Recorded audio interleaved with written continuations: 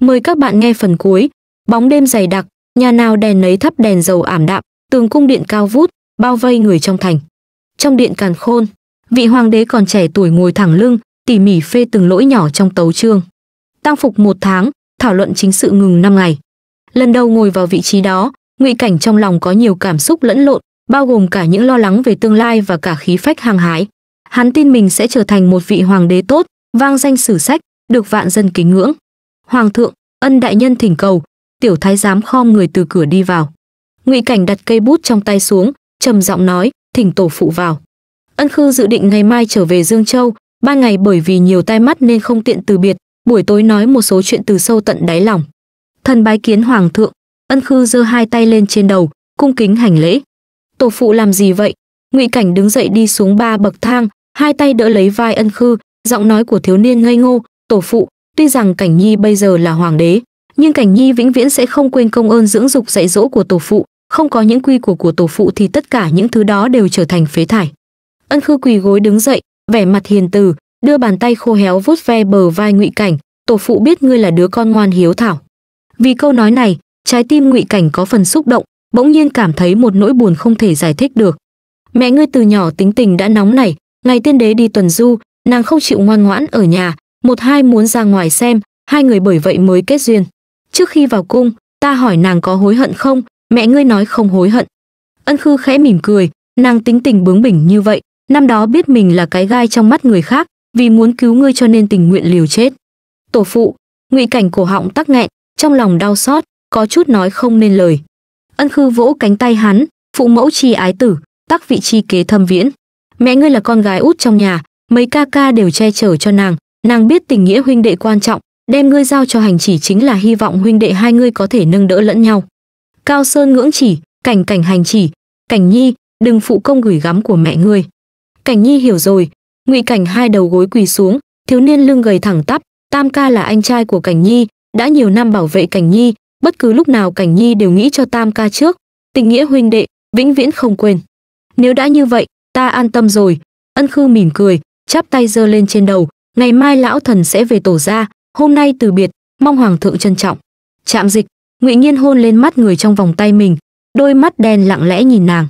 Hơi thở của hai người chậm rãi hòa vào nhau, trắng đen quyện vào nhau. Dưới ánh nến sau lưng, mái tóc đen nhánh xõa xuống bờ vai, nàng đẹp đến mê người. Khanh khanh, giọng nói của hắn trầm thấp khàn khàn. Thẩm Du Khanh nắm cánh tay hắn, "Hả? Gọi ta đi." Hắn cắn môi nàng. Thẩm Du Khanh thở ra một hơi, "Ngụy Nghiên, còn gì nữa?" Nàng dừng một chút, sau đó hé mở đôi môi đỏ mọng, "Tam ca." Hắn run lên, ánh mắt thâm trầm, dán sát vào tai nàng. Thẩm Du Khanh cắn môi, một lúc sau mới chậm rãi nói, "Phu quân." Nói xong, Ngụy Nghiên ôm chặt lấy nàng, hôn nhẹ lên mặt. "Phu nhân." Hắn ngậm lấy môi nàng, đáp lại lời vừa rồi bằng giọng cực kỳ dịu dàng. Ban đêm, ngoài cửa có tiếng động, Ngụy Nhiên cảnh giác mở mắt ra, người trong lòng đã ngủ say, hắn lặng lẽ đáp chăn cho nàng, mặc trung y liền đi ra ngoài. Ngụy Nhiên cầm lấy đao trên án thượng, bình tĩnh đi ra cửa, nhỏ giọng nói, "Ai? Là ta." Bên ngoài bóng người đến gần, "Hành chỉ, ta có chuyện muốn nói với ngươi." Người đến là Ân Khư. Ngụy Nhiên gác lại đao, buộc áo choàng bên ngoài rồi ra khỏi phòng. Bộ dáng này rõ ràng vừa ra khỏi giường, không được trang nhã cho lắm. Nhìn bộ dạng của hắn cùng vết cào trên cổ, ân khư cười thật sâu, không nói gì. ngụy Nhiên đóng cửa lại, dẫn người vào gian phòng bên cạnh, ngoại tổ đêm khuya đến có chuyện gì sao. Hai người ngồi xuống, ngụy Nhiên co chân, một tay đặt lên đầu gối. Ân khư nói, hiện tại chuyện ở Thượng Kinh đã giải quyết xong, ta dự định sáng sớm ngày mai liền về tổ ra. Thấy hắn đang muốn nói chuyện, ân khư khoát khoát tay, ngươi không cần khuyên ta, ta già rồi, không quan tâm chính sự, chỉ muốn trở về dưỡng lão. Ngụy Nhiên mím môi, khẽ gật đầu, chắp tay nói, ngày mai ta tiễn người một đoạn đường. Không cần, ân khư từ chối, ta có thể xảy ra chuyện gì chứ, người ta mang theo đủ rồi. Ông liếc nhìn hắn một cái, đột nhiên nói, nếu ngươi một lòng quay trở lại Mạc bắc, thẩm tuế hàn sẽ rất khổ sở. Ngụy Nhiên mím môi mỏng, im lặng. Ân khư lấy từ trong tay áo ra một thứ gì đó và đặt lên bàn, ta cùng cha của thẩm tuế hàn có chút giao tình. Đây là tín vật mà hắn đưa cho ta, ngươi lúc nào đến thẩm phủ thì mang theo, thẩm tuế hàn sẽ không có ý làm khó dễ ngươi nữa ngụy nhiên ngước mắt lên cầm lấy ngọc bội ngọc bội hình trăng lưỡi liềm có hai mảnh ghép lại với nhau đây là một trong số đó. Đa tạ tổ phụ. Ngươi không cần cảm tạ ta, ngoại trừ những thứ này, ta cũng không có gì có thể giúp huynh đệ ngươi được. Ân khư trầm giọng nói, hiện tại đại cục đã định, ngươi nếu đã quyết định này, đừng hối hận nữa, có thể đi chấn thủ mạc bắc cũng tốt. Cảnh nhi từ nhỏ đã suy nghĩ khác người. Mặc dù hắn tôn trọng ngươi là huynh trưởng, nhưng lòng quân khó dò, chuyện ngày sau như nào không ai có thể nói trước được. Chấn thủ mạc bắc cũng coi như một cách hộ thân. Ngụy nhiên nhếch miệng cười, thản nhiên nói đời này ta chỉ muốn vĩnh viễn ở lại mạc bắc, bảo vệ biên quan, ngoại trừ tiểu nữ thẩm ra ta không mong muốn gì khác nữa. Nghe hắn nói như vậy, ân khư vuốt tròm râu trắng, cười nói, ai ngờ hoài an vương trời sinh phóng đãng lại còn là kẻ si tình. Ngụy nhiên uống một ngụm rượu, không phủ nhận. Tổ phụ muốn hỏi ngươi một chuyện nữa. Ân khư lại nói. Ngoại tổ, mời nói. Ân khư nhìn hắn, ân chỉ ở mạc bắc sao? Ngụy nhiên im lặng một lúc rồi gật đầu. Năm đó đã xảy ra chuyện gì chẳng phải ân chỉ là quân sư của tống khuynh sao? Sau chuyện đó, tại sao tống thanh lại đột nhiên biến mất không ai nhắc đến? Ân khư thở dài, năm đó ra vốn tưởng vì mẹ ngươi mới khiến ngươi rời kinh, nhưng vẫn cảm thấy trong đó che giấu chuyện khác. Ngụy nhiên uống thêm một hớp rượu, cười nói, đúng như ngoại tổ phỏng đoán, năm đó đúng là vì cái chết của mẹ mà ta rời thượng kinh đến mạc bắc. Tống khuynh tử trận, quân sự tự nguyện đi theo ta, ngoài ra không có gì giấu giếm. Ân khư thấy sắc mặt hắn có chút gì đó không đúng cũng không muốn nói nữa. Thở dài nói, quên đi, ngươi luôn có chính kiến, ta cũng không quản nữa. Bóng nến chập chờn, ân khư đứng lên. Ta tiễn ngoại tổ. Hai người cùng nhau ra ngoài, xe ngựa chạy đi, ngụy nghiên nhẹ nhàng trở lại trong phòng.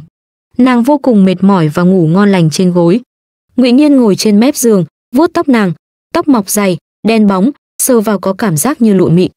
Lòng bàn tay chạm vào mặt nàng, làn da trắng nõn mềm mại, phủ lông tơ, chạm vào nhẹ như mây hắn cúi xuống hôn lên môi nàng, lông mi nàng run rẩy, đôi mắt ngấn nước mở ra, chàng làm gì vậy?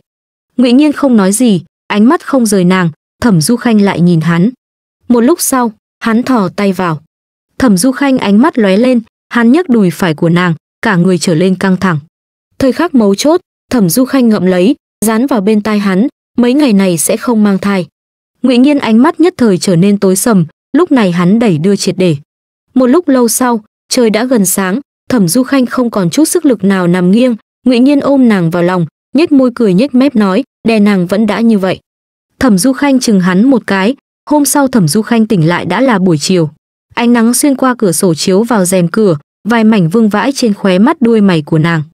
Thẩm du khanh ngồi dậy, liếc nhìn trên giường lộn xộn, lại nhớ lại đêm qua. Hắn đúng là quá làm càn. Nàng mặc quần áo vào, kéo rèm rồi xuống đất bước trên mặt đất giống như bước trên một cục bông, mềm đến mức lúc đầu suýt ngồi xuống mặt đất. Thẩm du khanh khẽ nhíu mày, miễn cưỡng đi ra ngoài uống chút trà. Nước nóng, hẳn là có người đa chuẩn bị từ sớm. Thẩm du khanh ngồi một lúc, cửa đẩy ra, ngụy nhiên tay bưng hộp đồ ăn đi vào, thấy nàng ngồi ngay ngắn, trong mắt có ý khác, ngủ đủ rồi sao? Hắn cười hỏi nàng. Thẩm du khanh cố nén cổ họng khàn khàn, thấp giọng nói, thiếp về đây. Bộ dạng hắn hiện tại làm gì nhìn thấy nửa điểm khác thường ban đầu thẩm du khanh còn lo lắng, nhưng bây giờ xem không cần thiết. Ngụy nhiên đặt thức ăn lên bàn, ta làm, ăn xong hãy đi. Trước đây khi ở trong cung, hắn thường nấu cho cho mẹ mình ăn, sau lại tổng quân thì không xuống bếp nữa, giờ cũng chỉ nấu cho một mình nàng. Ngụy nhiên giỏi nấu ăn, thẩm du khanh đã ăn bánh điểm tâm hắn làm, thực sự rất ngon. Lúc này không khỏi nhìn thoáng qua lần nữa, cháo lúa mạch, tôm trắng hấp, đậu hũ nhạt, gà liễu đỏ, tất cả đều vừa mắt vừa ngon ngụy nhiên múc một bát cháo đặt trước mặt nàng, nếm thử đi. Thẩm du khanh thuận tay múc một miếng, chậm rãi ăn từng miếng nhỏ, mắt không nhìn anh nhưng lại không nhịn được cong môi. Ánh mắt ngụy nhiên luôn dán trên người nàng, một lúc sau hắn ngồi xuống bên cạnh, vòng tay qua eo nàng, ăn ngon không? Thẩm du khanh thấp giọng nói, tạm được. Đúng là khó hầu hạ. Ngụy nhiên bóp lấy eo thịt mềm mại của nàng, cười nửa miệng nói. Thẩm du khanh khẽ hừ một tiếng, khó hầu hạ thì đừng hầu hạ. Ngụy nhiên nhếch môi làm sao có thể? Hắn nghiêng người nói, cho ta một miếng. Thẩm du khanh phản bác, tay chàng không dài hay sao? Miệng nói như vậy nhưng vẫn đút cho hắn một thìa. Nhìn từ xa, cả hai như dựa vào nhau, cô gái hơi cúi đầu, còn người đàn ông thì ôm người vào lòng, vốn dĩ diện mạo họ đã sắc bén, giờ phút này đây trong mắt tràn đầy yêu thương chiều chuộng. Trời đã gần tối, thẩm du khanh lên xe ngựa trở về nhà. Vừa vào phủ, người hầu thấy nàng trở về, lập tức đi tới hành lễ, tiểu thư đại nhân bảo ngài trở về thì đến thư phòng. Thẩm du khanh nhíu mày, cha nói gì sao? Tôi tớ lắc đầu. Trước đây mỗi khi nàng học tập không tốt, cha sẽ kêu nàng vào thư phòng, trực giác từ nhỏ đã nói cho nàng biết, lần này hẳn không phải chuyện tốt. Cửa thư phòng đóng chặt, thẩm du khanh đẩy ra đi vào. Thẩm tuế hàn ngồi sau án, dựa bàn để bút, nghe thấy tiếng động ở cửa mới dừng lại nhìn nàng, đã về rồi sao? Ông thừa biết cô con gái nhỏ của mình đã đi đâu đêm qua? Ông muốn quản nhưng biết nàng có chính kiến, người khác nói sẽ không nghe. Thẩm du khanh ánh mắt vừa động, oản oản hiểu rõ, cha không cần lo lắng. Tên hỗn trướng đó đúng toàn lưu manh, không có phép tắc lễ nghi gì cả. Thẩm tuế hàn mắng mỏ. Thẩm du khanh cúi đầu, không cãi lại. Thẩm tuế hàn vốn dĩ cũng không có ý định muốn tìm nàng nói chuyện này. Ông liền nguôi giận, nương con vẫn khỏe, ta định cáo quan rời kinh, trở về tổ gia củ châu của chúng ta. Thẩm du khanh phút chốc ngước mắt lên, cha sao đột nhiên có ý nghĩ này? Lúc con còn chưa về kinh ta đã nghĩ đến rồi. Thẩm tuế hàn nói, ta đã làm quan hơn 20 năm, suốt ngày nơm nớp lo sợ. Có quan tước địa vị thì sao?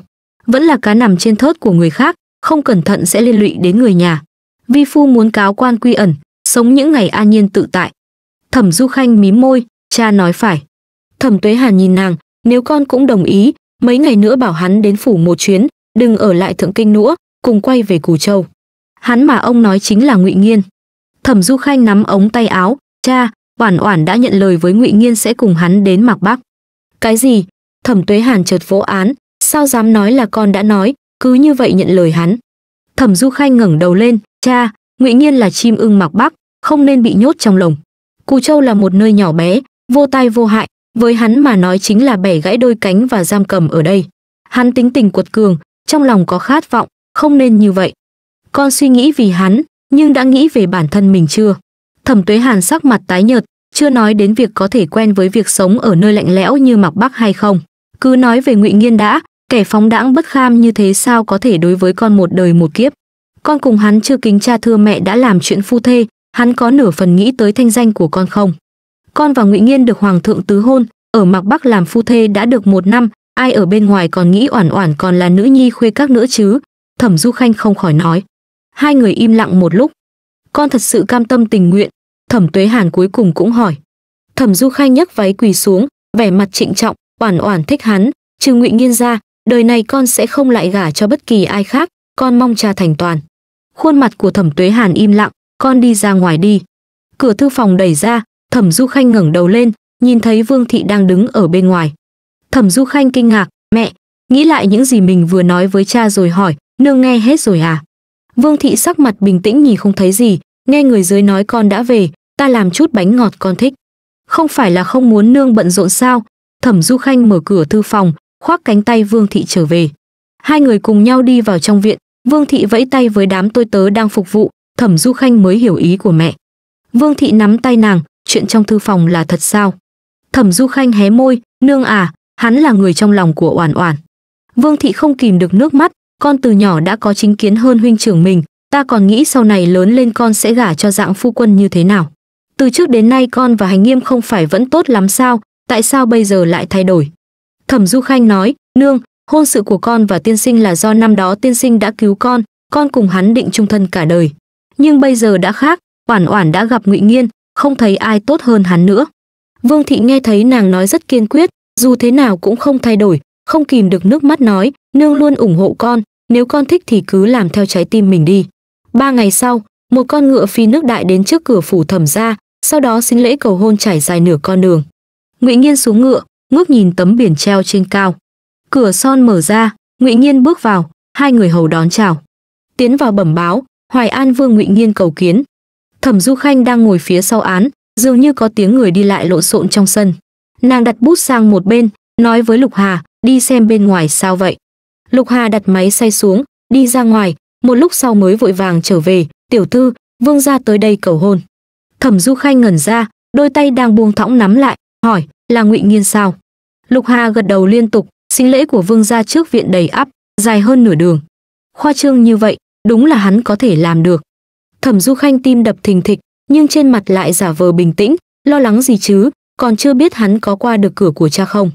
Một lúc sau, lục hà cảm giác tiểu thư lơ đãng suy nghĩ một chút mới nói, tiểu thư, đây là chuyện lớn cả đời của người, tiểu thư không định đi xem sao.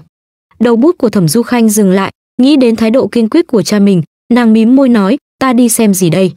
Xem vương gia. Lục hà tiếp tục nói, nếu như đại nhân làm cho vương gia khó xử, người cũng có thể nói đỡ. Thẩm du khanh làm như đang cân nhắc, một lúc sau đứng dậy, đưa áo choàng cho ta.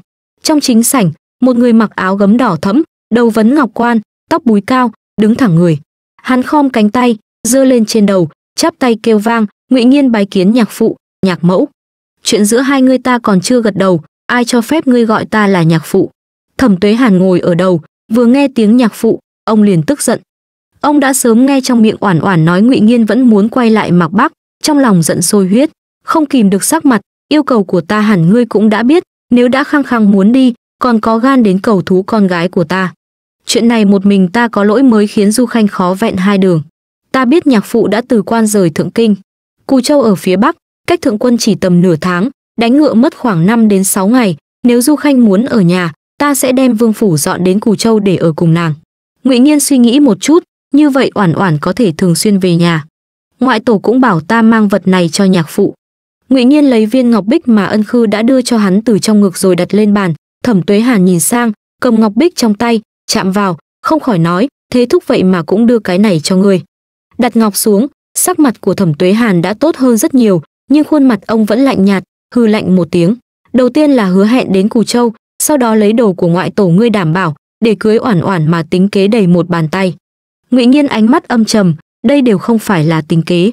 Hắn đột nhiên vén áo quỳ xuống, nàng là ngọc quý trên tay thẩm ra cũng là trăng sáng trong lòng ta, cứu rỗi cuộc đời ta ta nguyện dùng tính mạng mình bảo vệ viên ngọc này mãi mãi sáng trong. Một bóng người đi qua ngoài cửa, thân ảnh cứng đờ, thật lâu không nhúc nhích. Thẩm tuế hàn sững sờ một lúc, liếc nhìn ra ngoài cửa, lại nháy mắt với tôi tớ đang hầu bên người, tôi tớ hiểu ý, cúi đầu rời đi. Ngay sau đó, người ngoài cửa rời đi. Thẩm tuế hàn nói với vương thị, phu nhân, đi xem oản oản đi. Vương thị có chút nghi hoặc, không nghĩ nhiều liền đi ra ngoài. Người trong nhà đều phân tán, thẩm tuế hàn bảo hắn đứng dậy từ án hạ lấy ra một chiếc hộp gấm, chuyện của con trai ta, ngươi tính khi nào nói cho oản oản. Nghe vậy, sắc mặt ngụy nghiên trở nên căng thẳng ít hầu trượt xuống, lúc trước thánh chỉ tứ hôn vội vàng. Đối với nàng không công bằng, về sau tiên đế lại hạ chỉ hòa ly, khiến nàng trước mặt thế gia ở thượng kinh nhiều khó xử. Ta muốn vẻ vang đón nàng, qua hôm nay, ta sẽ nói cho nàng biết chuyện năm đó. Thẩm tuế hàn nheo mắt lại, nói một cách dứt khoát, ta rất hiểu oản oản, bất kể chân tướng năm đó như thế nào kết quả vẫn là ngươi hại chết huynh trưởng duy nhất của nàng. Oản oản cùng lâm thức từ nhỏ thân thiết, tình nghĩa huynh muội bọn họ không phải ngươi có thể so sánh được. Sau một hồi trong phòng yên lặng, thẩm tuế hàn tiếp tục, nếu oản oản biết được điều này, hôn sự của các ngươi có lẽ không xong. Ngụy nhiên rũ mắt xuống, nhìn chằm chằm vào một chỗ trên mặt đất, nhưng không nói gì. Ta chỉ có hai yêu cầu, thẩm tuế hàn đứng dậy. Nhạc phụ xin cứ nói. Ngụy nhiên nhìn ông. Thẩm tuế hàn chắp tay sau lưng, thứ nhất những người biết chuyện năm đó đã gần như chết hết, ta muốn ngươi giữ kín chuyện đó với oản oản, giấu nàng cả đời, đừng nói với nàng chuyện này. Ngụy nhiên lắc đầu, chuyện này với nàng không công bằng. Ngươi cho rằng nói cho nàng biết là công bằng sao? Thẩm tuế hàn lạnh lùng nói, chuyện này đã qua 11 năm, oản oản cũng không còn cố chấp với việc tìm ra chân tướng như trước. Nàng với ngươi tâm đầu ý hợp, giờ ngươi nói cho nàng biết, chính là lấy dao đâm vào tim nàng.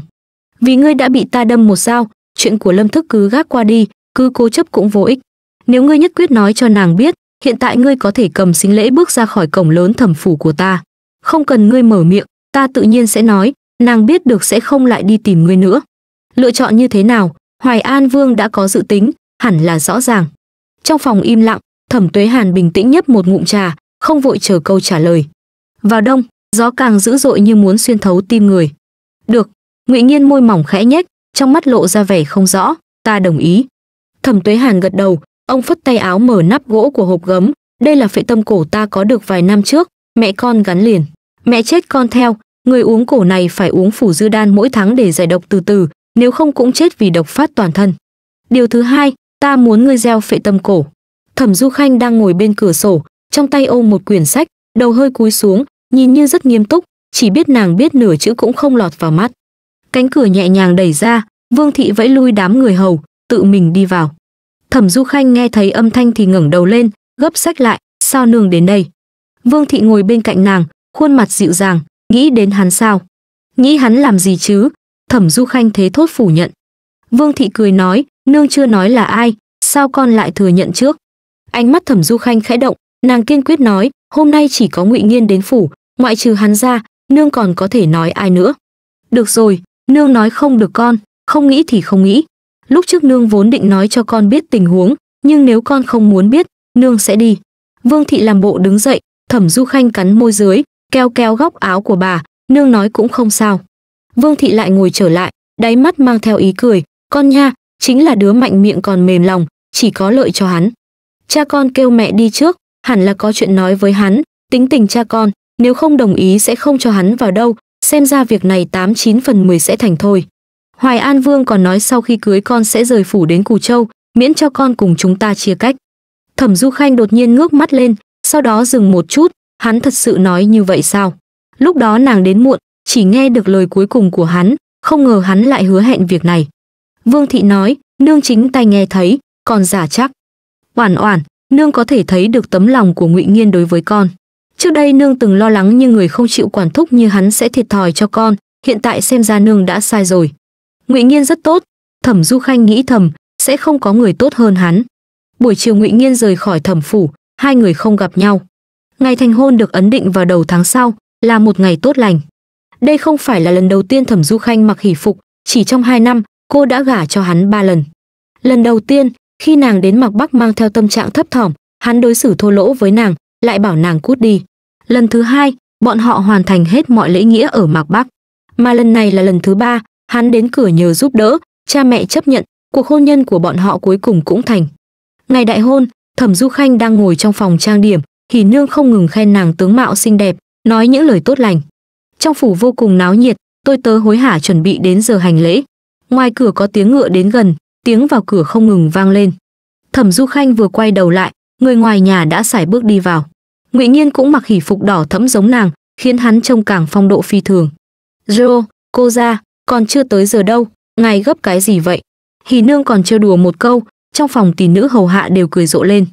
Thẩm Du Khanh mặt như hoa nở, môi đỏ như đan hà, liếc Ngụy Nghiên một cái, thản nhiên nói, còn chưa tới giờ, vương gia gấp gì chứ? Ngụy Nghiên đứng sừng sững trước cửa, khóe miệng nhếch lên, không thèm để ý đến ánh mắt của người khác, đi về phía nàng. Tỷ nữ hai bên che mặt, làm bộ như không nhìn thấy hai người, Hỉ Nương cũng đứng một bên, muốn nói rối loạn quy củ, nhưng vừa thấy vương gia mặt đầy sát khí, lập tức không dám nói nữa. Bị bóng dáng cao lớn che khuất, Thẩm Du Khanh ngồi nghiêng một bên, eo đột nhiên bị ốm lấy, bên cổ nóng lên, nụ hôn của hắn rơi xuống, hơi thở trầm ổn bá đạo bao trùm lấy nàng, Thẩm Du Khanh không khỏi ngẩng đầu lên, nghe thấy hắn khẽ cười một tiếng, lão tử xem như đem nàng cưới đến tay rồi. Thẩm Du Khanh cau mày, đấm hắn một cái, chàng là lão tử của ai? Ngụy Nhiên ngậm lấy môi nàng, hung hăng hôn xuống, ta là lão tử của nàng, nàng là tổ tông của ta. Thẩm Du Khanh không thể nhịn cười, nới lỏng lực đẩy hắn. Tỷ nữ hầu hạ nghe vậy không nhịn được cười, nhìn nhau trêu chọc. Thấy đã gần đến giờ, Hỉ Nương do dự không qua, "Tiểu thư, đã đến giờ đi rồi." Bà vẫn còn có ánh mắt, biết không thể chọc được Vương gia nên dục Thẩm Du Khanh trước. Cũng phải mất một lúc lâu, Thẩm Du Khanh mới quay đầu lại, hít mấy hơi, chậm rãi nói, "Nếu không đi thì muộn." Ngụy Nhiên bất mãn hôn nàng lần cuối, không biết hắn nghĩ tới điều gì, trong mắt tràn đầy ý xấu, đêm nay cuối cùng cũng có thể vui vẻ rồi.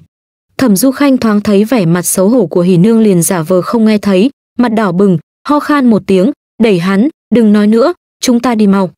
Cọ tới cọ lui trong phòng, lúc Thẩm Du Khanh ra cửa thì Vương thị đột nhiên nắm lấy tay nàng, "Oản Oản, lần này con thực sự đã xuất giá rồi." Nước mắt Vương rơi xuống, đôi mắt Thẩm Du Khanh lấp lánh, trong lòng chua xót, nàng cũng không thể kiềm được những giọt nước mắt. "Con phải sống tốt, mẹ không sao đâu, đừng cả ngày nhớ đến mẹ." "Con phải sống tốt, Vương thị không cầm được nước mắt, Thẩm Tuế Hàn cũng không thể chịu được nữa nên bảo tỷ nữ đỡ Vương thị về nhà nghỉ ngơi. Ngồi trên hỉ kiệu, Thẩm Du Khanh vén khăn che màu đỏ, nhìn ra ngoài xe ngựa. Phố dài đường rộng, cửa son thẩm phủ xa dần, mãi cho đến khi không còn nhìn thấy bóng dáng. Lúc khai yến, Tân đế cũng đích thân đến tận cửa, mọi người hô vang vạn tuế. Tân đế cười nói không cần đa lễ, liền lệnh tôi tớ bưng đến một cái đĩa, đặt một khối ngọc bội lên trên, đây là hồng trục liền cành, chấm chúc mừng tân hôn tam ca. Thẩm Du Khanh tạ lễ, trước mặt chỉ nhìn thấy một đôi ủng vàng hoa văn rồng, nghĩ thầm hóa ra đây là con trai út do thục quý phi liều chết sinh ra, là tân đế được ngụy nghiên phụ tá. Hắn tuy vẫn còn là thiếu niên, nhưng có phong thái như này cũng đã không tầm thường rồi. Ngụy Cảnh ngồi không bao lâu liền rời đi, Ngụy Nghiên cùng tiễn ra cửa. Mặt trời lặn dần, Ngụy Nghiên bị chuốc đầu bụng rượu, người tới vẫn còn muốn uống với hắn, hắn giả say, cho người đỡ về phòng. Qua khúc hành lang, Ngụy Nghiên đẩy hạ nhân đang đỡ mình ra, cởi cúc áo kín trên hông, nhếch miệng nói, lại định chuốc lão tử này sao, có định để động phòng hay không? lễ túc đi theo bên cạnh cười ha hà nói vương gia không nghĩ đến thượng kinh cũng có thể uống như vậy. Thẩm du khanh đợi trong phòng ngủ thiếp đi một lúc nhưng chưa kịp tỉnh hẳn đã nghe thấy tiếng gõ cửa. Nàng mơ hồ mở mắt ra bóng người bên cạnh đã đứng đó không biết từ lúc nào. Lúc này thẩm du khanh mới nhớ nàng đã tháo khăn che xuống lại lần nữa nhặt phủ lên thấp giọng nói sao chàng không đánh thức thiếp dậy? Hắn cầm chiếc cân trong tay, lười biếng vén khăn che màu đỏ, đỡ cầm thẩm du khanh, cúi xuống cắn vào môi nàng, phu nhân của ta thật xinh đẹp. Mùi rượu phả đầy mặt. Thẩm du khanh quay mặt đi, ghét bỏ nói, chàng đi tắm trước rồi mới được hôn thiếp. Ngụy nhiên đưa chóp mũi ngửi ngửi, thấy mùi rượu cô ý ghé sát cổ nàng, cọ cọ vào ngực nàng quen rồi mà, không có mùi gì đâu, ngửi xem.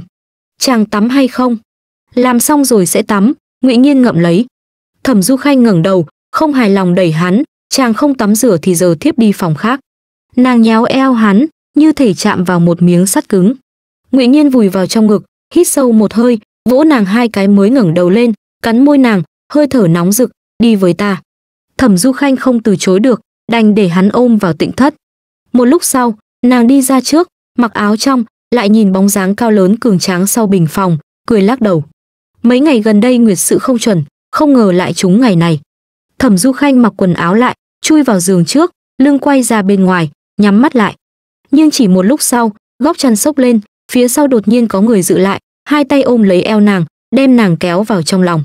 Trên người hắn có một làn sóng nhiệt, xua tan đi sự lạnh lẽo lúc này. Thẩm du khanh ngủ không được, vừa trở mình, đột nhiên bị hắn ôm chặt hơn, ta nóng, đừng lộn xộn. Nàng thầm nghĩ, hắn nóng hay không thì liên quan gì đến mình? Thẩm du khanh không động nữa.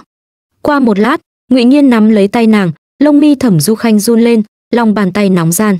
Ta dạy nàng, hắn thủ thỉ vào tay nàng. Hơi thở hồn hển, còn tay nàng nhớp nháp.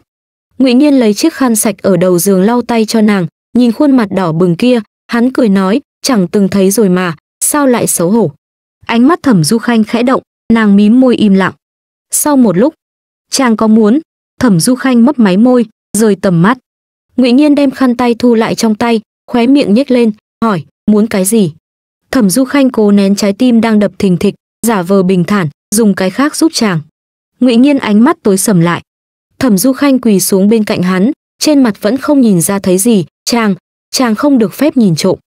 Ngụy nhiên cười to hơn, được, ta không nhìn trộm. Sau khi kết thúc, thẩm du khanh xúc miệng, ngụy nhiên lau miệng cho nàng nàng trừng mắt mắng hắn, người này miệng nói từng câu từng chữ chắc chắn, rõ ràng nói hắn đừng có nhìn vậy mà hắn không chỉ nhìn, lại còn như vậy. Một hồi tung hoành này kéo dài đến nửa đêm về sáng. Thẩm du khanh mơ màng nằm trong lòng hắn, cảm nhận được bàn tay vỗ về xoa dịu, nàng chợt nhớ tới điều gì đó, mơ hồ hỏi, ngày hôm đó chàng ở trong phủ, cha đã nói riêng với chàng điều gì? Hồi lâu không nghe thấy đáp lại, thẩm du khanh nghi hoặc ngước mắt lên, ngụy nhiên đột nhiên vỏ tóc nàng, nhạc phụ nói nếu ta không đối xử tốt với nàng, ông ấy sẽ không bao giờ cho ta gặp lại nàng nữa. Mỗi như vậy sao?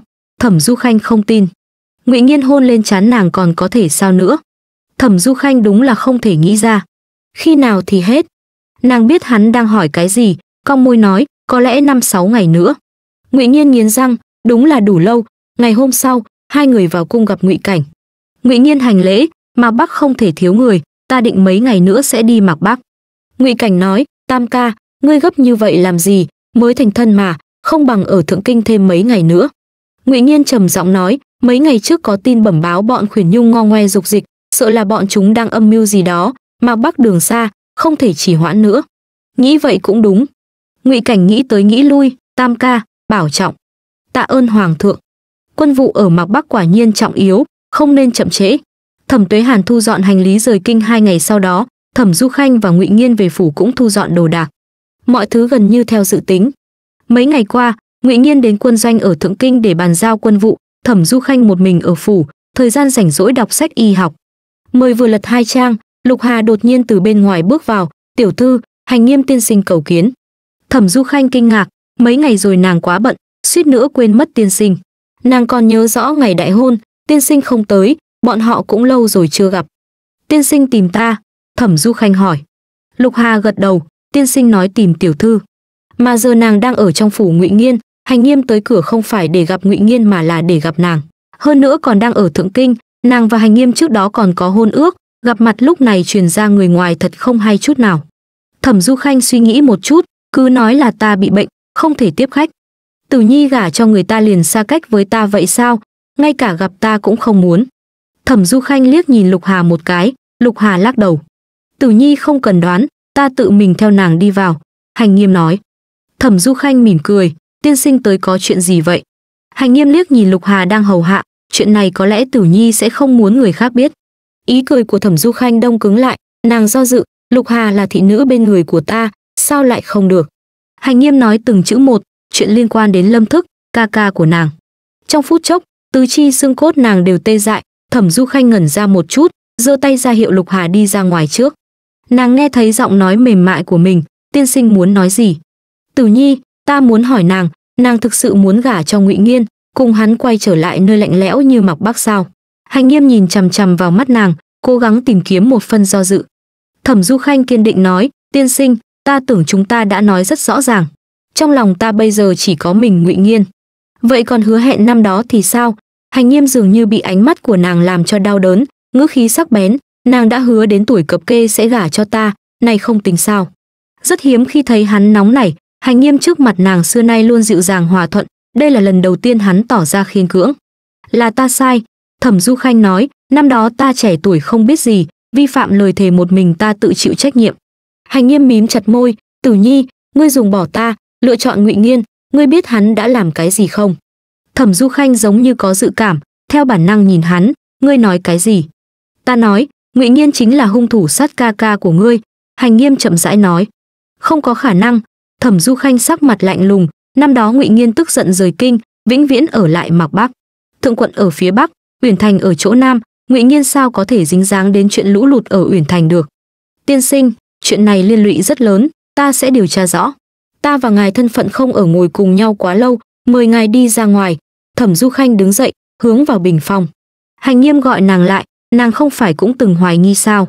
Năm đó Ngụy Nghiên tại sao lại tức giận rời khỏi kinh? Thẩm Du Khanh nắm chặt tay, nhắm mắt lại, đột ngột quay lại, Ngụy Nghiên sở dĩ rời kinh là vì Thục Quý phi chết thảm, hắn chán ghét thế gia ở thượng kinh tranh giành dơ bẩn. Cho tới bây giờ nàng còn vì hắn mà chống chế.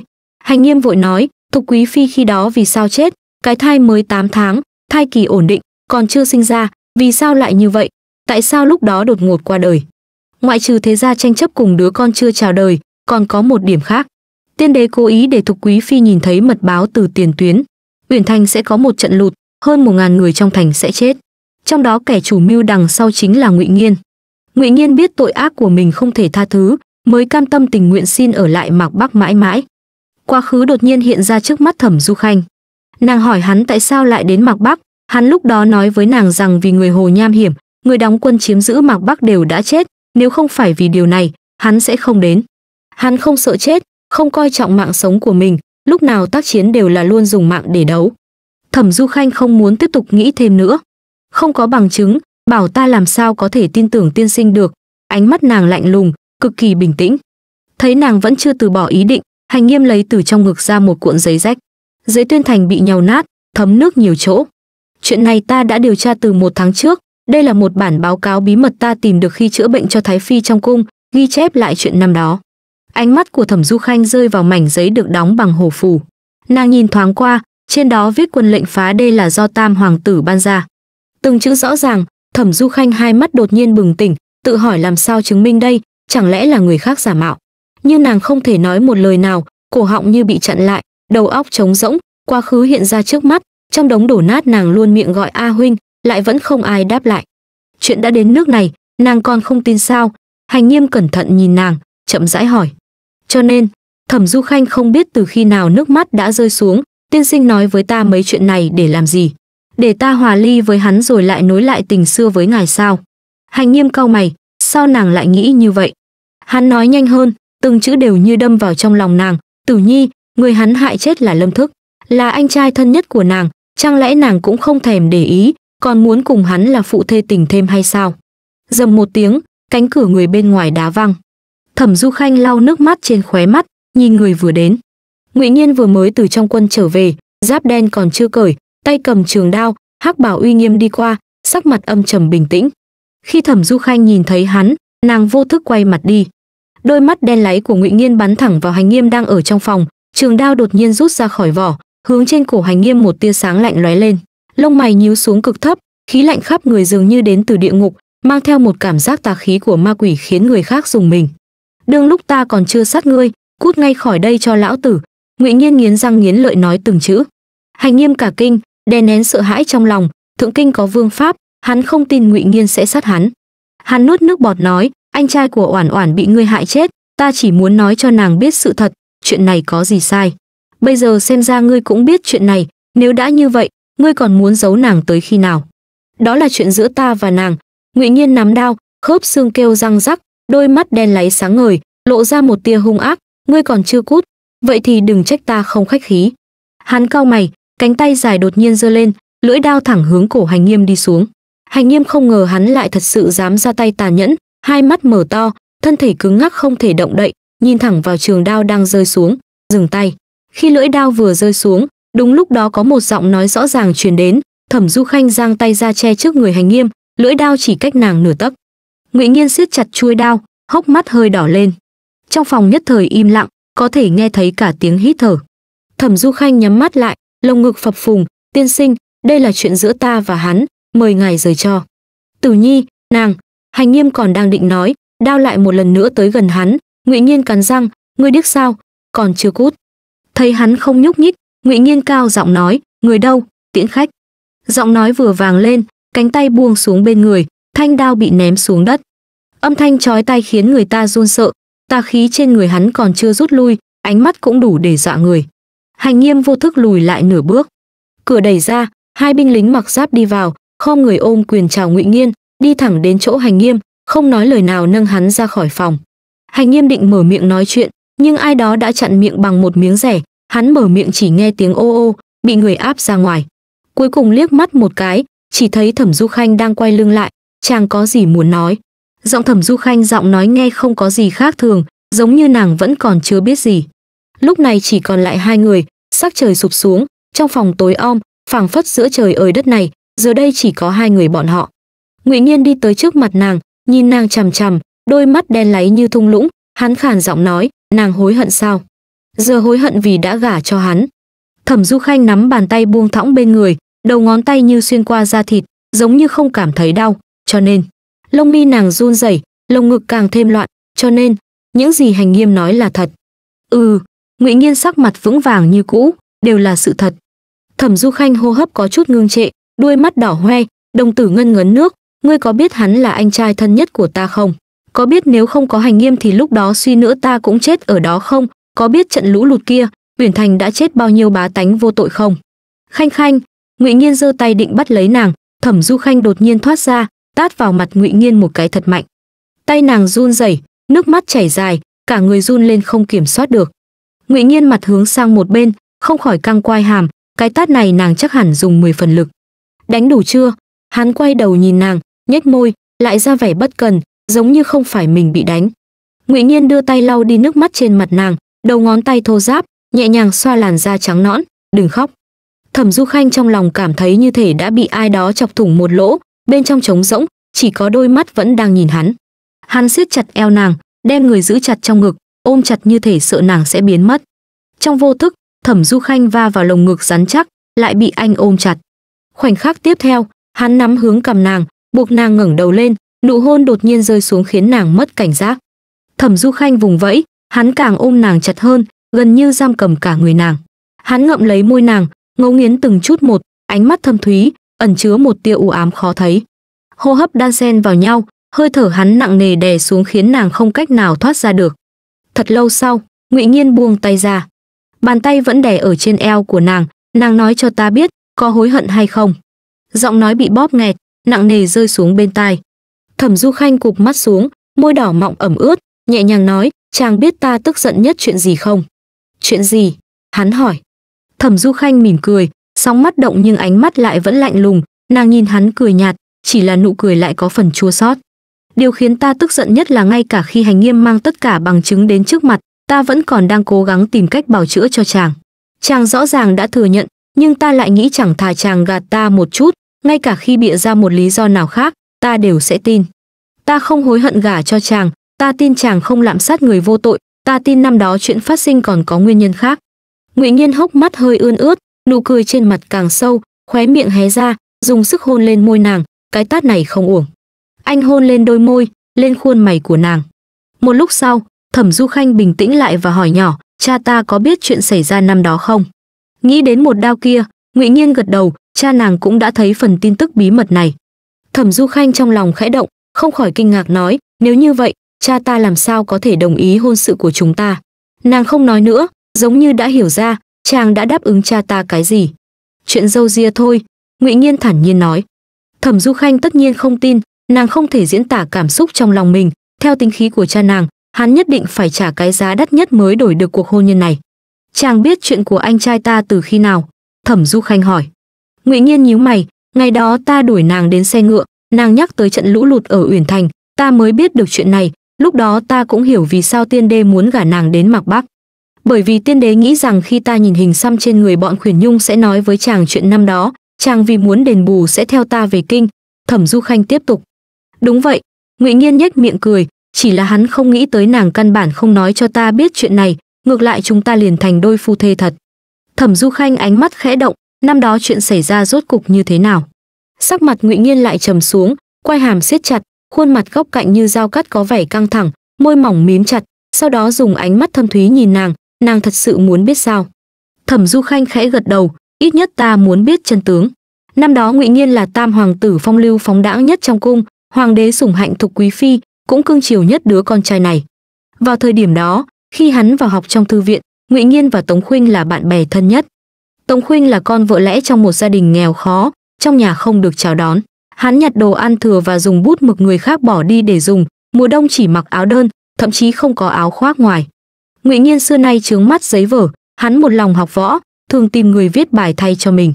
Mỗi lần sẽ trả một số tiền nhất định, thứ mà tống khuynh thiếu nhất chính là tiền, vì thế hai người liền quen nhau. Sau này khi quân manji xâm lược phương nam, ngụy nhiên còn trẻ đã kiên quyết tòng quân, ở trong quân đội nhìn thấy tống khuynh, hai người một văn một võ, lãnh quân đánh chiếm đến khi quân manji phải rút lui. Thẳng đến khi trận ở uyển thành, có hỏa dược giấu trong hang động ngầm ở uyển thành có thể phá hủy mấy chục thành trì cho nên tòa thành này không thể rơi vào tay kẻ địch. Khi đó, ta chỉ có 2.000 quân thủ thành để bảo vệ đại chiêu, phá đập và hạ sách duy nhất. Năm đó hắn vẫn còn nhớ trận lũ lụt khiến người dân bỏ chạy tán loạn. Hắn ngồi trên tường thành, khi phách thiếu niên hăng hái đã cạn sạch, tinh thần suy sụp. Thấy tống khuynh từ xa cầm đao đi tới, thiếu niên nhu nhược kia cũng cầm đao theo. Ngụy nhiên ngửa đầu rót rượu, cầm đao trong tay đứng lên, nhếch môi nói, tống khuynh, hôm nay ta không muốn sống nữa, ngươi cũng đừng nghĩ còn sống đi ra ngoài sau đó, chiêu hòa đế sắp xếp người bên cạnh đánh hắn hôn mê mới mang ra khỏi thành. Khi trở lại, ba tánh trong thành đã không một ai sống sót. Lúc này, giọng nói của ngụy nghiên càng trở nên nặng nề hơn. Khi ta về kinh đã sẵn sàng để bị vạn dân thoá mạ, lại biết mẫu phi đột nhiên mất. Tiên đế để bảo vệ mặt mũi hoàng thất đã cưỡng ép ta nhất định phải giấu kín chuyện lũ lụt ở uyển thành. Đổi lại, ông ấy lại nói dối với ta sự thật về cái chết của người mẫu phi. Hắn tự cười giễu mình, bây giờ nghĩ lại thật đúng là buồn cười tiền triều tuy đã diệt, nhưng vũ lâm quân vẫn còn đó. Tống khuynh là hậu duệ của tướng quân vũ lâm quân. Thân phận hắn một khi bại lộ, lại cầm trong tay khối lệnh bài kia, chắc chắn sẽ khiến thiên hạ dung chuyển, vạn dân gặp tai họa. Chuyện này đã bị chôn vùi dưới đáy, ngoại trừ mất báo viện binh này, không còn trích lục nào ghi lại chuyện năm đó. Thẩm du khanh trong lòng dâng trào, hồi lâu không nói chuyện, đến khi ánh trăng lẻn vào trong phòng, nàng mới ý thức được đã là ban đêm. Ta ở mạc bắc sống hơn 10 năm, một lòng muốn chết rồi lại không cam lòng dễ dàng chết cho đến khi gặp được nàng. Thẩm du khanh ngẩng đầu lên, nhìn thấy đôi lông mày sắc bén của hắn, chiếc mũi cao thẳng và nếp nhăn ở đuôi mắt. Đó là mạc bắc đã ghi dấu trên người hắn 10 năm qua, lúc này trong mắt nàng có một sự dịu dàng khó nói nên lời. Nàng đặt tay lên mặt hạt, nhẹ nhàng nói, không phải lỗi của chàng. Ánh mắt ngụy nghiên trở nên sâu hơn, hắn hôn nàng, thở trầm thấp. Thẩm du khanh ngẩng đầu lên, nắm lấy góc chăn, không nhịn mà được mà phát ra tiếng ngụy nhiên không để thừa một khoảng trống, đưa tất cả vào trong. Thẩm du khanh đột nhiên run rẩy, ngón chân co quắp, giống như một con cá bị ném vào bờ, nàng thở dốc. Nửa đêm, thẩm du khanh nằm trên giường, quay lưng về phía hắn. Tiếng nước trong tịnh thất qua đi, cơ thể nóng bỏng phía sau dán vào sau lưng nàng, hắn ôm lấy, xoa xoa bầu ngực. Ngày đó có phải vì cha thiếp mà chàng bị thương không? Thẩm du khanh ánh mắt ủ rũ, thanh âm vẫn còn khàn khàn. Đúng là không gạt được nàng, ngụy nhiên vòng tay ôm nàng càng chặt hơn, thấp giọng nói, ta đêm hôm trước chặn xe ngựa của cha nàng, đời này ta mắc nợ, cả đời khó trả hết. Thẩm du khanh bất động, thở chậm rãi, như thể đã ngủ thiếp đi. Ánh mặt trời sáng sớm, mặt trời từ từ nhô lên, xua mây đen tản đi, bầu trời dần quang đãng. Thẩm phủ sáng sớm rời thành, thủ vệ ở cửa thành đọc lệnh rời thành, mở ra cửa thành, thả người đi ra ngoài. Màn xe ngựa nhẹ nhàng vén lên, một cô gái ngồi bên trong, khuôn mặt đẹp như đóa phù dung đôi môi mọng nước, tóc mây buông nhẹ, bên trong cài một chiếc châm ngọc. Thẩm du khanh nhìn thượng kinh lần cuối rồi ngồi vào trong. Vương thị thấy sắc mặt nàng nhợt nhạt, hơi khác so với bình thường, nhưng bà lại không nói được là khác ở đâu. Oản oản, con thật sự không giận dỗi gì với hoài an vương chứ? Một đường ra khỏi thành, vương thị hỏi lần thứ ba. Thẩm du khanh nắm tay bà, oản oản chỉ là muốn ở bên cạnh nương nhiều hơn, ngụy nhiên mặc bắc có việc, hành quân nhanh chóng, mẹ nỡ lòng nào để con ở nơi đó khổ sở sao? Vương thị vốn trước có hồ nghi, nhưng không biết không đúng chỗ nào, đành từ bỏ. Bảo bối nương nuôi lớn trong tay, ở cùng nương cũng yên tâm. Thẩm du khanh dựa vào trong ngực bà, nương, oản oản muốn về cù châu ở bên nương nhiều hơn, ngụy nhiên bận việc quân, không rảnh chăm sóc con. Nói đến đây, vương thị càng thêm luyến tiếc, sơ sơ đỉnh tóc nàng, thở dài nói, được rồi, con muốn ở trong phủ bao lâu cũng được. Đến trưa, cả đoàn tìm một trạm dịch nghỉ chân. Thẩm du khanh vừa vén màn xuống xe ngựa phía xa có vài con ngựa phi nước đại về phía nàng, một khắc cũng không dừng lại. Ngựa hí một tiếng, vó sắt đáp xuống, thẩm du khanh nhìn rõ người trên ngựa, thân hình cao lớn mặc hắc y, trong mắt không rõ biểu tình. Ngụy nhiên xoay người, đi mấy bước tới trước mặt nàng, trong tay nắm chặt một tờ giấy, đôi mắt đen thâm thúy, đây là ý gì? Vương thị cũng xuống xe ngựa, nhìn thấy ngụy nhiên thì ngẩn ra, sau đó thấy vẻ mặt của con gái, bà giật mình. Đoán trước hai người đã cãi nhau, đang muốn khuyên giải vài câu thẩm du khanh đã dỗ bà vào xe ngựa trước. Ngụy nhiên đứng đó một lúc, đợi nàng quay lại. Thẩm du khanh nhìn vào mắt hắn, nói, giống như những gì được viết trên giấy. Nàng nhìn đi chỗ khác, chàng Trấn thủ mạc bắc, ta ở lại cù châu, chúng ta vẫn là phu thê như cũ, chỉ là không theo ý chàng. Ngụy nhiên ít hầu trùng xuống, hắn không ngờ nàng lại nói ra những lời này, môi mỏng hé mở, lời kia nuốt vào, lại đành tự giễu cười khổ, dù sao hắn cũng không có nói ra câu nói kia. Hắn hỏi nàng nàng định khi nào thì quay lại mạc bắc, hay để ta đến cù châu tìm nàng? Chưa nghĩ tới, thẩm du khanh không nhìn hắn, xoay người đi vào. Hắn đột nhiên nắm lấy cổ tay nàng, trên mu bàn tay nổi gân xanh, dùng sức cực mạnh, thanh âm khàn khàn chua xót, là chưa nghĩ tới, hay là không nghĩ tới. Thẩm du khanh dừng một chút, sau đó nhìn bóng đen trên mặt đất, ta có thể không trách chàng, nhưng ngụy nghiên này, đôi môi nhẹ nhàng đóng mở, chàng có thể cho ta một chút thời gian không? Nàng đẩy tay hắn ra và bước vào trạm dịch thẩm tuế hàn quan sát từ xa một lúc lâu, sau đó phất tay áo đi tới, ngươi vào oản oản sao vậy? Ngụy Nhiên đứng tại chỗ, đôi mắt đen thâm thúy không biết suy nghĩ cái gì. Chuyện năm đó nàng đã biết hết rồi. Thẩm tuế hàn kinh ngạc đến mức không nói nên lời, cảm xúc lẫn lộn, ông liếc nhìn vào trong trạm dịch, oản oản chỉ tức giận thôi, nếu nàng vô tình với ngươi, sợ là đã sớm hòa ly. Ngụy nghiên nhìn tờ giấy nhàu nát trong tay, hắn đối với nàng không có phòng vệ, đêm qua nàng hạ mê dược với hắn hắn hoàn toàn không biết gì cả cù châu đường xa, ta mang theo người ngựa, vừa lúc muốn đưa tiễn một đoạn đường. Đầu tiên thẩm tuế hàn mỉm cười, sau cố ý nói, vương gia bôn ba cả đoạn đường rồi, không bằng vào nghỉ ngơi một chút. Hai canh giờ sau, thẩm du khanh đỡ vương thị từ phòng đi ra, vừa ra đã nhìn thấy ngụy nghiên cùng cha nàng đứng chung một chỗ. Thẩm du khanh liếc mắt một cái liền thấy hắn, nàng cố ý đưa mắt đi chỗ khác trong giây lát. Là ta muốn giữ vương gia ở lại đưa tiễn, cù châu đường xa xa xôi, dù sao cũng phải có sự đảm bảo thẩm tuế hàn cười nói. Vương thị nắm lấy tay thẩm du khanh, là như vậy, làm phiền vương gia rồi. Ngụy nghiên không người nói, nhạc phụ nhạc mẫu không cần khách khí. Mẹ, chúng ta đi trước. Thẩm du khanh đang định đi xuống lầu, vương thị đột nhiên nắm lấy tay áo nàng nàng cụp mắt xuống. Vương thị đẩy nàng qua, phu thê hai người các ngươi nói chuyện đi, không cần chăm sóc ta. Mẹ, con. Du khanh cũng lo lắng cho nhạc mẫu, ta không ngại, không bằng cứ để nàng ấy chăm sóc ngài. Ngụy nghiên liếc mắt nhìn người đối diện trầm giọng nói. Nụ cười trên mặt vương thị càng thêm chân thành, oản oản, không phải con nói bởi vì thượng quận có việc, vương gia đi vội nên con mới muốn đi củ châu sao. Trong lòng nghĩ gì sao ngoài miệng không nói, hiện giờ vương gia đến tiễn con con khó xử cái gì, các ngươi vợ chồng trẻ cố gắng sống chung vui hòa thuận đi. Cuối cùng, thẩm du khanh bị cưỡng bách phải đi phía sau với ngụy nghiên. Hắn ngập ngừng đặt tay lên eo nàng, nửa ôm lấy, ánh mắt không khỏi rơi xuống sườn mặt của nàng, đập vào mắt là đôi môi đỏ như đan hà chiếc mũi cao thẳng và làn da trắng như tuyết của nàng. Nàng không cần suy nghĩ nhiều, cù châu rất xa, ta chỉ sợ trên đường có thể xảy ra chuyện. Hắn hạ thấp thanh âm, chậm rãi nói. Thẩm du khanh không thèm nhìn hắn, lạnh lùng nói, ta đâu nghĩ gì đâu, chàng muốn làm gì ta đâu ngăn được. Đúng là dám nói mấy lời này. Ngụy nhiên cười nhạt. Lúc hai người đi xuống cầu thang, thời tiết bên ngoài rất tốt và có nắng, đoàn người đang đi về phía nam, mùa đông ở bên ngoài còn ấm áp hơn trong xe ngựa vương thị vì không biết cưỡi ngựa mới ngồi trong xe ngựa. Lúc này ngụy nhiên tới, bà liền đẩy thẩm du khanh lên ngựa. Con ngựa này là ngựa mà ngụy nhiên đã cưỡi khi đuổi theo. Thẩm du khanh không chối được, đành ngồi trên lưng ngựa, nhìn người đàn ông đứng bên cạnh, chàng đi tìm một con ngựa khác đi.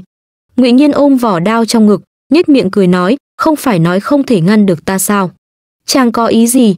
Nàng vừa dứt lời, hắn đem trường đao đặt ngang trước ngựa, một bóng đen dẫm lên kiềng nhảy lên, hai tay ôm chặt eo nàng sườn mặt ép sát vào nhau, nhạc mẫu đang ở đây, ít nhiều cho ta chút mặt mũi.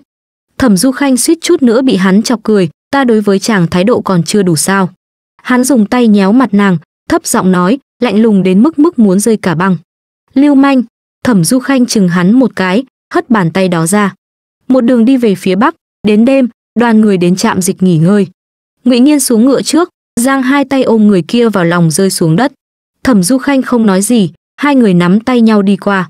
Vương thị xuống xe thấy hai người thân mật như vậy, trong lòng càng vui vẻ, bảo tỷ nữ mau chóng rời đi, đừng quấy rầy hai người. Thẩm du khanh đi lên vài bước, đến trước cửa phòng, vẫn thấy ngụy nhiên đi theo. Chàng đang làm gì vậy? Thẩm du khanh không kiên nhẫn cau mày.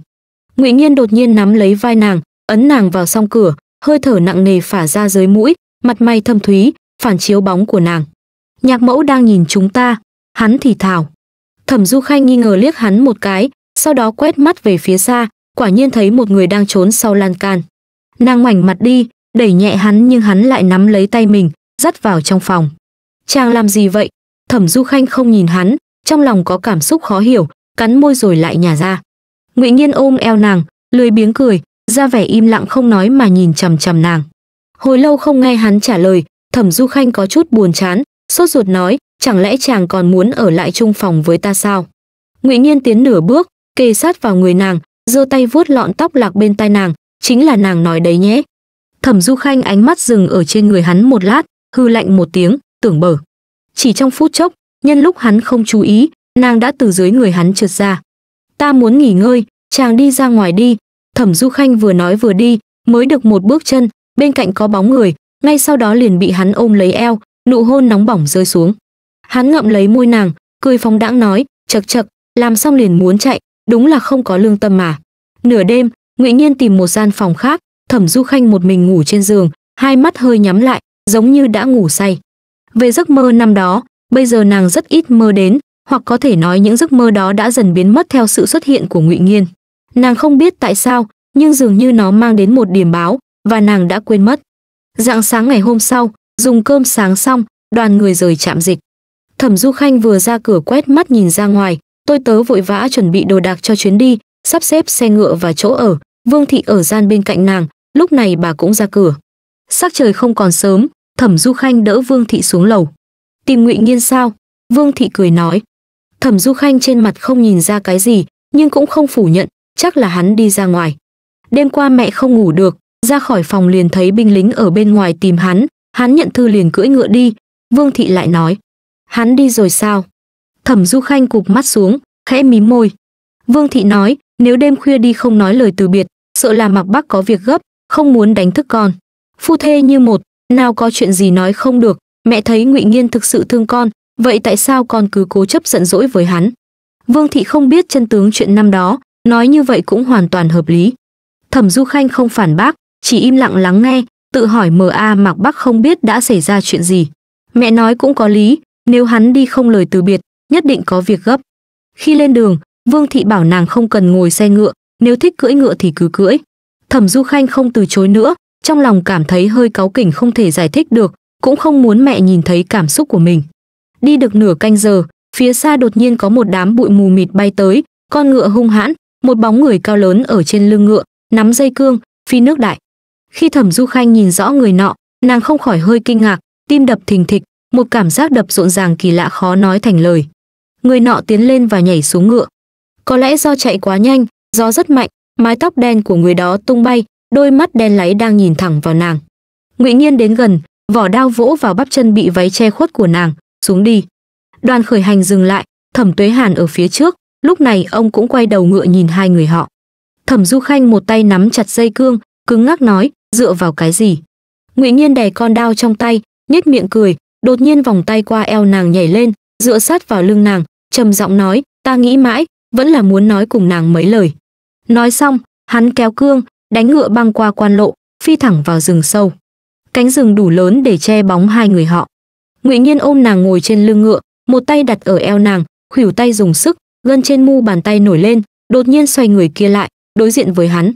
Ngụy nhiên cúi mặt, thở hồng hộc, yết hầu lăn xuống, đột nhiên chặn môi nàng đôi mắt hắn sâu thẳm, bàn tay ôm lấy mặt nàng, lưu luyến trên đôi môi kia. Khuyển nhung đột kích tiêu liễu chết trận, quân vụ khẩn cấp, ta không thể không đi. Ngụy nhiên lại cắn môi nàng, lòng bàn tay như muốn mài nhẵn làn da của nàng. Trương hòa và lệ túc sẽ ở lại, hộ tống các ngươi đến củ châu. Thẩm du khanh khẽ giật mình, lồng ngực căng thẳng hoảng loạn, nàng luôn cảm thấy có chuyện chẳng lành sắp xảy ra. Đầu ngón tay vô thức túm lấy góc áo ngụy nghiên cổ họng như bị chặn lại, một lúc sau mới nói thiếp trở về cùng với chàng. Ngụy nghiên trong nháy mắt tối sầm lại, nhếch môi cười, tức thì lại hôn xuống. Thẩm du khanh khóe môi khẽ nhúc nhích, chậm rãi đáp lại hắn. Gió khẽ ngừng thổi, ngụy nhiên hôn lên giữa chán nàng, gắt gao ôm nàng vào lòng, hắn không nỡ để nàng đi theo mình chịu khổ. Chậm rãi nói, chờ ta trở về tìm nàng, một đoàn người đi cả ngày lẫn đêm, gần như không dừng lại. Ngụy nhiên ngẩng đầu uống một hớp rượu, nắp bình buộc chặt bên hông, phía trên là bầu trời đêm đầy sao nhưng hắn không có thời gian dừng lại nghỉ ngơi. Tình hình quân vụ tối hôm qua rất khẩn cấp, vốn định không nói lời từ biệt, nhưng lại nghĩ nàng chắc chắn sẽ tức giận, rốt cuộc vẫn muốn gặp nàng một lần rồi mới trở về. Thời gian của hắn ít ỏi, giờ phải nhanh chóng đuổi theo quân lính. Ngụy nhiên bố trí người ngựa ở một số thành ở biên quan, tử thủ suốt một tháng, thương vong vô số nhưng không thành nào thất thủ. Nửa tháng sau, hơn 10 người vội vã vào trong thành. Hoài an vương vào thành. Lập tức có tiếng giống to, lệnh bài bên hông lộ ra quan binh chỉ huy trên thành nhìn xuống, thấy đúng là hoài an vương, lập tức mừng rỡ, vội gọi người mở cửa cổng thành. Đêm đã khuya, sao trời thưa thớt, ngụy nhiên mới vào doanh trại uống miếng nước, lập tức triệu tập binh lính trong thành mạc bắc. Lần này quân khuyển nhung tấn công thành là do gia luật ân bí mật ra lệnh. Lần trước gia luật ân chạy trốn, mặc dù bị bắt trở lại nhưng vẫn để hắn thả ra tiếng gió. Ngụy nhiên cau mày, nghe báo cáo. Vương gia, thuộc hạ phát hiện thủ lĩnh đứng đầu đám khuyển nhung là người trung nguyên tiêu liễu tướng quân cũng là bị hắn sát. Trương sinh ôm quyền nói. Ngụy nhiên thay một bộ giáp đen, trong tay cầm trường đao, cau mày nhìn bản vẽ trên án, tấn công từ chỗ nào. Hà hoàn ở một bên lập tức chỉ phương hướng, hạ quân. Một tháng trước, người khuyển nhung tập kết binh mã, chủ lực tấn công hạ quân, tiêu liễu tướng quân dẫn 2.000 người đến chi viện. Sau khi đánh đuổi đám khuyển nhung thì đổi địa điểm, tấn công trực tiếp trên hạ quân. Tiêu liễu tướng quân vì bảo vệ thành trì mới bị mũi tên bắn trúng ngực, mất huyết mà chết. Nhắc đến đây binh lính vây quanh đều im lặng cúi đầu, vẻ mặt buồn bã. Đột nhiên vị hán tử ở phía xa đập dầm một cái, đồ chó đẻ, tim bị chó ăn rồi. Rõ ràng là người trung nguyên lại muốn làm tặc giúp dị tộc. Mục đích của quân khuyển nhung không phải ở hai nơi này. Ngụy nhiên nói, hạ quân dễ công nhưng khó thủ, binh mã đầy đủ, bọn chúng đánh nơi này chỉ là dương đông kích tây, ngược lại ở quan giới trung thành địa hình phức tạp, người hồ rất nhiều, khuyển nhung hiếu chiến giỏi võ, có thể khiến bọn chúng tin tưởng làm tướng lĩnh tuyệt đối là kẻ phi thường hiện giờ đã qua một tháng, gần đây khuyển nhung hành quân lặng lẽ chính là đang âm thầm chuẩn bị công kích thành. Mọi người nghe xong thì im lặng, một người trong đó gãi gãi đầu nói, ý của vương gia là tên thủ lĩnh kia ít nhiều biết phương pháp thủ thành của chúng ta. Tiêu liễu đã từng đi theo ta, năng lực của hắn tuyệt đối sẽ không thất bại trong việc thủ thành. Ngụy nghiên trầm giọng nói, người kia là ai? Chúng ta sẽ sớm biết thôi. Anh rũ mắt xuống, hà hoàn. Có thuộc hạ, hà hoàn ôm quyền. Ngụy nghiên nói ta muốn trong một ngày có được tất cả thông tin về tên thủ lĩnh người trung nguyên. Hà hoàn sững sờ, nhưng quân lệnh không thể nghi ngờ, lập tức đáp ứng, thuộc hạ tuân lệnh. Trương sinh hội, ấn thành. Có thuộc hạ. Hai người các ngươi điều ba nghìn người, bảo vệ hạ quân ở pháo đài ngạc loan ở trung thành. Thuộc hạ tuân lệnh. Ba người tuân lệnh ra doanh trướng ngụy Nghiên chỉ vào bản vẽ trên án thượng, trần hạnh ở lại thượng quận, những người còn lại theo ta chi viện quan giới trung thành. Thuộc hạ tuân lệnh. Manh trướng sốc lên tướng sĩ trong trướng lần lượt bước ra. Ngụy nhiên một mình đứng trước bản đồ hành quân, nắm chặt chuôi đao trong tay mày mắt trũng sâu, trong mắt tựa hồ đang suy nghĩ điều gì. Vương gia, sao không đưa ta đi trung thành? Ân chỉ từ ngoài lều tiến vào, bên bên mái đã chớm hoa dâm. Ngụy nhiên hoàn hồn, tiên sinh mới khỏi bệnh cũ, lúc này cứ ở thượng quận chăm sóc cho thỏa đáng. Ta xương cốt già rồi, cũng không quan trọng lắm. Ân chỉ ho khan vài tiếng, vương gia chắc cũng hoài nghi kẻ đó chính là tống khuynh trang. Lúc đầu hắn tuy đã chết nhưng thi thể lại không tìm thấy đã khiến người ta nghi ngờ, vì tên đồ đệ bất hiếu này, ta sẽ thay vương gia dạy dỗ hắn. Ân chỉ càng nói càng kích động, run rẩy ho liên tục. Ngụy Nhiên đỡ lấy ông, tiên sinh không cần lo lắng quá, nếu thật sự là Tống Khuynh, ta sẽ đem hắn đến trước mặt tiên sinh. Gia luật ân bị giam trong đế lao, ánh lửa xua tan bóng tối, đế lao phủ đầy bụi, dù cho vẩy nước quét qua vẫn bụi như cũ. Ủng ra dẫm trên mặt đất, từng bước một lưu lại dấu vết đi lại. Một nhà lao biệt lập kín gió, chỉ có một lỗ nhỏ thông ra thế giới bên ngoài để thông hơi. Những người bị giam giữ bị khóa chặt bằng xiềng xích nặng, cổ và chân bị cùm để không thể động đậy. Ngươi đã trở lại. Gia luật ân nghe thấy động tĩnh thì ngước mắt lên, thấy người đến là ai thì cười nham hiểm. Lúc này sợ rằng những người đó đã tập kích bên ngoài quan ngoại rồi. Gia luật ân ngồi sụi lơ, đầu tóc rối bù, ngươi giam giữ ta cũng vô dụng, ngươi đấu không lại kẻ bên ngoài kia.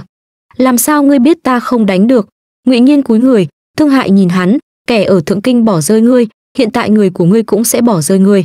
Ngươi nói láo, gia luật ân kích động hộc huyết, Ngụy Nhiên, ta sẽ đợi bọn họ tới cứu ta, sau đó ta sẽ nhốt ngươi vào đế lao tăm tối này, cho ngươi nếm thử mùi vị trong đó.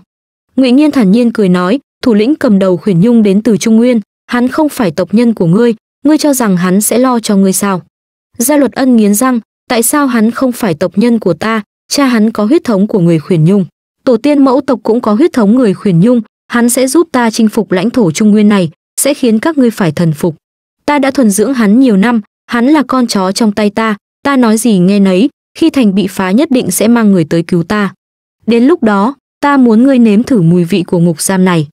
Ngụy Nhiên cười lạnh một tiếng, đợi đến ngày bị đánh hạ rồi hãy nói mấy lời mạnh miệng. Hắn dừng một chút, nhìn chằm chằm vào mắt gã, mẫu tộc có huyết thống khuyển nhung sao, sợ là năm đó chỉ có ở Vũ Lâm quân, hắn khẳng định, không chút nghi ngờ. Ngươi lừa ta, gia luật ân càng lúc càng kích động, nhen nhanh múa vuốt lao về phía Ngụy Nghiên, vì bị xiềng xích nặng nề, mỗi ngày gã chỉ ăn nửa bát canh, mệt lả đến nỗi chỉ có thể lên thêm một bước. Gã thở hồn hển nói, Ngụy Nghiên, chờ ta ra ngoài nhất định sẽ hành hạ chết ngươi. Bầu trời u ám như mực, gió cát hung hãn đập vào những thành lâu cao. Một đại quân trong màn đêm từ cửa thành đi ra, thủ lĩnh mặc áo giáp đen, ngồi trên lưng hắc mã bóng loáng, lưng ngựa treo một trường đao dài, vó ngựa phi nhanh. Đại quân khí thế lặng lẽ, đi đến đâu cỏ khô cũng bị san phẳng, gió hú che giấu động tĩnh trong đêm tối. Chiến hỏa ở biên quan nổ ra, tiếng tù và nổ vang dội, quân thủ thành dương cung bắn nỏ, tiêu diệt toàn bộ quân địch dưới cổng thành. Vừa mới qua một hồi công thành, Ngụy Nhiên ánh mắt nặng nề áp xuống, khí thế của đám khuyển nhung quả nhiên mạnh hơn trước rất nhiều. Vương gia, lần này tên thủ lĩnh Trung Nguyên không xuất hiện, một binh lính đi tới bẩm báo. Ngụy Nhiên lau vết huyết trên mũi đao, cảnh giác, đừng xem thường, tuân, binh lính lĩnh lệnh rời đi, lập tức lửa cháy ngút trời, hỏa xà cao vút lên, như có thể nuốt chửng vạn vật. Quân địch tập kích, hào binh thổi còi giống to, tiếng tù và vang lên, binh lính lập tức đứng lên, cầm trường đao trong tay, chuẩn bị nghênh địch. Ngụy Nhiên đứng trong thành nhìn ra, xa xa tia lửa hội tụ, có xu hướng chuyển động. Tống Hân, Ngụy Nhiên lớn tiếng nói. Có thuộc hạ, Tống Hân ở ngay phía sau. Bọn chúng muốn dùng pháo dược, gọi người dùng trường nỏ cùng hỏa lực. Khi đám người kia đến gần một dặm, bắn ngay cho ta. Thuộc hạ tuân lệnh. Dưới thành lâu nhanh chóng vận chuyển đến trường nỏ dầu hỏa, binh lính rút cung cài tên, động tác đồng loạt chỉ vào một chỗ.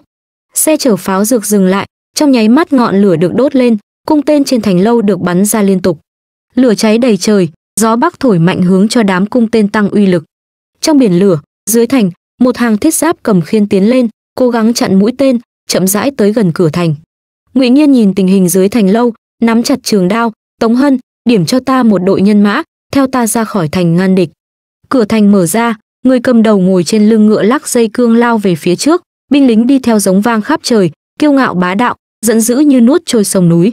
Hai bên giao chiến, tất cả đều dẫn đầu, không ai khi lâm trận thì bỏ chạy lui bước. Bình minh ló dạng từ phía đông, binh mã địch đã rút lui, trời đã sáng. Trong thành áo giáp của tướng sĩ bị ngọn lửa xé toạc, vẻ mặt mệt mỏi, binh lính canh giữ thành thay đổi từng đợt, Ngụy Nhiên đứng trên thành lâu, suốt gần một tháng nay không hề nghỉ ngơi. Vương gia, tối hôm qua những binh lính kia đều đến từ Trung Nguyên, làm sao có thể có binh lính Trung Nguyên ở trong đám quân khuyển nhung? Tống Hân không khỏi nghi hoặc. Ngụy Nhiên thầm nói, tăng thêm 5000 quân từ hai châu sông thẳng vào trung thành, tử thủ một tháng, đánh gần chết mới thôi cho ta, đến khi bọn chúng không còn sức chống cự. Vương gia, Tống Hân sửng sốt, không dám hỏi tiếp. Trong vòng một tháng, trung thành tăng thêm quân, quân địch tưởng như không địch nổi, chết hết đợt này đến đợt khác. nhưng dưới sức tấn công mạnh mẽ càng cảm thấy quân địch mệt mỏi khí thế tiến công giảm đi một nửa so với lúc ban đầu. Trong cả tháng ở mạc bắc hai bên giao chiến đến mức không nhìn thấy ánh mặt trời. Mùa đông lặng lẽ trôi qua đầu xuân tiết trời xe lạnh. Mặc dù khai xuân nhưng nước sông vẫn không phá băng đóng băng toàn bộ khói lửa chiến tranh ở mạc bắc. Một tháng sau thời cơ đã đến. Nửa đêm một toán quân đến ngoài quan ngoại châm lửa đốt lương thảo của địch ngọn lửa bùng cháy nuốt chừng cả đường lui. Trong quân không có lương thực, lòng người liền hoảng loạn. Ngụy nhiên một mình vào quân doanh, người bên trong giường như chờ hắn đến đã rất lâu. Hành chỉ huynh, nhiều năm rồi không gặp, hành chỉ huynh, vẫn hành quân một cách tàn nhẫn và quyết đoán như thế, tống khuynh ngồi sau án chậm rãi nói. Trong lều ánh nến chiếu rõ ràng khuôn mặt người trước mặt. Quả nhiên là ngươi, ngụy nhiên ôm đao đứng ở bên cạnh, ánh mắt dán chặt vào hắn. Tống khuynh nói, năm đó đa tạ hành chỉ huynh xuống đao đã nhân tử để ta không chết. Ta luôn coi như ngươi đã chết, ngụy nhiên nói. Tống khuynh lau thanh kiếm sáng loáng trong tay, nếu ta đã chết, sao có thể tìm được chỗ này? Tống khuynh, tổ tiên của ngươi trung liệt, vì hộ quốc có thể chết nghìn lần, trận chiến năm đó, ngươi càng có lựa chọn tốt hơn, ngụy nhiên trầm giọng nói. Tống khuynh cười lạnh một tiếng, đừng nói mạnh miệng ở đây, ta vốn dĩ không có lựa chọn nào khác. Từ nhỏ trong nhà đã là con vợ lẽ ta biết thân phận không bình thường của mình nên dạ dạ vâng vâng mới sống sót đến bây giờ. Năm đó ta còn tưởng rằng nhờ trận chiến ở uyển thành có thể ra quan phong tước, đem người khinh thường ta trà đạp dưới chân, nhưng mà tên cẩu hoàng đế kia đang làm cái gì? Hắn biết thân phận của ta, muốn phái người tới sát ta, ngụy nghiên ta có lựa chọn sao? Ngươi nói cho ta ta có lựa chọn không? Ta biến thành dáng vẻ bây giờ, đều là các người ép ta. Nếu như ta nói, ta đã sớm biết thân phận của ngươi, vì ngươi mở đường thì sao? Ngụy nhiên sắc mặt lạnh xuống. Tống khuynh không ngờ hắn lại nói ra những lời này, gã sừng sốt một hồi, thật lâu sau mới nói, sự tình đã đến nước này, nói những lời này cũng vô dụng. Đúng là vô dụng, ngụy nhiên cười trầm nói. Tống khuynh nói, nếu ngươi dám đến đây một mình, đã nghĩ đến hậu quả chưa? Ánh mắt của gã đột nhiên âm trầm xuống, vừa lấy ra trường kiếm trong tay, liền cao giọng nói, người tới. Trong lúc nhất thời, bên ngoài doanh trại vây mấy chục người, mắt đen tóc đen, đều là gương mặt người trung nguyên ngụy nhiên liếc mắt nhìn, đều là người trung nguyên sao? Họ đều là hậu duệ của vũ lâm quân năm đó, chỉ tuân theo mệnh lệnh của tổ tiên ta. Tống khuynh nói, năm đó tổ tiên ta trung nghĩa, không thể chém được tên cẩu hoàng đế, hôm nay ta nhất định sẽ cho mọi thứ kết thúc, lặp lại vinh quang của vũ lâm quân. Ngươi cũng biết lặp lại vinh quang của vũ lâm quân sao?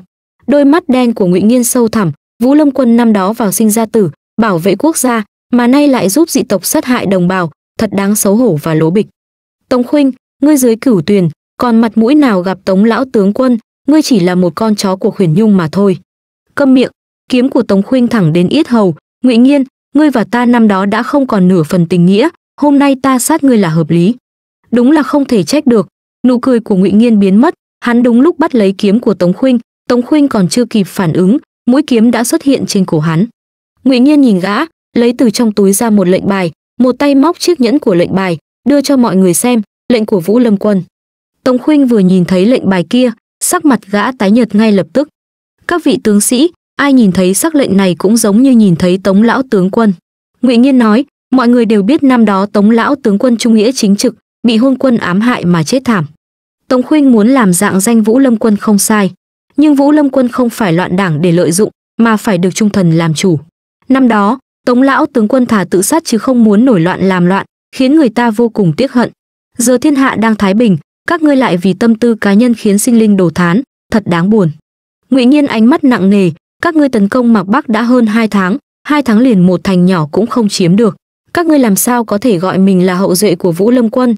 Khuyển nhung chỉ coi các ngươi là bia ngắm, chờ đánh xong mạc bắc, bọn họ xưng vương sẽ xóa sổ, nhổ cỏ các ngươi tận gốc. Hôm nay ta tới đây chính là muốn khuyên chư vị một câu, kẻ thức thời là trang tuấn kiệt, không phải chỉ vì tính mạng của các chư chư vị mà còn vì chính nghĩa của gia tộc của quốc gia. Lời nói vang lên hùng hốn khí phách, binh lính trong trường im lặng hồi lâu, đột nhiên, một tên lính ném trường đao trong tay xuống, xé toạc ống tay áo của khuyển nhung, quỳ xuống, ôm quyền và nói, ta không muốn làm một con chó dị tộc, ta cam tâm tình nguyện trung thành với hoài an vương. Ngụy nhiên cười to, được, còn nữa không? Những người còn lại hai mắt nhìn nhau, trong mắt đều là kiên định gật đầu, tất cả đều quỳ dạp xuống đất, ta không muốn làm chó của dị tộc, vũ lâm quân thể sống chết, nguyện trung thành với hoài an vương tống khuynh sắc mặt khẽ động, hai mắt híp lại, thừa dịp hắn không chú ý, từ trong tay áo lấy ra một mũi tên đoàn tiễn, bắn về phía ngực ngụy nghiên. Ngụy nghiên kêu lên một tiếng, tay rút nguyên đoàn tiễn cắm sâu trong da thịt rút ra, huyết chảy xuống dưới, trường kiếm trong tay vung lên, tống khuynh từ trong cổ họng phun ra một búng huyết, khó có thể tin được mà ngã xuống đất. Chiến hỏa hừng hực, tiếng đại quân trong gió gào thét, hàng vạn vũ lâm quân theo ngụy nghiên lần lượt xông vào cửa thành. Nhân lúc kẽ hở, hai đạo quân từ hai bên sườn tràn ra nhanh chóng quét sạch quân kẻ thù. Mây đen tan đi, ánh trăng xuyên qua mây mù chiếu rọi ra một đạo ngân quang cùng bóng đen, mặt trời mới mọc, mặt trời hắc ám nơi mạc bắc cuối cùng tiêu tán. Thẩm du khanh nhận được tin tức khi còn chưa đi qua biên giới trung nguyên, nhận được tin liền bất chấp suốt đêm đánh ngựa tới thượng quận. Bên trong nhà chính của vương phủ, thẩm du khanh ở ngoài cửa dừng một chút, không biết vì sao tầm mắt đột nhiên mơ hồ. Cửa bị đẩy ra từ bên trong, thẩm du khanh lùi lại một bước nhìn sang chỗ khác, lang trung nhìn thấy người tới vội vàng chắp tay nói, vương phi, thảo dân bất tài, không giải được độc của vương gia nên mới quyết định gửi thư mời vương phi về thượng quân. Nỗi sốt ruột đột nhiên dâng lên trong lòng thẩm du khanh, lòng bàn tay nắm chặt, đầu ngón tay đâm vào da thịt, huyết chảy ra, ngươi nên tìm ta sớm hơn. Vương phi thứ lỗi. Lang trung lại vội vàng cúi đầu. Thẩm du khanh nhắm mắt lại, thôi, nàng đi ngang qua lang trung, thẳng vào cửa. Sau khi xuyên qua bình phong nồng nặc mùi huyết và thuốc đắng, người trên giường nhắm mắt nằm yên lặng, bất động đây không phải là lần đầu tiên nhìn thấy bộ dáng của hắn như vậy. Thẩm du khanh có chút hận hận nàng vì sao cố tình lại thích tên đàn ông không màng sống chết này. Nàng không có thời gian suy nghĩ, vội vàng đi tới, từ trong ngực móc ra hạt châu đeo vào ngực hắn. Đã quá muộn rồi, hắn đã trúng độc rất sâu, hạt châu này chỉ có thể làm cho hắn giảm bớt đau đớn. Thẩm du khanh đặt một tay lên cổ tay hắn để bắt mạch. Loại độc này vừa quỷ dị vừa mạnh, mạch đập yếu ớt không liên tục, dấu hiệu không sống được bao lâu. Càng kỳ quái hơn chính là trái tim vốn nên bị độc xâm nhập, giờ phút này tựa hồ có một loại nào đó bảo hộ, ngược lại cứu mạng hắn. Thẩm du khanh lại thăm dò, thứ bảo vệ trái tim hắn giống như một loại cổ. Nàng toàn thân chết lặng, vội vàng kiềm chế cảm xúc, kéo áo hắn ra xem vết thương, chỉ là một vết nhỏ nhưng huyết chảy không ngừng. Trên trán thẩm du khanh không biết lúc nào đã chảy mồ hôi lạnh, cả người lạnh toát như rơi vào động băng. Hai tay nàng dính đầy huyết của hắn, khóe mắt đỏ bừng, ngụy nghiên, chàng chịu đựng cho ta. Nếu chàng dám chết ta liền hòa ly với chàng, gả cho người khác. Tỉnh liễu, nàng quay lại gọi. Tỉnh liễu đi theo phía sau, thấy dáng vẻ tiểu thư như vậy không dễ chịu, cúi đầu yên lặng. Thẩm du khanh bảo nàng chuẩn bị dược liệu, nấu thuốc và mang đến phòng. Tỉnh liễu đáp lại rồi lui xuống, ngụy Nhiên rơi vào một giấc mộng. Trong giấc mộng kỳ lạ đó, đêm sâu thăm thẳm, đám mây trên bầu trời biến thành một đám mây đen như mực, bao trùm thành trì khiến mọi người nghẹt thở. Uyển thành được ngụy nghiên và tống khuynh chấn thủ, man di xâm chiếm khi ngụy nghiên dẫn người đến chiến đấu thì tống khuynh đã dẫn thuộc hạ của mình trong thành ngăn nước.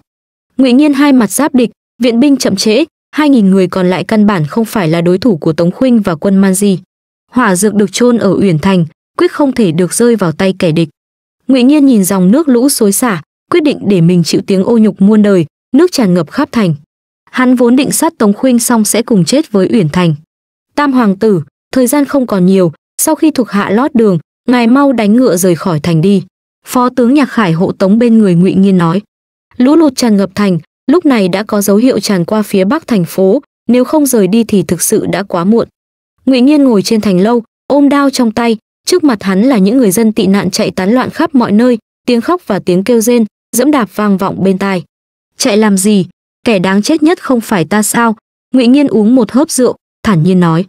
Tam hoàng tử, hoàng thượng hạ lệnh bất luận như thế nào thuộc hạ nhất định sẽ phải hộ người về kinh, nhạc khải kiên quyết nói. Ngụy nghiên liếc hắn một cái, đưa người chết trở về cũng giống nhau. Thuộc hạ không dám. Ngụy nghiên hạ quyết tâm, cầm đao trong tay đứng dậy, mặc kệ hắn, đi thẳng vào trong thành. Sau gáy chợt đau, hai mắt biến thành màu đen, bất giác ngất đi. Khi đó, ngụy nghiên còn trẻ, không phải là đối thủ lão tướng nhạc khải. Lúc tỉnh dậy đã cách uyển thành 10 dặm, quân tiếp viện đã đến, đánh lui đám man di, nhưng do lũ lụt ở uyển thành hàng ngàn người dân vô tội đã thiệt mạng hoặc bị thương. Ngụy nghiên nhất quyết quay trở lại, giữa đống đổ nát tìm kiếm hy vọng của những người còn sống. Đột nhiên, hắn nghe thấy phía sau binh lính nói, tướng quân, ở đây có người. Đào lên tảng đá của đống đổ nát, một cô gái trẻ bị chôn vùi bên trong. Lông mày ngụy nghiên trầm xuống, hắn lấy tay thử kiểm tra hơi thở của nàng, nghe thấy giọng nói run rẩy của nàng, a huynh, nhanh lên, cứu với. Hơn nửa tháng trôi qua, người nằm trên giường vẫn không có dấu hiệu tỉnh lại thẩm du khanh vắt khăn tay lau tay chân cho hắn, ngụy nhiên dáng người cao, tay chân dài, trước đây sau khi hai người vui vẻ, nàng lười động đậy, đều là ngụy nhiên lấy khăn ướt lau người cho nàng, đây là lần đầu tiên nàng hầu hạ hắn. Bàn chân trắng hơn bàn tay rất nhiều, lòng bàn chân to, xương nhô ra, mu bàn chân nổi rõ gân. Sau khi thẩm du khanh lau tay xong, nàng lại ngồi xuống giường, nhìn khuôn mặt hắn, ánh mắt khẽ động, nàng đứng dậy cúi đầu, nhẹ nhàng lướt qua đôi môi mỏng khô khốc. Người nằm dưới lông mi động đậy ngụy nhiên trong mộng nhìn thấy nàng nàng nói không cần hắn, muốn gả cho người khác. Ngụy nhiên cười lạnh một tiếng, nàng dám gả cho ai, hắn liền băm kẻ đó ra từng mảnh. Vốn tưởng hắn sẽ một mình ở lại trong vực sâu, không nghĩ tới nàng lại ngoài ý muốn xông vào, vì hắn xua đuổi bóng đêm u tối. Nàng chỉ có thể là của hắn hắn không thể chết được. Ngụy nhiên đột nhiên mở mắt ra, thấy ánh sáng chói lòa, nàng đứng bên giường, giống như sửng sốt, không thể tin, mờ mịt nhìn chằm chằm hắn. Chàng, môi nàng hé mở hắn vòng tay qua eo nàng, chặn môi nàng lại. Thẩm du khanh lúc này mới ý thức được đó là sự thật, trong lòng dâng lên một luồng ấm áp, hai mắt không khỏi nóng lên, tựa vào trong lòng hắn đáp lại. Một lúc sau, hai người dừng lại, thẩm du khanh cẩn thận nhìn chằm chằm hắn, đưa tay vuốt ve lông mày sắc bén của hắn. Trong mắt mang theo ý cười, chậm rãi nói, tướng quân của ta, lần này để ta tới tìm chàng, hoàn chính văn. Mời các bạn nghe phần phiên ngoại. Ngày đó, cửa nhà chính phủ hoài an vương đóng chặt ở ván cửa đặt hai cái ghế dựa chống lại, không mảy may thừa chút khe hở. Đêm đến, ngụy nhiên ôm đao từ quân doanh trở về, đi thẳng vào nhà chính. Tới cửa, tay hắn đặt lên cánh cửa đẩy đẩy, bên trong giống như có đặt đồ vật gì chống đỡ, cố dùng sức nhưng cũng không mảy may đẩy được một phần. Ngụy nhiên tay gõ vỏ đao cười, còn tức giận sao?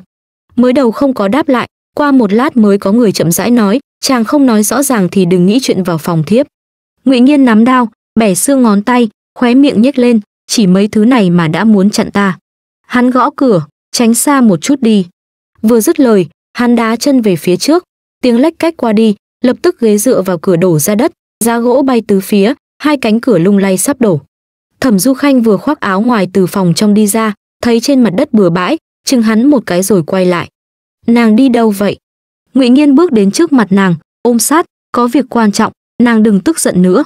Hắn nhếch môi cười, vẻ mặt lưu manh hai tay ôm eo nàng.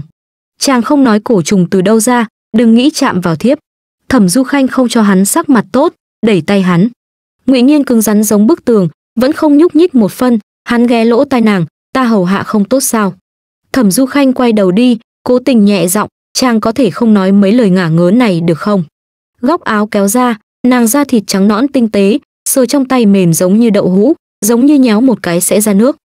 Ta đâu nói với người khác bàn tay của ngụy nghiên áp trên mặt vẫn bất động, lòng bàn tay cố ý xoa xoa, thấp thấp nói, lúc làm không phải nàng rất thích sao?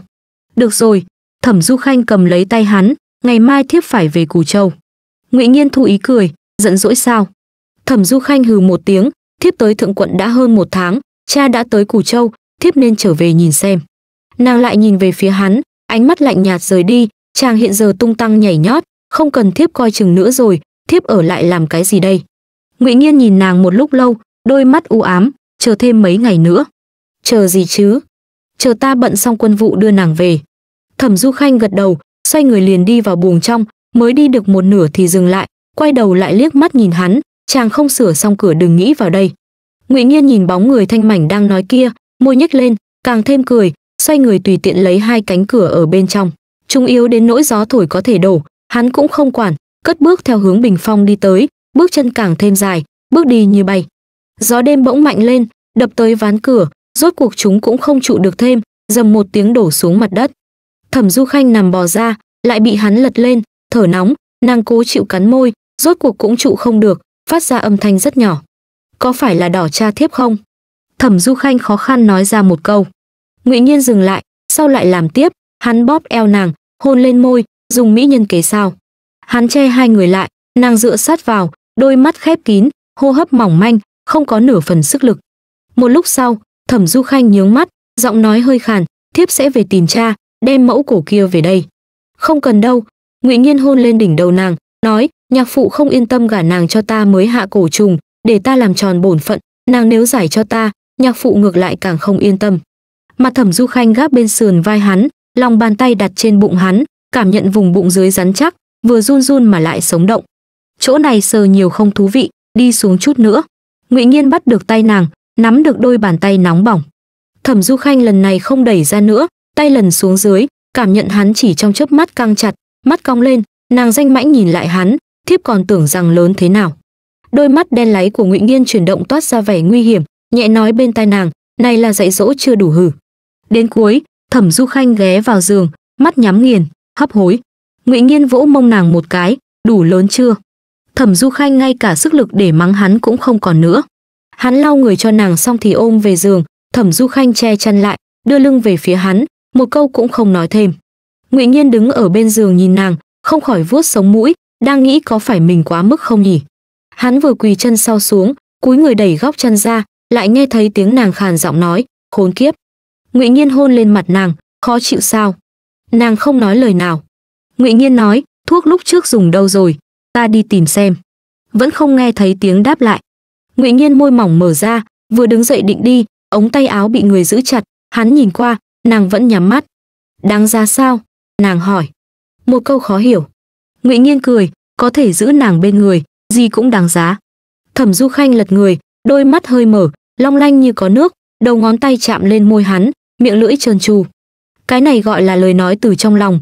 Ngụy Nhiên nắm lấy tay nàng, bên miệng cười nhẹ hắn ngậm môi nàng, chậm rãi nhấm nháp, trong đôi mắt đen toàn hình bóng thẩm du khanh.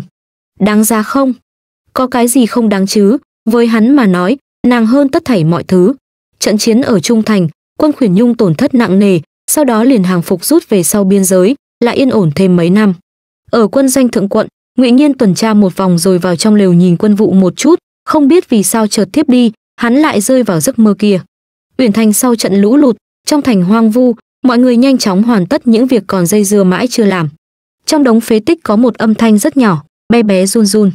Ngụy nhiên vội lật đám đá rơi, lấy cây gỗ dựng một khe hở ở giữa để lộ ra một thân hình nhỏ con gầy còm. Một bàn tay cào đá vụn, cố sức thở hổn hển, hô hấp mỏng manh, trong miệng luôn gọi, a huynh, cứu cứu cứu a huynh của ta với. Ngụy nhiên nhíu mi, đào đống đá vụn, ôm người ra, xiêm y rách nát không còn nhìn thấy rõ bộ dáng, khuôn mặt nhỏ cũng dơ bẩn hắn lau qua vết sơ, nhìn gương mặt kia, lòng bàn tay nóng ra hơi thở của nàng, mở miệng hỏi, ngươi thế nào? Tiểu cô nương cố sức mà mở mắt, trước mắt mơ hồ một mảnh, nàng bắt góc áo bên cạnh, a huynh của ta, cứu hắn. Vương ra ngụy nhiên tay chống cằm, giữa mày nhíu chặt, cúi đầu, bỗng nhiên mở mắt ra, một đôi mắt đen nhìn đến. Lệ túc hoảng sợ, gãi gãi đầu, chân trừ hạ tay bước qua, vương ra đây là danh sách ngài muốn. Ngụy nhiên nhìn hắn, tay cầm danh sách đặt lên án thượng đi ra ngoài đi. Trong quân doanh, binh lính tập luyện tiếng vang trời. Ngụy nghiên đứng ở doanh trướng trước liếc mắt một cái nhìn qua, im lặng. Đã hơn 10 năm rồi, hắn sớm vốn không nhớ rõ, ai ngờ tiểu cô nương năm đó cứu ra chính là nàng. Mọi thứ bắt đầu từ uyển thành, lúc đầu là nàng, cuối cùng cũng vẫn là nàng.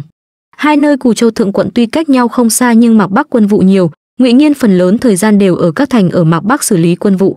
Thường xuyên cách khoảng nửa tháng hắn mới có thể về cù châu có lần đột nhiên lại xuất quan, thật sự bận không kịp, khi hai người gặp lại đã là ba tháng sau. Thẩm du khanh ngoài miệng không nói gì nhưng trong lòng ít nhiều có phần phiền muộn. Nàng cúi đầu ở phòng đọc sách, trong tầm mắt thấy một bóng người cao lớn. Người đàn ông nhẹ nhàng đẩy cửa tiến vào, nhẹ chân đi đến hướng nàng ngồi. Thẩm du khanh ra vẻ không thấy, cố ý nghiêng người đưa lưng về phía hắn, chỉ chừa cho hắn một tấm lưng. Ngụy nhiên ngẩn ra, lại thấy nàng trong mắt không khỏi vài ý thâm thúy, không khỏi giật nhẹ khóe miệng vòng eo bị người ôm lấy, thẩm du khanh tránh qua, hắn ôm càng chặt, nửa tháng này ta đều ở thượng hành xử lý công vụ, không tới nơi khác chạy loạn. Thẩm du khanh ngực nhảy lên, hình như nàng đang vô cớ gây rối, nhưng lại càng thêm bực bội, chàng là mặc bắc hoài an vương, đi chỗ nào thiếp sao quản được. Nàng là phu nhân của ta, nàng không quản được thì ai quản được.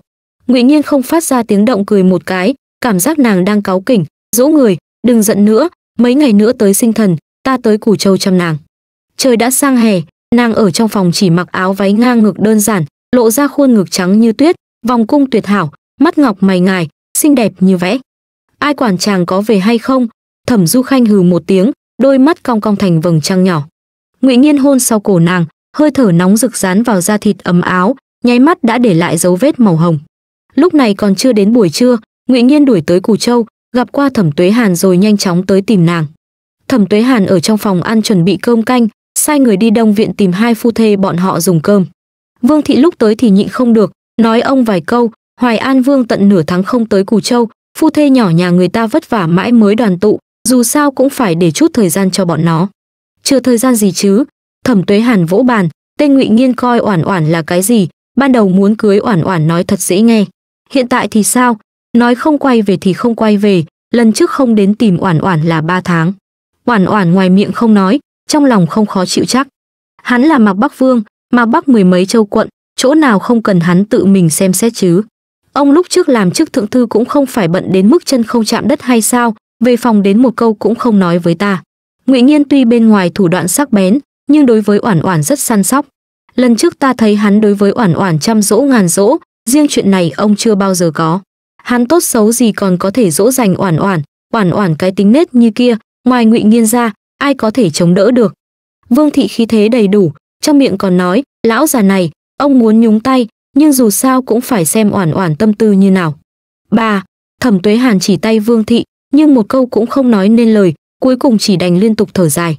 Tỷ nữ hầu hạ bên cạnh cúi đầu, nhịn cười, thị hầu hạ vương thị đã nhiều năm, chuyện giữa đại nhân cùng phu nhân nhìn thấu rõ. Dù có tức giận, đại nhân cũng không nỡ nói phu nhân nặng một câu, đại công tử chết yểu, trong nhà tuy không có con trai phu nhân bản thân lại không thể sinh thêm nhưng đại nhân vẫn thương yêu như cũ, không nạp thêm một thiếp thất nào, ở bên ngoài cũng là hai bàn tay trắng tinh, sạch sẽ. Trong phủ hòa thuận, chủ tử trong sạch, bọn họ làm người dưới cũng không xem thường. Chuyện ở phòng ăn, thẩm du khanh tất nhiên không rõ ràng lắm, người hầu đến đông viện tìm người, ở trước cửa trần trừ lúc lâu, không biết có nên gõ cửa không. Thật sự là động tĩnh trong phòng khiến người ta mặt đỏ tai hồng, thị sợ quấy rầy đến chủ tử. Do dự mất nửa canh giờ nghe tiếng động tĩnh có chút chậm rãi nghỉ ngơi, thị mới run tay gõ cửa. Tiểu thư, lão ra truyền người cùng cô ra đến phòng ăn dùng cơm. Thẩm du khanh cổ họng lăn xuống, muốn phát ra tiếng lại bị một câu nói này chặn lại. Nàng gò má đỏ hồng, làn da nhuộm hồng như đan hà, cánh tay ngó sen chống lên ngực người đàn ông, không khỏi đẩy lên. Lòng bàn tay chạm đến vùng da nóng bỏng, cơ bắp đột nhiên căng lại, hai tròng mắt ngụy nghiên như dã thú trong rừng. Hắn ôm chặt nàng, một lúc liền lên đỉnh. Biết rồi, là một giọng nói đàn ông lời nói đã truyền ra tỷ nữ hoảng loạn lui xuống. Thẩm du khanh thay đổi trang phục, tóc đen chảy ra vai, ngụy nghiên gối cánh tay nhìn nàng, hai ngón tay miết miết, chờ bận xong vụ này ta sẽ về chăm sóc nàng. Mấy lời này chàng cũng không biết nói bao nhiêu lần. Thẩm du khanh mặc váy dưới, bàn tay ngụy nghiên xoa xoa. Thẩm du khanh mắt nhìn qua, mặt không biểu tình hẩy bàn tay hắn ra. Cha đã sớm bất mãn với chàng rồi, đợi chút đến phòng ăn nói mấy lời dễ nghe đi. Thương ta sao? Ngụy nghiên ngồi dậy hôn mặt nàng vòng tay ôm eo nàng. Thẩm du khanh nói, thiếp là thương cho cha, tuổi cao rồi còn phải phiền lòng những việc này. Ngụy nhiên động tác dừng lại, mắt nhìn chằm chằm nàng, chăm chú, là ta không tốt. Thiếp không trách chàng. Thẩm du khanh mặc xong y phục, ôm eo hắn, dán vào lòng ngực hắn. Chàng không cần nói mấy lời này với thiếp. Thân thể nương cũng đã ổn, thiếp ở cù châu cũng không có việc gì, muốn đến các châu ở mạc bắc lấy danh hành ất mở mấy hiệu thuốc. Mạc bắc khó khăn, thuốc thang thiếu lang trung có năng lực thật sự không nhiều lắm giờ thiếp muốn mở y quán, cũng coi như không lãng phí công học hành. Nàng nói nghe đơn giản, ngụy nhiên mắt đen di động, đang lúc nàng muốn mặc thêm áo ngoài, ngụy nhiên lại ôm lấy nàng, khóe miệng hơi nhếch lên, khanh khanh như này, là ngụy nhiên ta phúc đức ba kiếp. Thẩm du khanh nói, chàng thời gian gần đây hay thích nói mấy lời này nhỉ? Đúng vậy. Ngụy nhiên chống lên chán nàng, hô hấp nhanh hơn, công phu ngoài miệng tốt mới có thể dỗ được phu nhân. Hắn vẻ mặt hư đốn lời nói lại có ý. Hai người đi tới phòng ăn, vì chậm rãi nên tới muộn, đồ ăn đều phải hâm lại. Thẩm du khanh tai hơi nóng, đẩy tay ngụy nghiên ra, ngồi bên cạnh vương thị. Oản oản, vương gia vất vả trở về, đừng dính nương nữa, ngồi cạnh hắn đi. Thẩm du khanh nhìn người đàn ông ngồi đối diện, nàng không nói gì, cũng không nhúc nhích. Ngụy nghiên nói, nhạc mẫu không cần phiền vậy, oản oản ở bên cũng tiện chăm sóc người. Vương thị cười, bà rất hài lòng đối với người con rể này thẩm du khanh mắt nhìn qua, nghĩ thầm đúng là mình lo lắng thừa, hắn là kẻ gặp người nói tiếng người, gặp quỷ nói tiếng quỷ được mà. Thẩm tuế hàn ngồi đầu nhìn hai người, gắp thức ăn rồi mở miệng, lần này đến cù châu, ngươi tính toán ở đây bao lâu?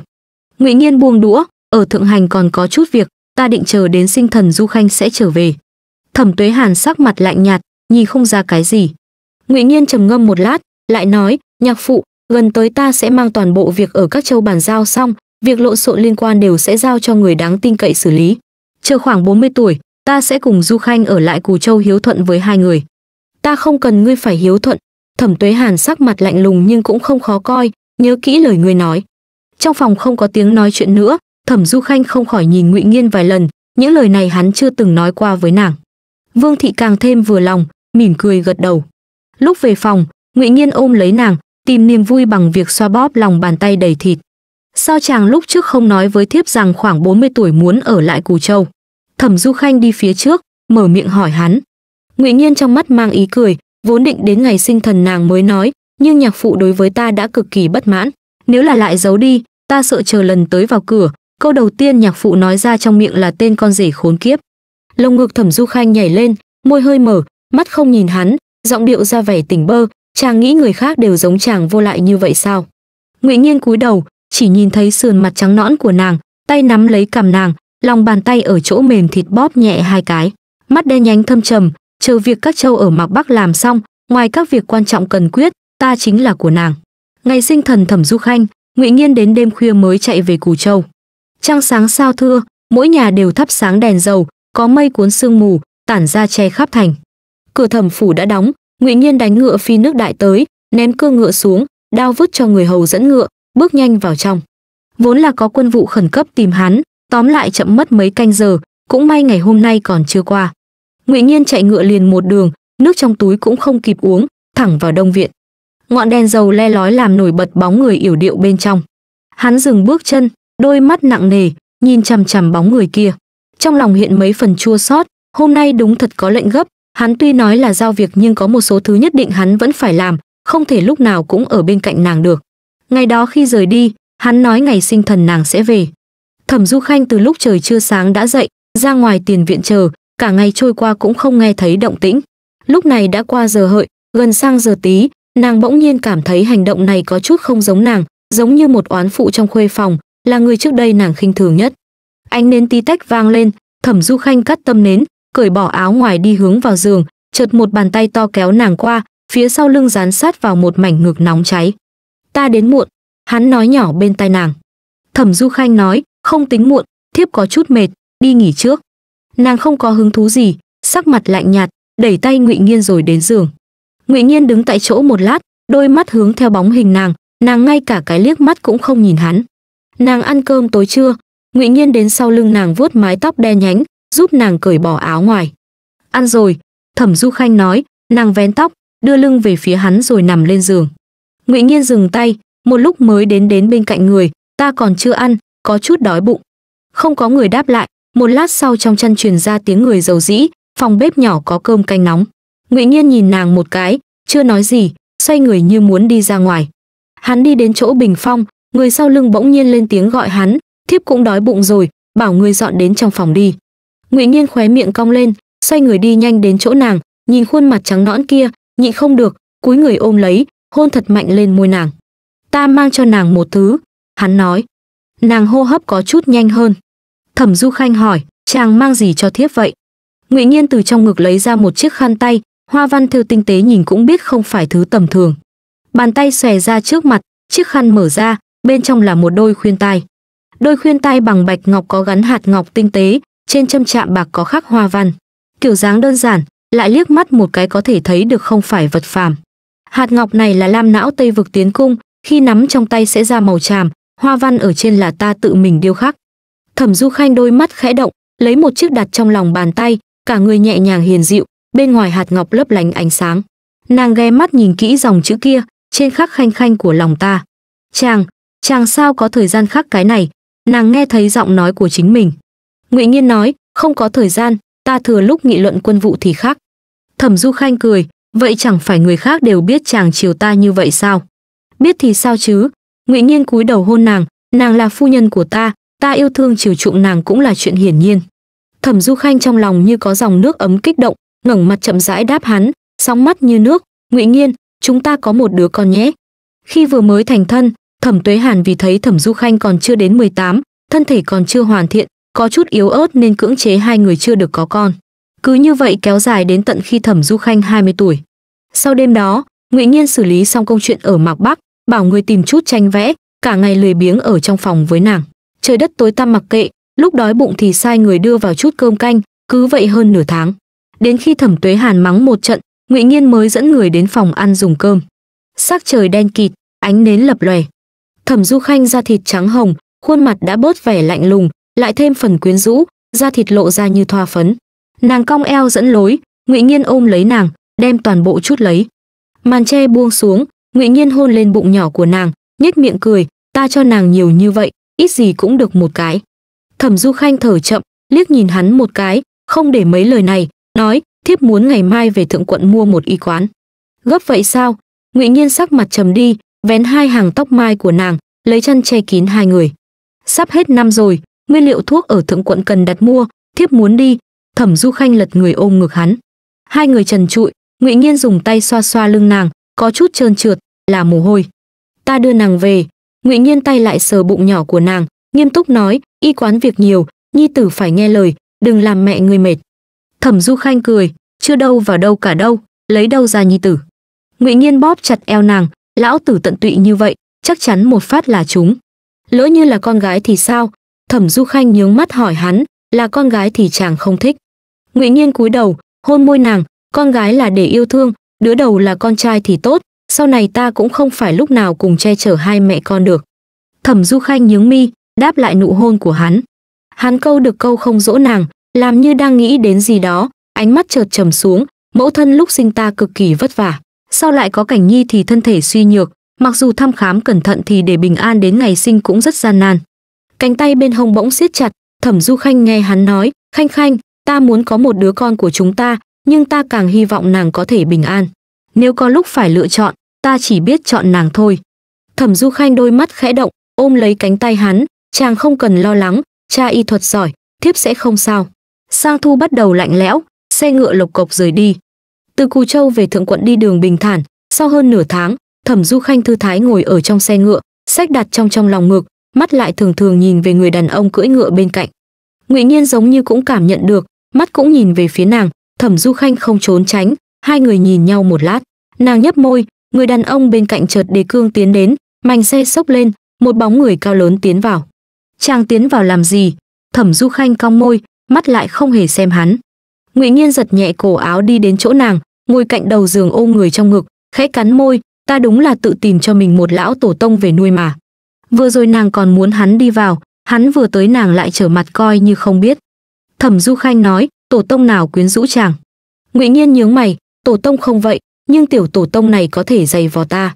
Hắn cách một lớp áo mỏng xoa bóp chỗ kia, lòng bàn tay đè xuống, xem hai khối thịt này này, lão tử không so đo với nàng. Thẩm du khanh nhịn không được, đột nhiên hỏi hắn, chàng trước đây thật sự chưa từng có nữ nhân nào sao?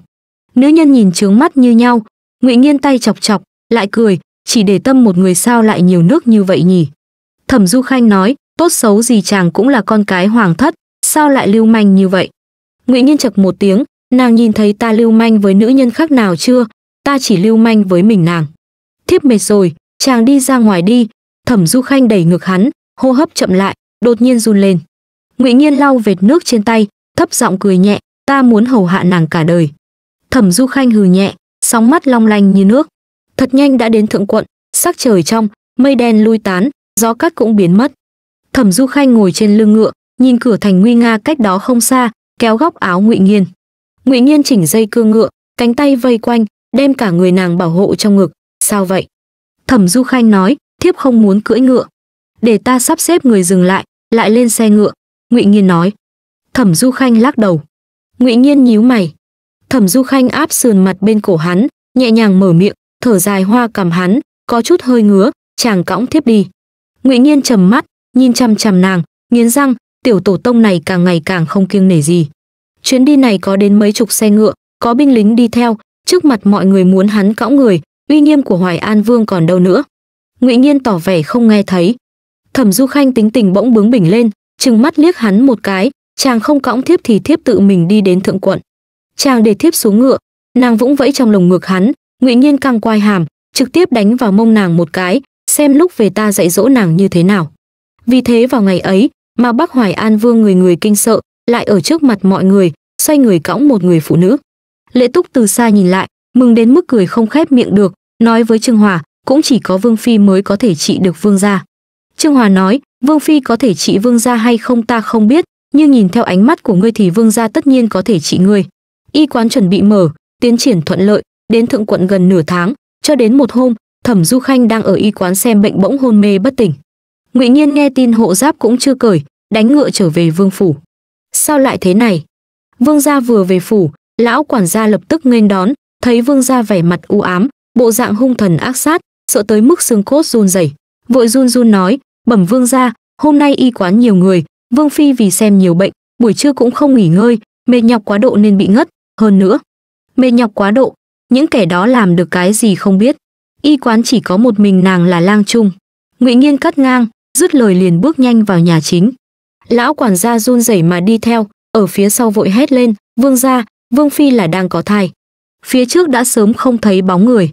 Một đám tôi tớ nhìn thấy vương gia tiến vào sắc mặt trầm xuống, thở cũng dám ra. Ngụy nghiên đẩy cửa vào phòng trong, liếc mắt một cái thấy người dựa ngồi ở giường, tóc đen chảy ra, sắc mặt trừ có chút tái nhợt thì cũng không có gì khác thường. Sao lại thế này? Sao lại đang bình thường lại hôn mê? Ngụy nghiên nhẹ giọng thẳng đến giường ôm lấy người, giọng nói trầm, không dễ phát hiện hắn đang rất lo lắng. Thẩm du khanh ngẩn ra, vẫy tay bảo tôi tớ trong phòng lui ra, nhẹ nhàng mở miệng, thiếp không sao. Cái gì mà không sao? Đến hôn mê còn tính không sao. Ngụy nghiên đè vai nàng, đôi mắt đen láy nhìn chăm chú.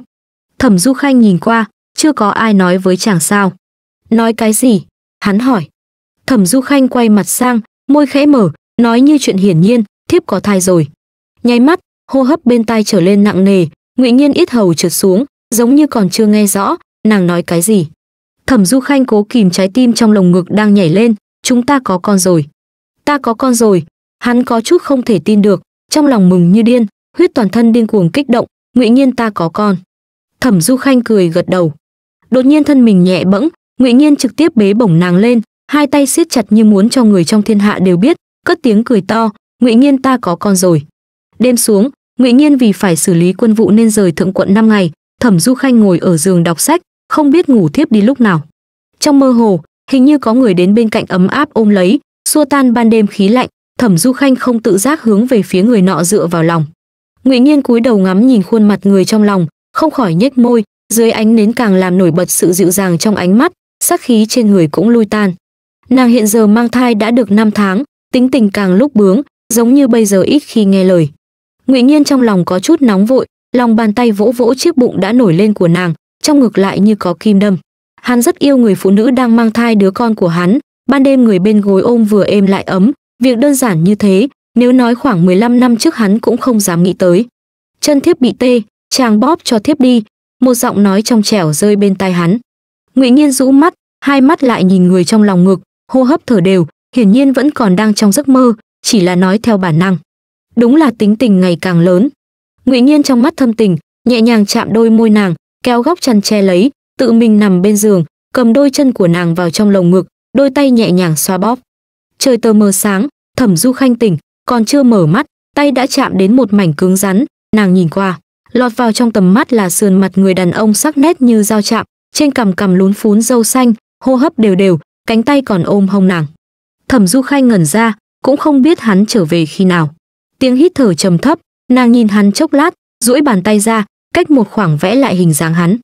Ngụy nhiên trời sinh tuấn tú, khuôn mặt như được chạm khắc mày mắt sắc bén, khi không cười thì lạnh lùng khiến người ta sợ hãi, khi mở miệng nói lại làm cho người khác cảm thấy cho chút phong lưu phóng túng. Nàng thật sự không tin với gương mặt này của mình, trước đây hắn chưa từng có người phụ nữ khác. Nàng nhìn một lát, mặt mày hơi cong lên, cũng không biết vì sao, càng đến ngày sinh nàng càng không khống chế được tính tình, đặc biệt đối với hắn ít đi hòa nhã. Mặc dù xong việc trong lòng nàng cũng ái náy, nhưng lại không bỏ được sĩ diện nhận sai với hắn.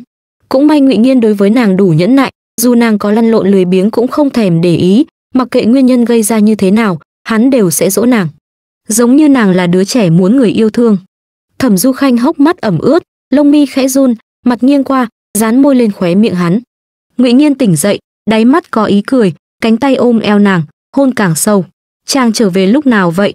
Thẩm du khanh hỏi hắn.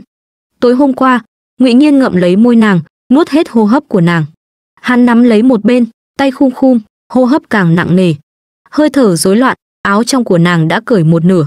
Phút chốc, ngụy nghiên cố nén buông nàng ra, chỉnh lại áo trong của nàng, giọng nói hơi khàn, còn sớm, nàng ngủ đi, ta đi ra ngoài một lát. Thẩm du khanh biết hắn sao lại muốn đi. Khi mới có thai, vương thị sợ đôi phu thê tuổi trẻ khí thịnh, hai người ban đêm rảnh rỗi lại làm mấy chuyện khác ảnh hưởng đến con cái, vốn còn muốn bảo hai người ngủ riêng. Nhưng mới chia được một tối, thẩm du khanh ban đêm bóng đè, vẫn là ngụy nghiên cả đêm về phòng dỗ dành mãi mới được, sau đó ý nghĩ chia riêng phòng đành gác lại. Chẳng qua vương thị đúng là quá lo lắng rồi, ngụy nghiên so với mọi người còn cẩn thận hơn, chỉ sợ mình ban đêm ngủ say sẽ đè vào bụng thẩm du khanh, cứ ngủ một lát lại tỉnh một lát nhìn xem. Tính ra thẩm du khanh có thai tháng thứ năm, ngụy nghiên xử lý đều là tự mình vào tịnh thất giải quyết thẩm du khanh nhìn bóng dáng vội vàng đi xa của hắn, không khỏi nhếch môi cười một cái. Đợi lúc sau, người đó từ tịnh thất đi ra, trên người có chút nóng. Ngụy nghiên chui vào trong chăn ôm lấy nàng, tay sờ thấy một mảnh trơn trượt, chờ dừng lại, mắt đen u ám, nhìn chằm chằm nàng. Hô hấp nhanh hơn, ngụy nghiên theo bản năng đỡ gáy nàng. Thẩm du khanh miệng hơi hơi hé mở, sau khi xúc miệng mới cảm thấy dễ chịu hơn chút, lười nhác nằm ở giường không nói lời nào. Ngụy nghiên dán sát vào lưng nàng, xoa bóp hôn sau cổ, miệng sao nhỏ như vậy nhỉ? Thẩm du khanh nhắm hai mắt, hư nhẹ, vậy lần sau chàng tự đi mà giải quyết. Ngụy nghiên không vui, tay dùng lực, vị huynh đệ này của ta bị đôi tay này trả sát sau sao còn hầu hạ được nàng nữa? Thẩm du khanh không thèm nghe hắn nói bậy, đảo mắt đông qua xuân tới, cách ngày thẩm du khanh lâm bồn không mấy ngày, ngụy nghiên bỗng nhận được quân báo phải chạy đến quan ngoại một chuyến. Quân báo đã 5 ngày, trì hoãn không được. Ngụy nghiên gạt việc này không nói cho thẩm du khanh biết khi từ quân doanh về phủ, ngụy nghiên cởi bội đao về nhà chính. Thai ngày một ổn định, thẩm du khanh cũng không bị nôn ngén hay gầy ốm, người ngược lại đẫy đà thêm chút. Ngụy nghiên về phòng liền nghe thấy bên trong vang một trận cười. Mấy ngày trước, lưu huyền đồng mang ôn xương tới thượng quận, hai người này ba năm trước đã thành hôn, không lâu sau ôn xương hạ sinh hai đứa trẻ, vừa vặn không còn binh đao. Lưu huyền đồng đưa ôn xương ra khỏi thành sống cuộc sống của hai người. Khi đó rời đi vội vàng, hiện giờ thẩm du khanh gặp lại ôn xương nhưng lại như rất ăn ý, ban ngày không có việc gì rủ nhau cũng nói chuyện. Lưu huyền đồng đuổi đến vương phủ đón ôn Sương trở về, nhìn thấy ngụy nghiên thì làm quân lễ. Ngụy nghiên gật đầu. Hai người cùng đường, lưu huyền đồng lui sau nửa bước, thấp giọng nói, tam ca, việc xuất quan ngươi còn chưa nói cho tam tẩu đúng không? Ngụy nghiên liếc mắt một cái, trầm giọng, nàng ấy sắp lâm bồn, không nên nhọc lòng vì mấy chuyện này. Lưu huyền đồng nói, tam tẩu và con cái quan trọng, tam ca không muốn đi không bằng để ta đi mấy tên cẩu tặc kia cũng không đến mức phiền tam ca tự động thủ. Ngụy nghiên nhíu mày, việc này liên lụy nhiều, bọn họ không thấy ta sẽ không bỏ qua. Việc này cứ gạt đi, cứ nói ta đi tuần thành biên quan, đừng để lộ tiếng gió. Lưu huyền đồng do dự đồng ý, biết hắn đã định sự gì thì không đổi được, ôm quyền nghe lệnh. Ngụy nhiên đi đến ngày thứ sáu, thẩm du khanh chợt thấy bụng đau từng cơn, cũng may trong phủ đã sắp xếp thỏa đáng, bà đỡ đã chuẩn bị nước đâu vào đấy. Vương thị nôn nóng chờ ngồi bên ngoài biết sinh đẻ đối với phụ nữ có bao nhiêu nguy hiểm, nhịn không được rơi lệ. May mà có ôn xương ở bên trấn an, cảm xúc mới ổn định rất nhiều. Thẩm tuế hàn trong lòng cũng bất an, đứng ngoài bình phong đi lại không ngừng, hơi chút lại chú ý tình trạng trong phòng. Trong miệng không đành lòng nói vài câu, đến lúc này rồi mà tên ngụy nghiên nếu có lòng thật sao không ở đây, còn đi tuần tra cái thành trì chó má gì. Vương thị lau lau nước mắt, nói với ông ông ít nói đi vài câu đi, oản oản còn ở bên trong.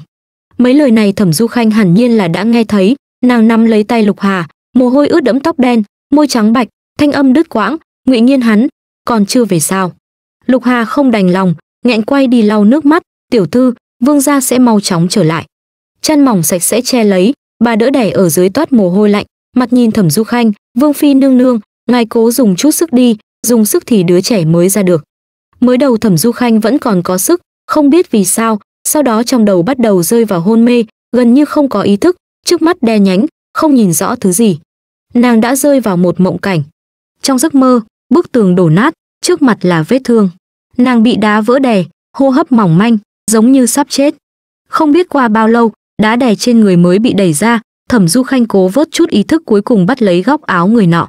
Nàng không biết mình đang nói cái gì, không biết người nọ là ai, đến cuối cũng không nhớ rõ. Khanh khanh khanh khanh. Thẩm du khanh nghe thấy có người đang gọi mình, giọng nói kìm nén từng tiếng lại từng tiếng, tay nàng bị nắm đến phát đau, đôi mày nhíu lại, nàng chậm rãi mở mắt. Trước mắt là người đàn ông dề già tới muộn, tay nắm tay nàng, đỉnh mày đè thấp, hốc mắt có chút đỏ tươi, mắt đen nhìn nàng, phảng phất như tìm lại bảo bối đánh mất.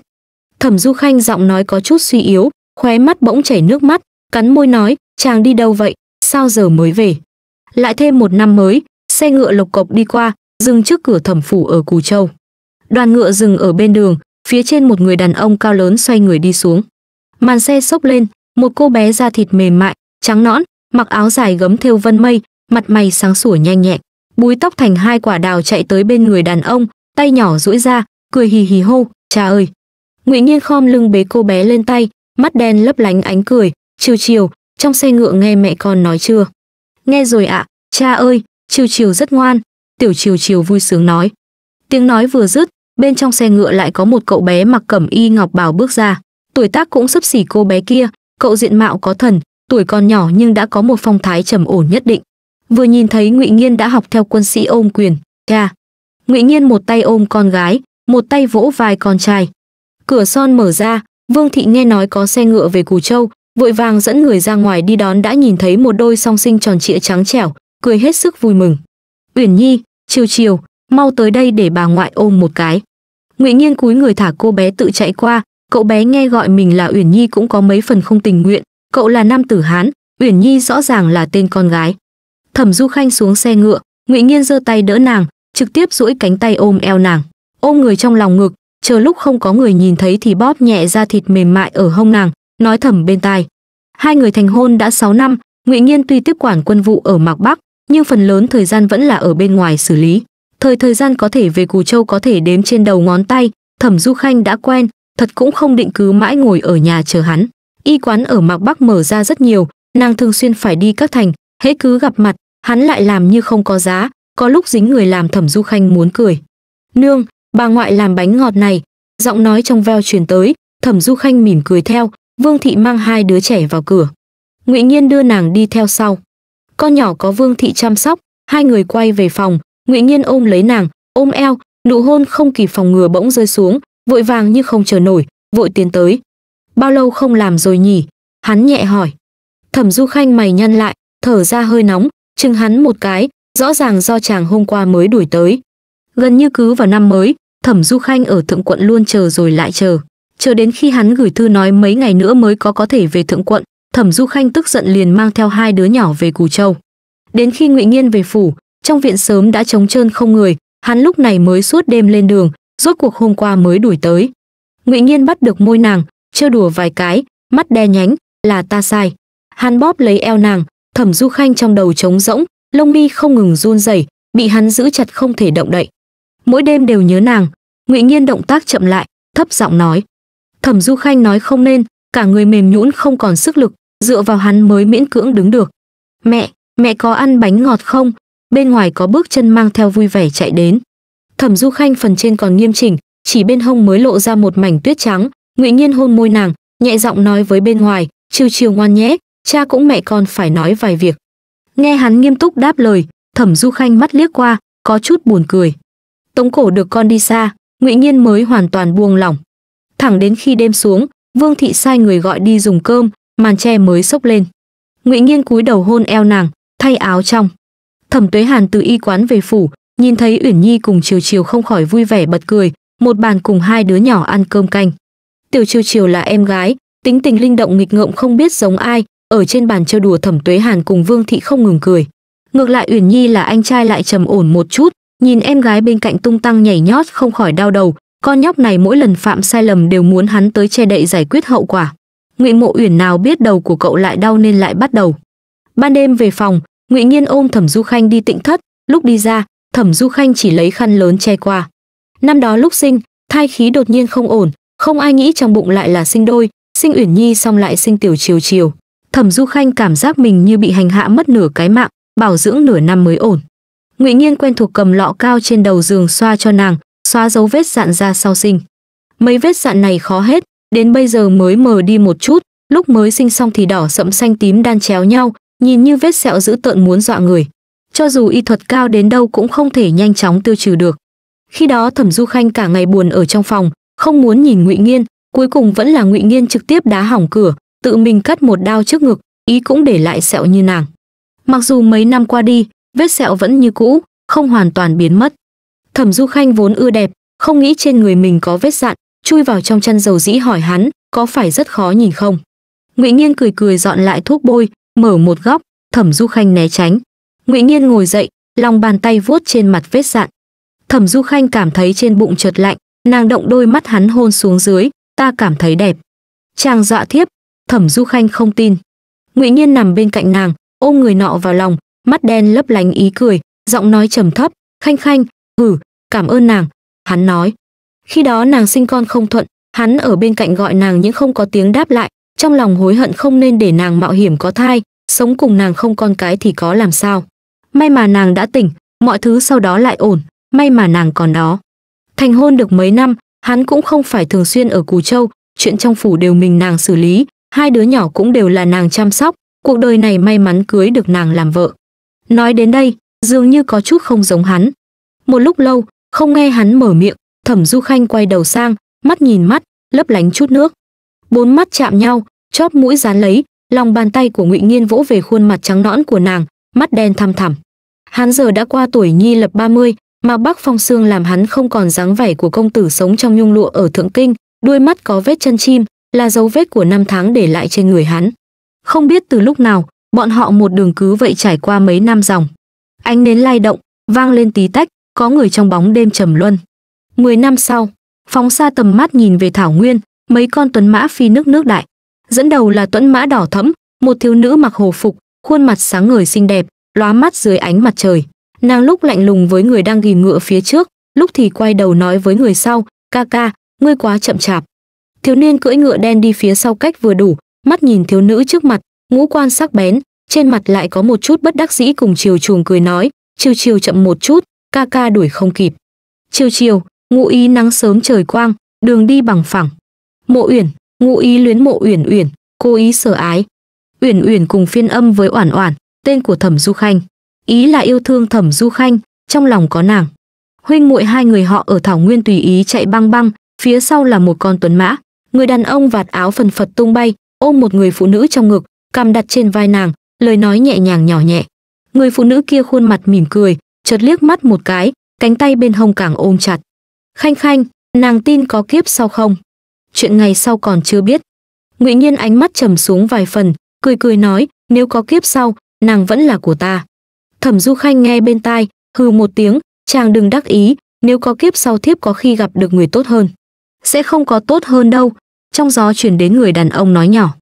Tin vào các kiếp sao, Ngụy Nhiên không tin thần Phật, nhưng đêm qua hắn lại rơi vào một giấc mơ, cảnh trong mơ chân thật, bên trong có kiếp trước ước của bọn họ, cũng có cả kiếp sau. Chiêng trống ầm ĩ vang vọng không ngừng, đầu đường cuối ngõ đều là tiếng trẻ con vui đùa ầm ĩ. Ở xa thoáng thấy một nam tử ngồi tuấn ngã đi đến, tướng mạo ôn hòa, quần áo đỏ thẫm, phong tư tuấn lãng, đi ngựa chậm rãi đến. Hôm nay con gái út Thẩm Thượng thư thành thân cùng hành nghiêm tiên sinh của thư viện, quan viên trong triều đều đến chúc mừng. Thẩm Tuế Hàn ở Thái y viện điều chế thuốc có công, Chiêu Hòa đế cũng cho người người từ trong cung hạ lễ.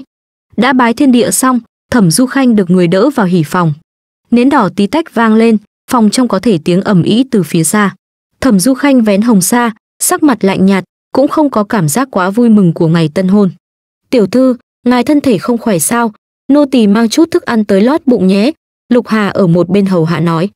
Thẩm Du Khanh lắc đầu, tay vuốt ngực, ta cứ có cảm giác có chút gì đó không đúng, nhưng không biết phải nói sao. Lúc này sắc trời trở nên u ám, Thẩm Du Khanh không phải lần đầu có loại cảm giác này.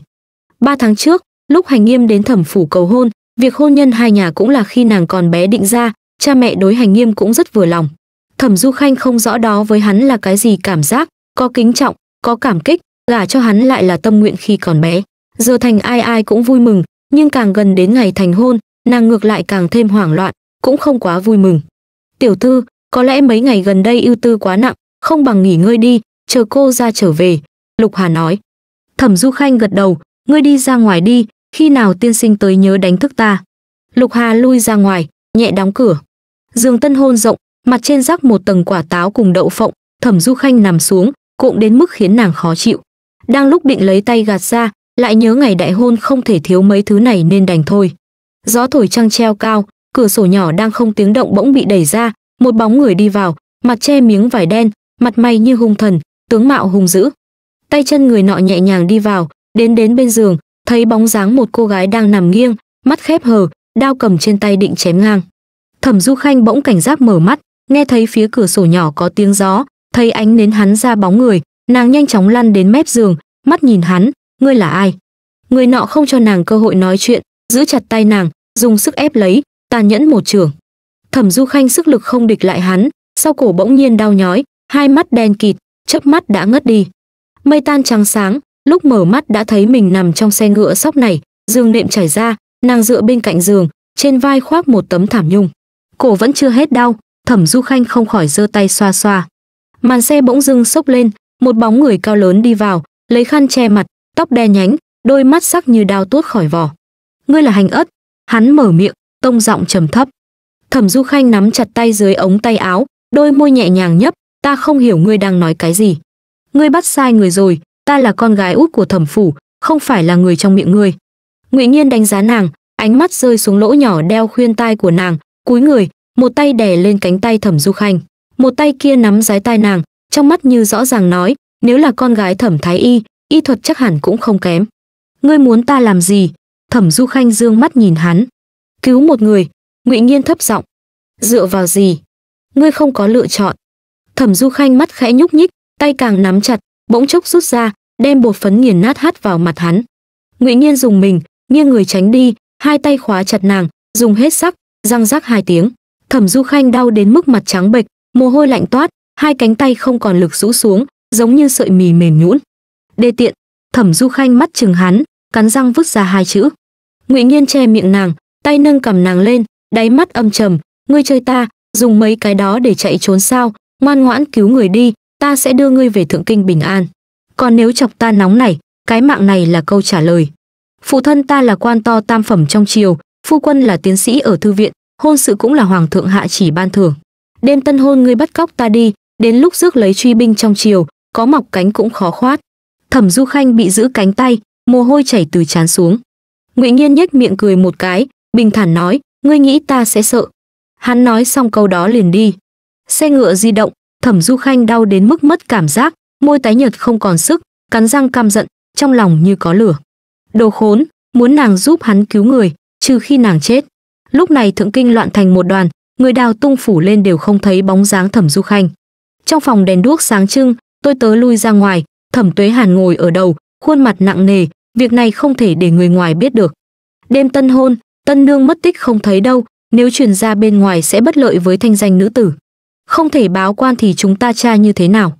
Oản oản hiện tại sống chết còn không rõ, ông nói ta sao mà an tâm được? Vương thị lo lắng cho con gái lúc nãy đã khóc một chặp, giờ hốc mắt đỏ bừng, khăn tay ướt sũng. Hành nghiêm sau khi trầm ngâm một lúc lâu, đứng lên nói, nhạc phụ, nhạc mẫu, việc này nguy cấp, hiện tại còn không tra được hành tung của tử nhi, con lo tử nhi đã bị kẻ xấu bắt đi. Quý nữ thượng kinh không ít, kẻ cắp nếu chọn chúng tử nhi, lúc này lại không có tin gì truyền đến, con nghĩ không phải là vì tài năng của nàng ấy. Không phải vì tài thì vì cái gì, oản oản của ta, kẻ ác bá nào lại bắt nó đi? Vương thị dưng dưng nói trong phòng nhất thời trầm mặc, thẩm tuế hàn thở dài một tiếng, chớp mắt như già thêm 10 tuổi. Đại nhân, có thư đến. Tôi tớ bên ngoài tới báo, trong tay dâng lên một tờ giấy viết thư. Đại nhân, vừa có một đám ăn mày bỗng nhiên đến gần cửa phủ, hốt hoảng ném phong thư này xuống. Ánh mắt mọi người đều rơi xuống phong thư. Thẩm tuế hàn ánh mắt càng lạnh đi, cầm tờ giấy viết thư, giơ tay bảo tôi tớ đi ra ngoài. Chữ trên giấy ít ỏi, vừa xem xong, hành nghiêm đã vội hỏi, nhạc phụ, thư này là kẻ cắp đưa thẩm tuế hàn gật đầu, như suy tư gì nói, trong thư nói bọn họ muốn mượn y thuật của hành ất, một tháng nữa sẽ đem người an toàn trở về. Vào đêm, xe ngựa dừng ở trạm dịch phía trước. Thẩm du khanh trên đường đau đến mức không còn cảm giác, khi mở mắt đã thấy ở một gian phòng có châm đuốc. Cánh tay đặt lại ngay ngắn, chẳng qua trên người quần áo đã thay đổi, thuốc phòng thân đều bị cướp đi. Người hầu hạ nàng là một cô gái câm, chỉ biết xoa cánh tay nàng, lòng bàn tay một lớp thuốc cao. Thẩm du khanh chửi thầm hai câu nghĩ thầm chờ đến khi nàng về thượng kinh, chắc chắn sẽ cho tên khốn kia nếm mùi. Là bọn họ bảo ngươi tới hầu hạ ta, thẩm du khanh dương mắt hỏi ra tiếng. Cô gái câm chăm chú bôi thuốc cho nàng nàng nói gì cũng mắt điếc tai ngờ. Thẩm du khanh lúc này mới phát hiện hóa ra nàng ta cũng không nghe được. Sai người như vậy hầu hạ, nàng muốn hỏi cũng hỏi được gì? Một đêm qua đi, ngày lại tới. Cô gái câm mang cơm canh vào nhà đặt lên bàn, mắt nhìn thẩm du khanh, dùng ngón tay chỉ nàng, lại chỉ chỉ vào nồi cháo nóng thẩm du khanh quét mắt, môi hơi nhấp, phất tay áo, đến thẳng bàn hất bát canh xuống đất. Trong một tiếng, cô gái câm sợ tới mức trong lòng nhảy dựng, cổ họng a a không nói lên lời. Trên mặt đất là cháo trắng còn nóng, thẩm du khanh vỗ tay, bảo hắn lại đây, nếu không dù có đói chết, ta cũng không ăn. Cô gái câm không biết nàng đang nói gì, luống cuống tay chân thu dọn đống hỗn độn trên mặt đất rồi cuống quýt chạy ra đi. Một lúc lâu sau, có tiếng bước chân trầm ổn truyền đến, không phải ủng bào của công tử thế gia đất thượng kinh ngược lại nghe càng thêm có lực nghe có khí phách thẩm du khanh ngồi ở án sau nàng chống cằm rũ mắt không biết suy nghĩ cái gì thật nhanh sau đó cửa mở ra trước mắt là hai chân rắn chắc thẳng tắp vải thô hồ phục bên người dưới chân đúng như nàng nghĩ là ủng người mặc bắc hay đi mặt ủng dính bụi đất, hẳn do cả đêm đi đường. Sao nào, có cơm không ăn muốn đói chết, giọng người đàn ông trầm thấp, có chút khàn khàn. Thẩm Du Khanh thoáng dương mắt nhìn qua, ánh mắt lạnh nhạt, thoáng vẻ xa cách chán ghét, ngươi rốt cuộc muốn ta làm cái gì? Cứu một người, Ngụy Nghiên gõ vỏ đao, cứu người xong sẽ đưa ngươi về thượng kinh. Nếu ta không cứu, Thẩm Du Khanh sắc mặt không tốt, trong mắt như toát ra ánh lửa. Ngụy Nghiên lấy ra từ bên hông một khối thẻ bài, ném lên bàn, nhếch miệng, không cứu sao, vậy thì cha mẹ ngươi, hôn phu mới cưới của ngươi, không ai thoát được. Thẩm Du Khanh liếc hắn một cái, lấy thẻ bài cầm trong tay, nhìn kỹ vài lần, trên đó có khắc ba chữ Hoài An Vương.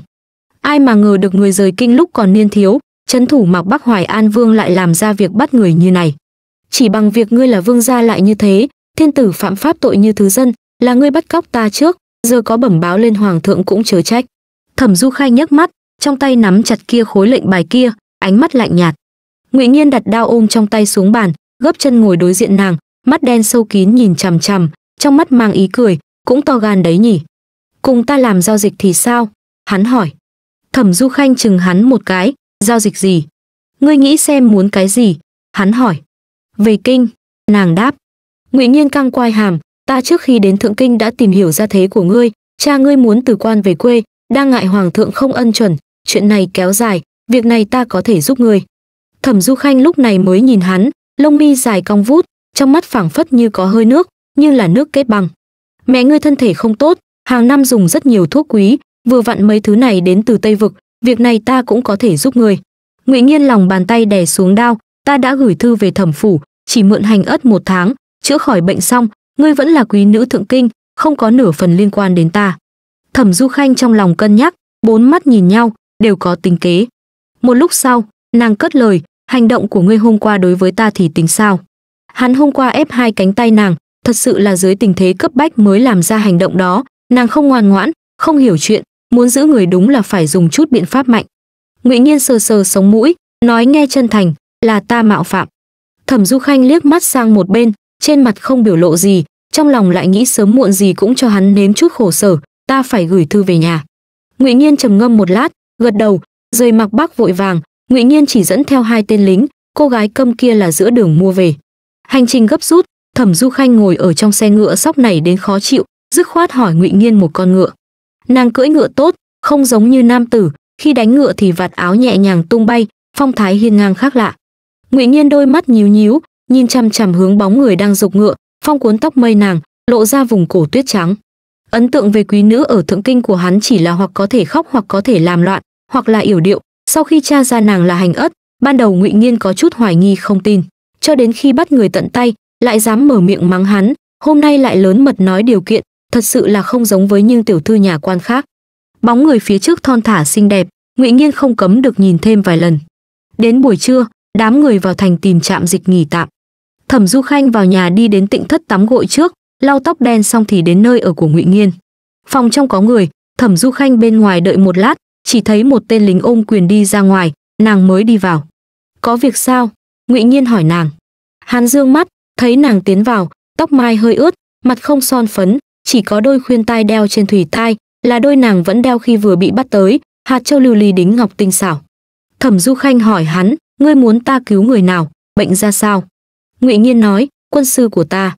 Bệnh cũ đã hơn 10 năm, vài ngày trước phát bệnh hôn mê bất tỉnh, ta mới phải ra hạ sách này. Thẩm Du Khanh trong lòng nghĩ qua, hừ một tiếng, hạ sách trong miệng vương gia chính là chói gô ta bắt cóc trong ngày tân hôn.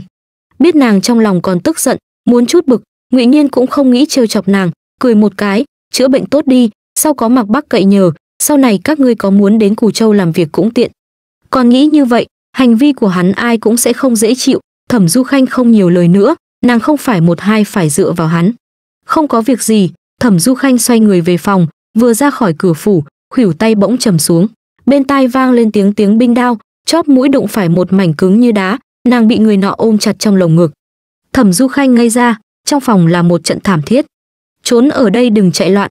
Ngụy Nhiên tay buông ra, trầm giọng nói một câu rồi bước nhanh ra cửa. Vốn tính buổi chiều khởi hành, nhưng Ngụy Nhiên chậm chạp mãi chưa về, hành trình lại chậm lại, cho đến đêm đó, ngoài hành lang mới có tiếng người đi lại. Thẩm Du Khanh đang ngồi trong căn nhà kia, nhớ lại cảnh tượng kinh hoàng ban ngày, trong lòng vẫn còn sợ hãi. Nàng sinh ở nhà thế gia, mặc dù sau này theo tiên sinh đi xuôi nam cũng không gặp việc kinh sợ như thế khi ngụy nghiên rời đi nàng còn nhìn thấy rõ ràng mũi đao hắn dính huyết từng giọt nối nhau rơi xuống mặt đất, nửa khuôn mặt hắn bắn vết huyết. Nàng sớm vẫn biết mạc bắc chiến loạn không ngừng, chỉ không ngờ ngay ở trung nguyên, những người đó cũng dám động thủ. Cửa nhẹ mở ra, thẩm du khanh thu lại suy nghĩ hướng ra cửa nhìn xem. Hắn thay bộ hồ phục ban ngày, lúc này mặc trường bào ngọc cẩm ngược lại có chút phong thái công tử thế gia. Tối nay không đi được, sáng sớm ngày mai khởi hành, ngụy nghiên nói. Thẩm du khanh không có phản ứng, lạnh nhạt gật đầu. Ngụy nghiên giật nhẹ cổ áo chú ý đôi môi trắng bệnh của nàng, khóe miệng cong lên. Ợ thẩm du khanh nhìn hắn, mắt đối diện, nàng thấy đáy mắt hắn như đang cười, làm như không có việc gì nói, ngươi không phải sẽ bảo hộ ta an toàn sao? Đúng là như vậy. Ngụy nghiên gật đầu, không biết vì sao nữa, bỗng thấy giữa đêm khuya nàng ngồi trong phòng mình, bình thản nói chuyện với hắn khiến hắn có cảm giác khó hiểu, giống như vốn nên là vậy. Hắn mắt nhìn nàng thêm chút, nhịn không được có ý muốn trêu đùa, cứ ở bên cạnh ta thì mới an toàn, tối nay cũng không nên đi thẩm du khanh vẻ mặt khó tin nhìn hắn, như đang cố xem hắn nói là thật hay giả. Đến khi nhìn trong đáy mắt hắn mang theo ba phần ý cười, thuận tay cầm quân sách trên bàn ném hắn, cắn môi mắng, hạ lưu.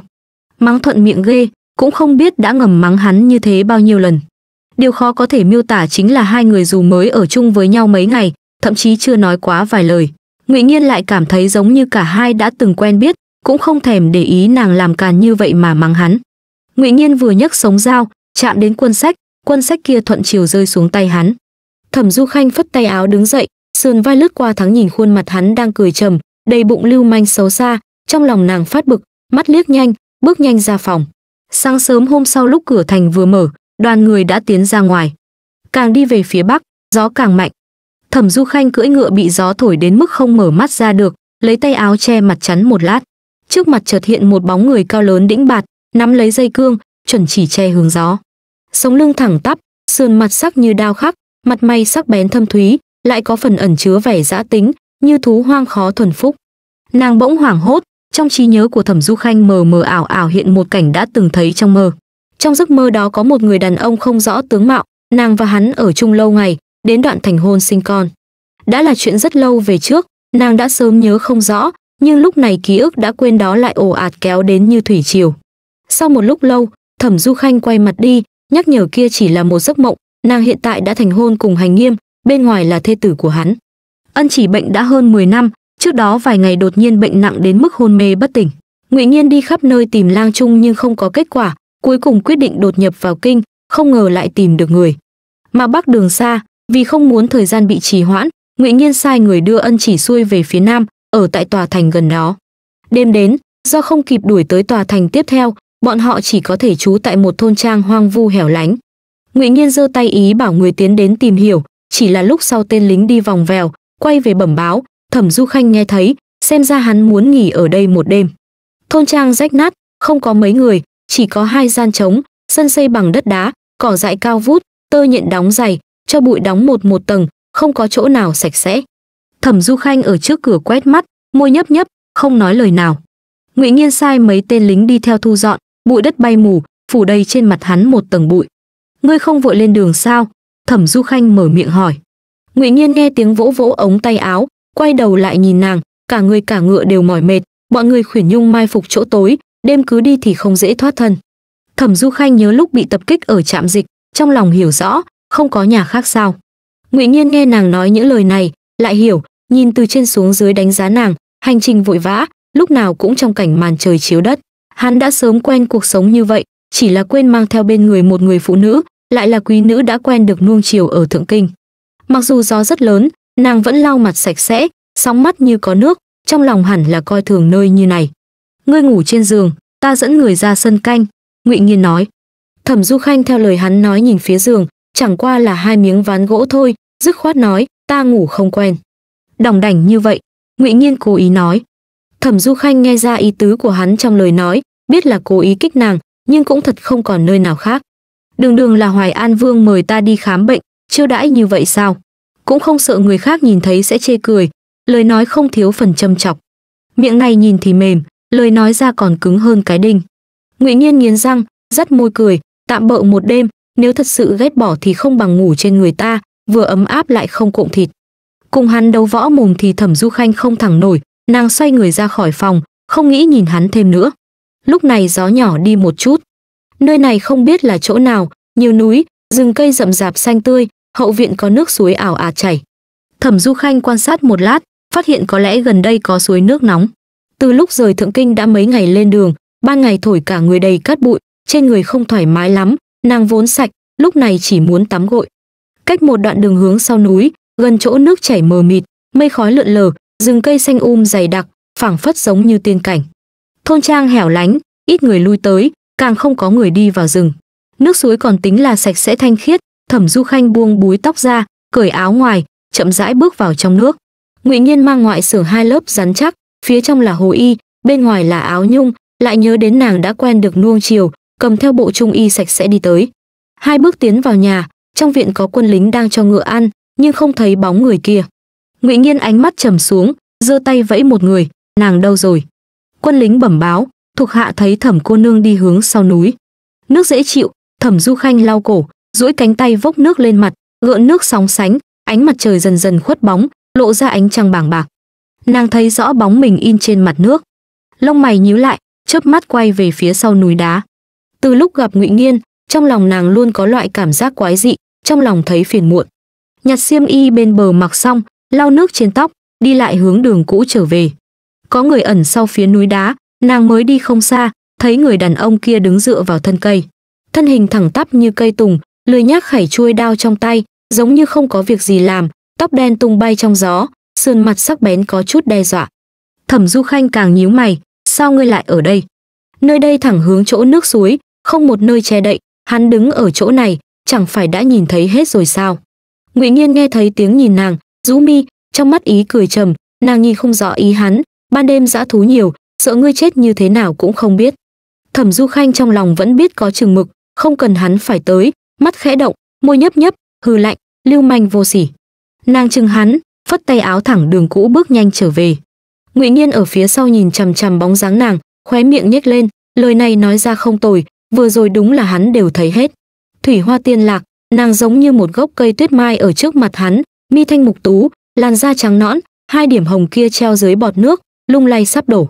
Yết hầu lăn lăn, bỗng nhiên trong cổ họng thấy một khối khô nóng khó tả. Sau khi về phòng, thẩm du khanh trong lòng vẫn rất tức giận, hắn đứng lâu như vậy, chắc chắn đều thấy rõ rồi. Đồ khốn, thẩm du khanh ở trên giường lấy đao chém hai mảnh lên bộ hồi y.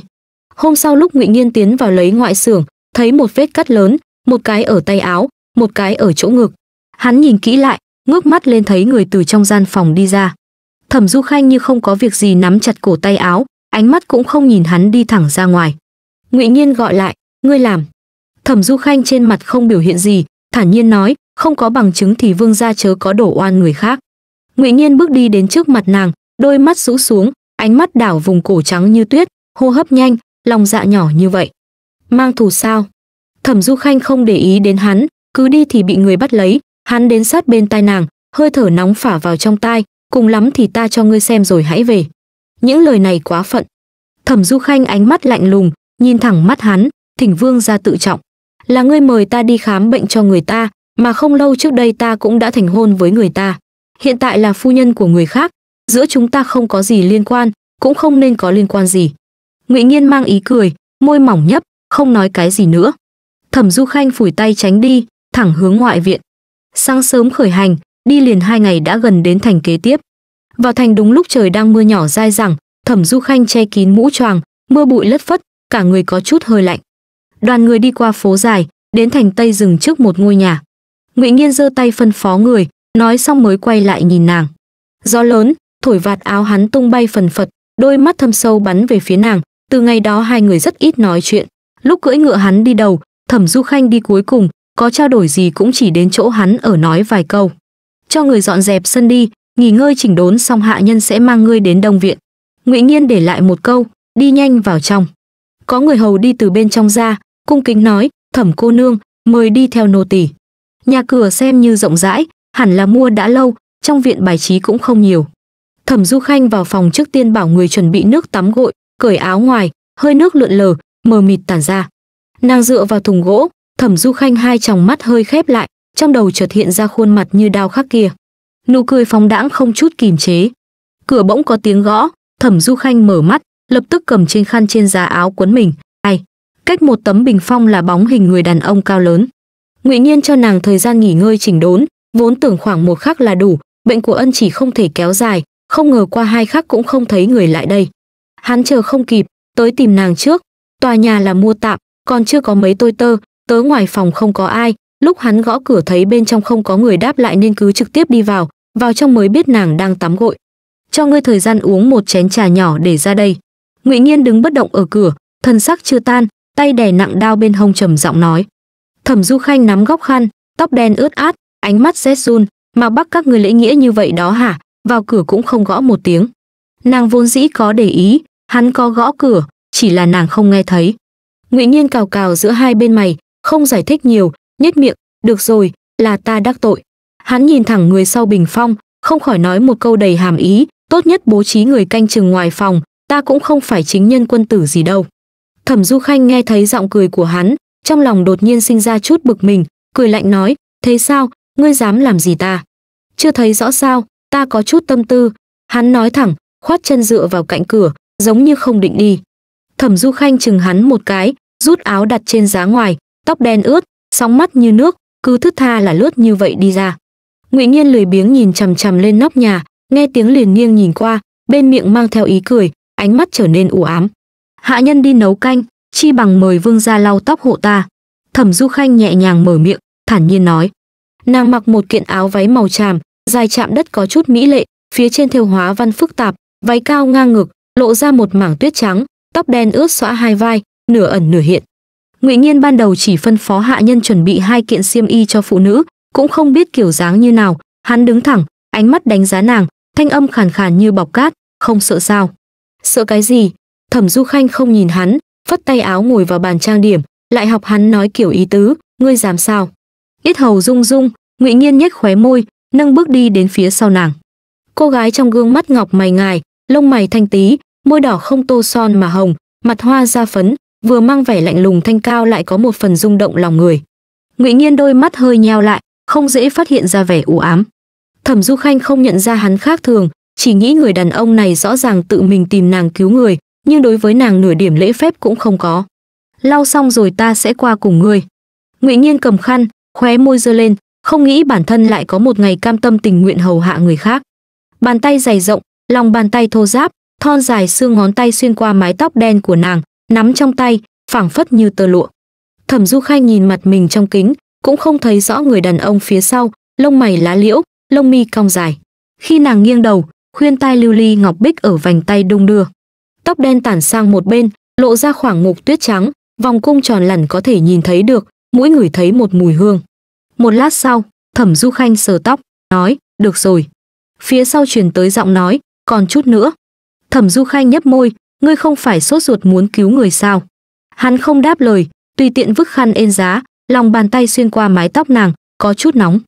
Ngực thẩm du khanh bỗng có cảm giác khó hiểu, theo bản năng tránh tay hắn. Ngụy nhiên ánh mắt thu lại, bàn tay lướt đến vai nàng, lòng bàn tay chạm đến một vùng trắng nõn. Nơi hắn dừng lại kia giống như có một ngọn lửa nóng bỏng, nhìn qua kính, hắn giống như thú hoang trong rừng, tùy ý xâm chiếm. Thẩm du khanh nhìn hắn, lạnh giọng nói, ngươi làm gì vậy? Ngụy nhiên mắt đen chăm chú nhìn, môi mỏng từ từ mở ra, vị phu quân kia của ngươi đúng là đồ không có bản lĩnh, lâu như vậy không tìm được nơi này, cứ mặc kệ để ngươi bị người bắt đi. Thẩm du khanh không thể hiểu nổi, không phải ngươi truyền tin gửi về thượng kinh rồi sao? Bọn họ việc gì phải đi tìm ta? Huống chi chúng ta một đường trốn tránh vội vàng, mấy ai có thể tìm được? Ngươi với hắn đúng là nghĩa trọng tình thâm đấy. Ngụy nhiên buông tay, chỉ nói một câu này, xoay người bước đi. Cổ độc của ân chỉ bệnh tình bỗng nhiên nặng thêm ngụy nhiên bất đắc dĩ tìm thuốc khắp nơi, đến giờ bệnh tình càng ngày càng nặng, nửa khắc cũng khó kéo dài được. Thẩm du khanh đem xong mạch tượng, sắc mặt nặng nề. Thế nào? Ngụy nhiên hỏi. Thẩm du khanh lắc đầu, là ngọc la đà, một loại phệ tâm cổ. Phương thuốc thật ra có, nhưng ông ấy hiện tại thời gian khả năng chỉ còn không đến một tháng, phương thuốc này tìm nguyên liệu cũng tiêu tốn mất nửa năm. Ngụy nhiên trong mắt nặng nề, có biện pháp khác không? Thẩm du khanh gật đầu, tiên sinh năm đó cũng từng nghiên cứu loại cổ này hiện giờ vẫn giữ thuốc giải tiên sinh ngụy nhiên chặn vỏ đao bên hông mắt nhìn nàng thẩm du khanh không trốn tránh chính là người hôm đó ta gả cho hành nghiêm nhận được tin liền thu dọn hòm thuốc đánh ngựa không ngừng đi đến có hai gã binh binh lính đi theo Hành nghiêm bị người kéo đi giống như ngày đêm không nghỉ, chưa đến nửa tháng đã tới. Lúc đó Thẩm Du Khanh vừa nấu xong thuốc, sai người đưa đến nơi ở của ân chỉ, vừa vào trong viện đã thấy một người đàn ông phong trần nhuốm màu mệt mỏi. Áo trắng nhiễm bụi, bộ dáng chật vật, không còn sạch sẽ như trước. Thẩm Du Khanh trong lòng vui vẻ, gọi một tiếng, tiên sinh. Hành nghiêm nghe thấy, nở nụ cười còn nhanh hơn bước chân, duỗi cánh tay ôm lấy nàng, là ta vô dụng, đêm tân hôn không bảo vệ được nàng. Ta không sao, Thẩm Du Khanh lắc đầu, trong lòng thầm nghĩ, việc người đàn ông như Ngụy Nghiên muốn làm sợ không ai có thể ngăn được, hắn mặc dù không âm thầm bắt người thì cũng chính mình cưỡng ép, ai dám nói gì. Hành Nghiêm nghĩ nàng mạnh miệng, chạm vào mặt nàng, chua xót nói, mấy ngày nay gầy đi không ít. Lòng bàn tay chạm sườn mặt mát lạnh, Thẩm Du Khanh bỗng nhớ người nọ bàn tay thô ráp nóng cháy, trong lòng khẽ động, lại theo bản năng né tránh tay hắn. Hành Nghiêm động tác cứng đờ, ánh mắt chưa đổi, môi cũng cứng theo. Có khách quý đến, sao không mời người đến sảnh chính nghỉ tạm. Một bóng người từ cửa bước vào, mặt mày thâm thúy, mũi cao, tóc đen thúc ngọc quan, mắt đen sắc bén, tướng mạo nhìn ra vài phần khó gần. Hành nghiêm xoay người, hắn cũng không biết ngụy nghiên, nghĩ đến việc người đàn ông đứng trước mặt này bắt tử nhi, trong lòng nổi giận, lạnh mặt, ta đã tới, ngươi thả tử nhi về kinh trước. Ngụy nghiên bỗng buồn cười, tay sờ vỏ đao, người không chữa tốt, ai cũng đừng nghĩ đi. Hắn sốc mí mắt, lập tức có binh lính đi tới, trường đao đặt trên cổ hành nghiêm, lưỡi đao sắc bén, giống như chỉ tiến thêm một tấc liền mất mạng. Mãng phu, quả thực là mãng phu vô sỉ, hành nghiêm tức giận mà mắng. Ta không kiên nhẫn nghe ngươi nói lời vô nghĩa, ngụy nhiên rất khóe miệng, hạ lệnh nói, mời lang trung vào nội thất trần trị. Hành nghiêm bị uy hiếp đem đi, ngụy nhiên bước đến trước mặt thẩm du khanh, trong mắt nặng nề, có chút đắc ý nói, nhìn thấy chưa, đây là người đàn ông mà ngươi gả đó. Hắn thấp giọng, như cười nhưng trong mắt lại không cười, một tên nhù nhược. Thẩm Du Khanh cắn cánh môi, nắm chặt tay trong tay áo, ánh mắt lạnh cả người, nếu vương gia có bản lĩnh trên trời dưới đất, cần gì phải mong hắn tới. Nhanh mồm dẻo miệng thật, Ngụy Nhiên nói. Thẩm Du Khanh không biết vì sao trong lòng hơi buồn, lại không nhìn được bộ dáng đắc ý nì của hắn, bướng bỉnh mở miệng, ta cũng hắn phu thê một lòng, lúc này tất nhiên sẽ không bỏ hắn mà đi. Vương gia cũng không cần phiền lòng dọn dẹp sân làm gì cả, cứ để hắn ở trong phòng ta là được. Giọng nói vứt dứt, Thẩm Du Khanh thấy rõ đáy hắn mắt mờ mịt u ám, như mây đen đặc sệt, giống như chất chứa cảm xúc quay cuồng dày đặc, ngươi đúng là chú đáo. Hành Nghiêm sớm đã chuẩn bị thuốc, chữa bệnh cho người khỏi dễ như trở bàn tay. Chẳng qua lúc hắn khám kinh mạch xong, trong lòng có phần kinh ngạc, cổ độc so với cổ năm đó hắn nghiên cứu không có khác biệt lắm. Năm đó có một chuyện thật ra hắn đã lừa Thẩm Du Khanh, Ngọc La Đà là sư phụ hắn tự mình chế tạo, hắn lấy thân thử thuốc, tốn mấy mấy năm mới chế ra thuốc giải chỉ không lường trước sẽ có người lấy cổ này đi hại người. Cửa mở ra, hành nghiêm nghe thấy tiếng thu tay, độc đã giải xong, nhưng ta có một điều kiện. Ngụy Nghiên khuỷu tay ôm đao, đáy mắt ủ rột, ngươi nói cho ta biết độc này từ đâu mà đến. Hành nghiêm ngực bột một tiếng, không tin hắn thực sự không biết, nếu đã biết, cần gì tốn nhiều công sức như vậy, khiến người bệnh nằm trên giường hơn 10 năm mãi mới tìm được hắn. Ta nghe không hiểu ngươi đang nói cái gì. Ngụy Nghiên hướng mũi đao, Vân Trung Thư viện năm đó có tên nghịch đồ trốn đi, là ai đưa hắn xuống núi, dùng thứ này hại hai vị tiên sinh. Hành nghiêm dừng động tác, khuôn mặt dịu dàng thanh tú có chút tan vỡ. Ngươi đã làm chuyện gì ta không có hứng thú muốn biết, ta tới chỉ nói cho ngươi biết, người này ngươi phải cứu, không có tư cách nói điều kiện với ta. Ngụy Nhiên xoay người bỏ đi. Hành nghiêm giật mình, việc kia đã là rất nhiều năm về trước, quả nhiên giấy không gói được lửa. Ngụy Nhiên trở về thư phòng, trên bàn đặt lá thư mật tin. Vốn là điều tra nội tặc bộ khoa lạc, ai ngờ lại khiến hắn cha là việc không tầm thường. Có thuốc giả, cổ độc của ân chỉ được trừ bỏ. Thẩm Du Khanh không có việc gì rảnh rỗi ở trong phòng đọc sách, đảo mắt đã qua nửa tháng, ân chỉ bệnh tình chuyển biến tốt, người cuối cùng cũng tỉnh táo. Thẩm Du Khanh nhận được thư nhà gửi, ở bên ngoài đã lâu, nên là trở về rồi. Nửa tháng này Ngụy Nghiên đều không ở trong nhà, giống như rất bận. Lúc tới không mang thứ gì, đi rồi cũng không cần thu dọn. Hai tôi tớ hầu hạ đứng cạnh vẻ mặt lo lắng, cô nương, ngài chi bằng chờ chút, đợi công tử về phủ, ngài nếu bỗng nhiên đi rồi, bọn nô tỳ cũng không biết giải thích sao. Thẩm Du Khanh chuẩn bị xong, đứng lên, có gì mà không biết giải thích, đây là việc hắn đã đồng ý, giờ không thể không giữ lời. Tử Nhi, ngoài phòng ra tiếng người đàn ông. Thẩm Du Khanh phủ thêm áo ngoài, đẩy cửa đi ra ngoài, Hành Nghiêm lập tức đón nàng, xe ngựa chuẩn bị xong rồi, chúng ta hiện tại đi thôi. Hắn đã chuẩn bị xong, Thẩm Du Khanh gật đầu. Hai người cầm tay nhau rời khỏi viện. Ngựa xe nhìn rõ số lượng, lúc rời thành gió cát yên tĩnh, trời trong nắng ấm. Thẩm Du Khanh sốc màn xe nhìn lại, cửa thành lùi xa, người tứ phương đi lại không dứt. Nàng thu hồi tầm mắt, từ phía cao nguyên phía trên xa một đội người đánh ngựa chạy tới vạt áo phần phật tung bay ánh mắt đen nhánh có thần nhìn về hướng nàng đi hành nghiêm cũng nhìn thấy vẻ mặt không tốt, dặn dò nói, tốc độ nhanh hơn chút đi, tránh những người đó. Nhưng sao có thể so với nhà binh tốc hành, nhanh chóng đã đuổi đến? Người ta đã chữa khỏi, còn có chuyện gì? Hành nghiêm mở miệng. Nửa tháng trước mạc bắc đột nhiên có chuyện, ngụy nhiên suốt đêm lên đường trở về xử lý quân vụ, lúc hắn chưa về đã nghe nói nàng quay về thượng kinh. Ngụy nhiên không nhìn hắn, ánh mắt thẳng tắp bắn về xe ngựa phía sau hành nghiêm. Hành nghiêm giống như đã nhận ra, dắt dây cương cố ý ngăn tầm mắt hắn, hành trình vội vã không kịp nói lời từ biệt với các hạ. Bánh xe hơi động, chưa được một bước, lập tức mấy hán tử xả cương vây quanh, tướng mạo hung thần, khí thế dọa người. Ta lúc trước đã nhận lời thẩm cô nương làm một việc.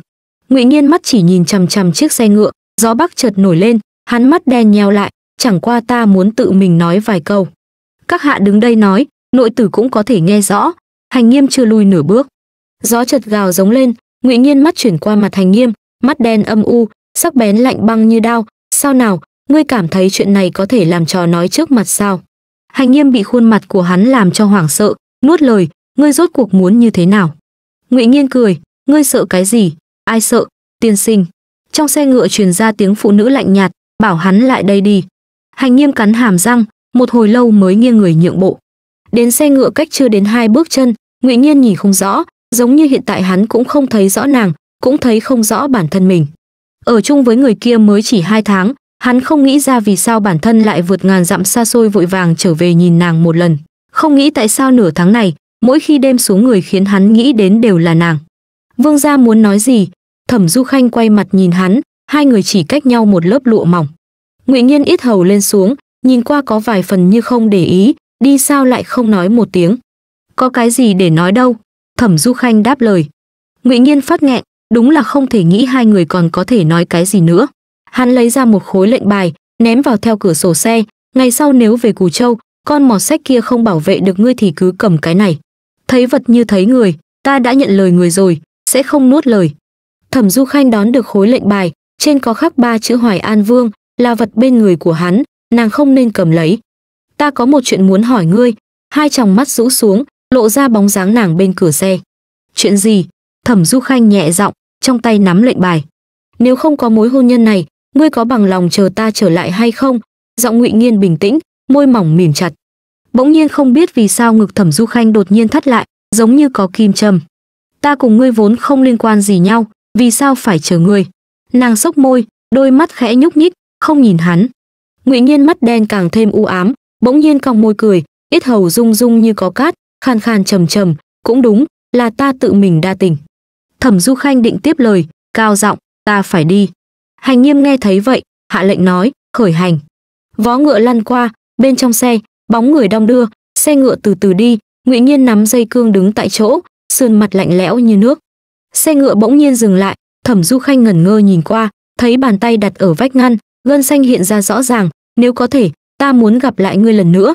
10 tháng sau, khuyển nhung trong ngoài cấu kết tấn công biên giới mạc bắc, ngụy nhiên dẫn người chém sát hai bên nhân mã thương vong vô số. Thế cục trong chiều rối ren tiêu liễu nhận được quân lệnh mang năm vạn đại quân đi mạc bắc. Trong quân trướng binh lính vây quanh một vòng, ngụy nhiên bày bố xong nhân mã, bên ngoài có người thông báo, vương gia tiêu liễu tướng quân từ thượng kinh đến. Mắt đen hơi động, ngụy nhiên giơ tay, ý bảo cho người tiến vào. Tiêu liễu một thân mặc giáp đen vào trong trướng ôm quyền chắp tay nói tiêu liễu tham kiến vương gia. Ngụy nhiên mỉm cười, không cần đa lễ, không nghĩ tới lão già còn bảo ngươi tới đây vương gia nói gì vậy? Hoàng thượng tất nhiên đau lòng cho vương gia. Thuộc hạ tới truyền ý chỉ của hoàng thượng triệu vương gia về kinh. Vương gia, ngài. Được rồi. Ngụy nhiên nghe những lời này không tỏ ra mừng rỡ. Tiêu liễu chợt hiểu, không nói nữa. Ngụy nhiên bảo hắn ngồi thương thảo việc thủ thành trước. Tiêu liễu nghe xong mấy chàng chiến dịch, ánh mắt ngạc nhiên. Vương gia, thuộc hạ cả gan, thủ đoạn này sao giống với tống khuynh tướng quân? Ngụy nhiên im lặng, sau một lúc lâu mới nói, việc này ta để người đi dò xét tiêu liễu biết hắn trong lòng có tính toán, vì thế cũng không nhiều lời. Hai người thương thảo đến đêm, ngụy nhiên đi ra doanh trướng, ngắm màn đêm vắng sao, giống như lơ đãng mở miệng. Mấy ngày nay vô số thương vong, mà bắc thiếu người, càng thiếu lang trùng. Tiêu liễu nói tiếp, trước khi thuộc hạ đi, hoàng thượng vốn muốn hành nghiêm thái y ở thư viện đi theo. Nhưng hành nghiêm kia phu nhân hắn có thai, sắp sinh rồi, người không xa được, hành nghiêm liều chết kháng chỉ, hoàng thượng mới thay người. Ngụy nhiên ánh mắt trầm xuống, thấp giọng, có thai tiêu liễu nghe lời hắn nói lạnh lùng, cảm thấy có phần không thích hợp, rồi lại không biết vì sao, thử thăm dò, đáp lại, thuộc hạ cũng chỉ là nghe nói, vị cô nương thẩm gia kia chợt có bệnh, thai tượng không ổn, lại là thai đầu, không thể rời người. Tiêu liễu vừa dứt lời, không thấy người đáp lại, ngẩng đầu nhìn một cái, đêm đã khuya, chỉ thấy lưu lại trong màn đêm một bóng người, giống như chưa nghe thấy được gì. Vương gia, ngụy nhiên rốt cuộc có đáp lại, có tin gì từ thượng kinh tin lập tức bẩm báo? Bẩm báo? Bẩm báo cái gì? Tiêu liễu khó hiểu nhưng lại không dám hỏi nhiều. Tình hình chiến đấu ở mạc bắc nguy nan, không ai biết đêm hôm đó đã xảy ra chuyện gì. Khuyển nhung toàn bộ đầu hàng, mạc bắc thủ quan đại thắng trở về, nhưng người lĩnh quân chiến thắng trở về lại không phải bóng người mặc giáp đen kia. Ngụy nhiên giống như rơi vào trong giấc mộng, lại không biết mơ thấy gì. Mười năm hơn lẻ loi một mình, vốn tưởng đã thói quen, hóa ra hắn vẫn luôn lừa mình dối người. Ngụy nhiên khép mắt, phảng phất như nhìn thấy bóng hình yểu điệu kia nàng từ xa đi tới, nhẹ giọng gọi hắn.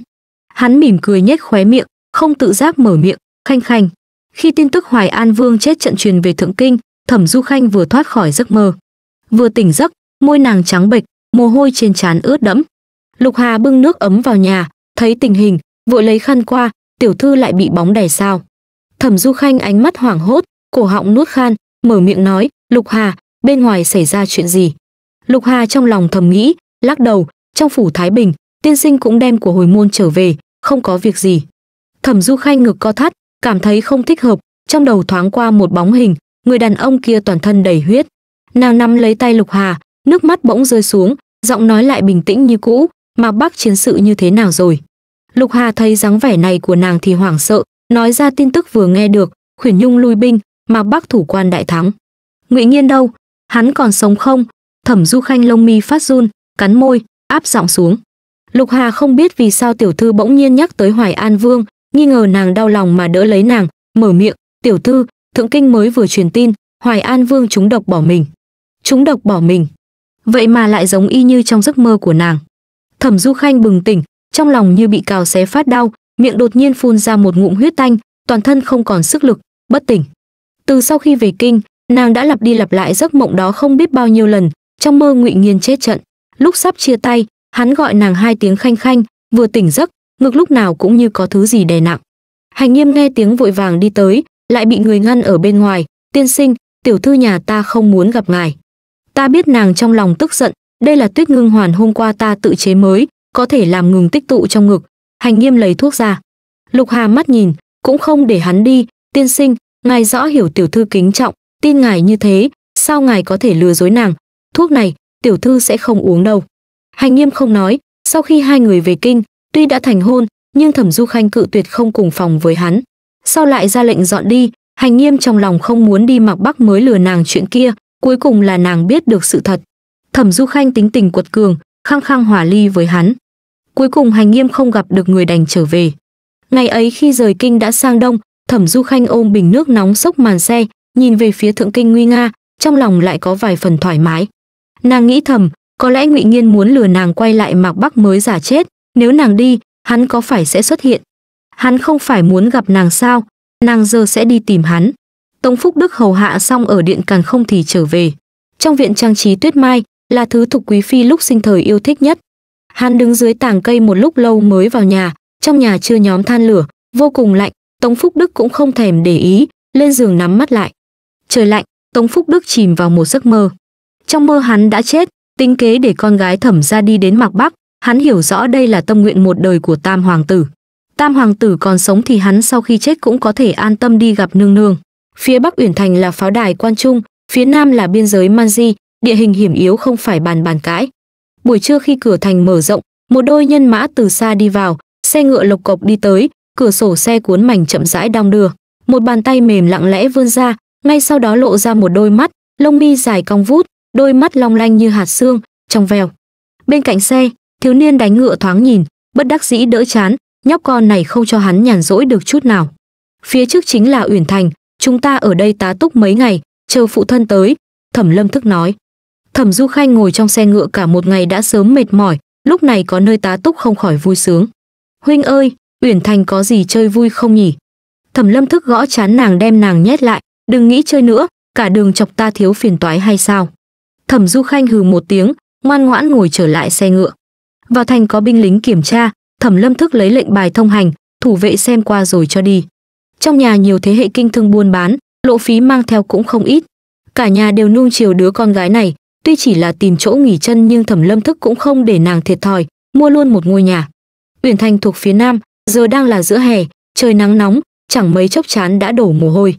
Vừa vào viện, hạ nhân đã chuẩn bị nước thẩm du khanh thoải mái tắm gội xong cho dễ chịu rồi mới đến phòng ăn dùng cơm. Thẩm lâm thức sớm chờ ở phòng ăn, biết muội muội mình yểu điệu, chắc hẳn chuẩn bị thỏa đáng xong mới ra dùng cơm.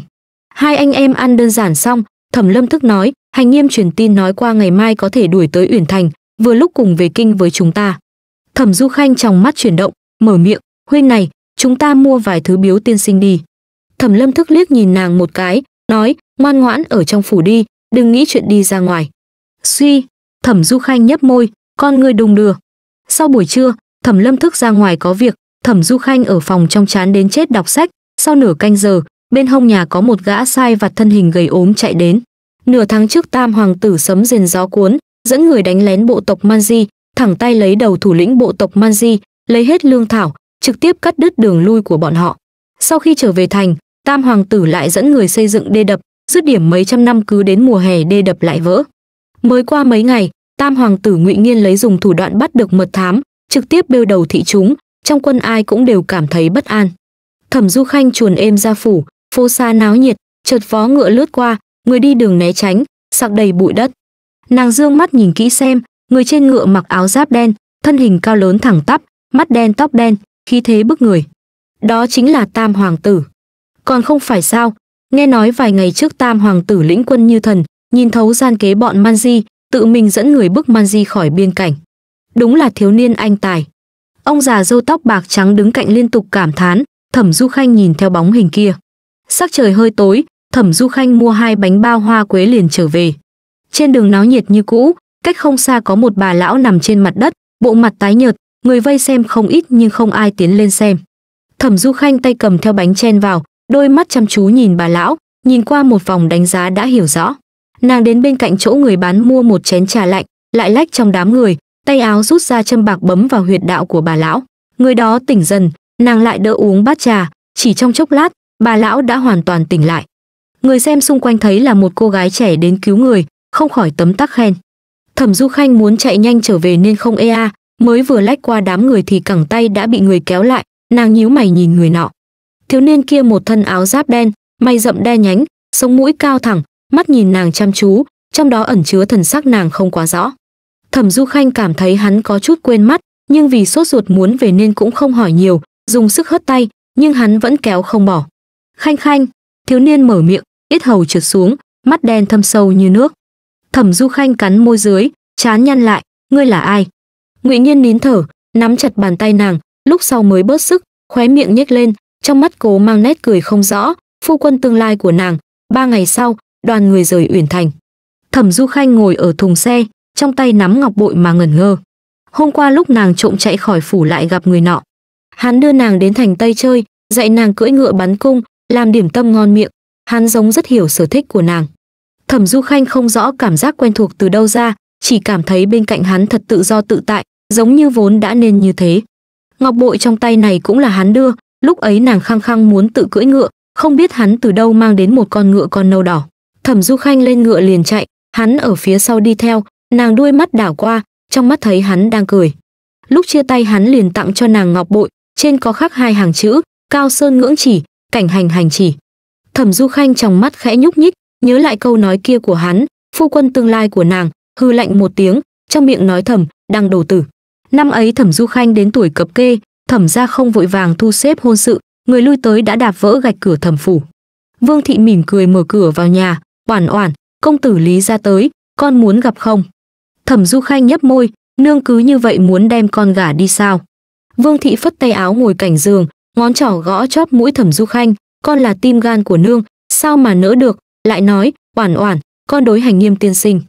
Thẩm du khanh buông sách ra, nương nương nghĩ gì vậy? Tiên sinh chỉ là tiên sinh của con thôi.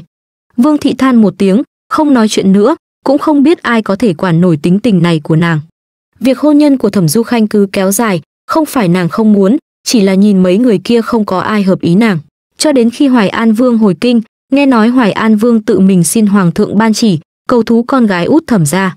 Năm đó khi chia tay, Thẩm Du Khanh vô tình tìm hiểu được thân phận của người nọ, nhưng cũng chỉ nhìn ra được hắn có thân thế hiển hách, nhưng quanh năm xa cách, tướng mạo hắn như nào nàng đã sớm quên sạch sẽ. Thẩm Du Khanh tiếp chỉ, về phòng lấy ngọc bội ra từ cháp, ánh mắt hơi động, môi nhấp, lẩm bẩm ra tiếng, là ngươi sao? Nàng nghe nói năm đó Tam hoàng tử Ngụy Nghiên đóng quân ở Uyển Thành, sau Khải Hoàn về triều lại tự mình xin đi chấn thủ biên quan, Ngụy Nghiên tên tự chính là Hành Chỉ. Đêm trước đại hôn, Thẩm Du An kéo Thẩm Du Khanh đi chùa miếu cầu phúc. Buổi trưa nghỉ ngơi Thẩm Du Khanh tự mình đi ra phía sau núi. Núi rừng xanh um, có tiếng ve kêu chim hót. Trong không gian yên tĩnh chợt vang tiếng người, nam nữ giao hoan, thở dốc, Thẩm Du Khanh nhíu mi dừng bước. Sau núi hẻo lánh, không có ai, Phật môn là nơi thanh tịnh, sao lại có người hành sự như thế? Thẩm Du Khanh không đi phía trước nước, nàng dừng chân, cánh tay chợt bắt lấy, có người kéo nàng sau thân cây, bỗng dưng đập vào mắt là một đôi mắt thâm thúy. Còn nhận ra ta không?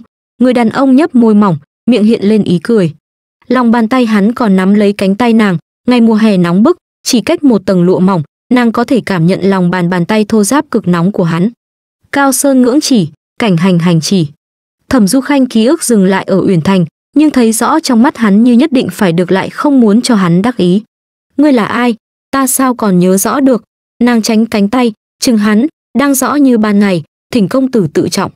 Ngụy Nhiên hiểu rõ nhất nàng miệng lưỡi sắc bén, không chút để ý mà cười cười, lòng bàn tay cọ sát, tháng sau thành hôn rồi, cùng phu quân của nàng thì xa lạ cái gì. Thẩm Du Khanh trong lòng vừa động, tức khắc hiểu rõ ý hắn, quả thực đều là hắn tính kế.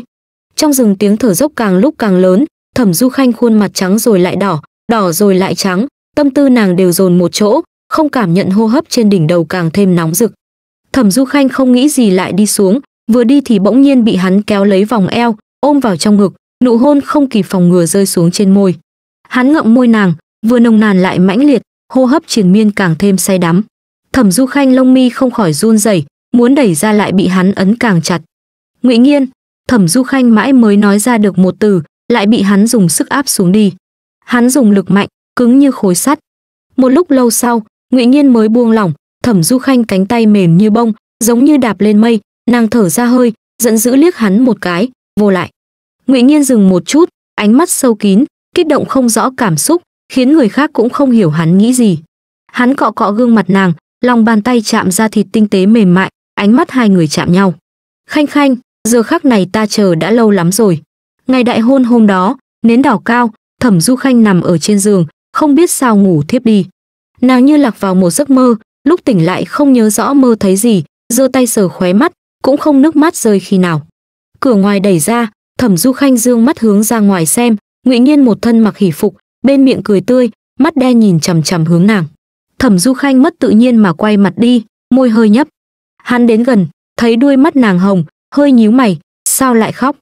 Thẩm Du Khanh mạnh miệng đáp hắn, ai khóc? Ngụy Nhiên cười cười, không khỏi sờ miệng, ngồi bên cạnh nàng, Thẩm Du Khanh cố ý nhích người, để lại cho hắn một cái bóng. Tính tình như thế nào một chút cũng không đổi. Ngụy Nhiên càng cười hơn, duỗi cánh tay ôm lấy eo nàng, cảm nhận được người trong lòng ngực chớp mắt cứng đờ. Ôm càng chặt, tìm tay nàng nắm lấy, ta hiểu rõ nàng, nếu nàng không muốn gả cho ta đã sớm nghĩ biện pháp chạy. Thẩm Du Khanh trong lòng phiền muộn, tức giận nói, hoàng thượng hạ chỉ, ta chạy chẳng phải liên lụy trong nhà hay sao? Đó là đồng ý gả cho ta. Ngụy Nghiên nhớn đuôi lông mày, nói rất nghiêm túc. Thẩm Du Khanh nhịn xuống lửa giận, cắn môi, mở miệng, không biết xấu hổ. Nàng đúng đang giận, người đàn ông này không nói hai lời liền xin hoàng thượng hạ chỉ tứ hôn, hỏi cũng không hỏi nàng. Nhưng kỳ quái chính là nàng cảm thấy mình đối với hắn không chút nào phiền chán, thậm chí đối cuộc hôn nhân này còn chút chờ mong. Thẩm Du Khanh bị chính ý tưởng này làm cho càng thêm bực mình, hắn đoán rõ nàng.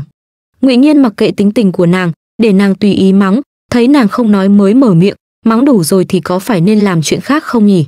Thẩm Du Khanh nghe ra ý tứ của hắn, không khỏi cãi lại, ai muốn làm cùng chàng? Nơi này ngoại trừ nàng ra ta còn có người khác hay sao? Ngụy Nhiên cười tươi, mắt đen có thần, không thấy chút men say nào cả. Thẩm Du Khanh không tránh được hắn ôm chặt, đẩy cũng không được, chừng hắn liếc mắt một cái.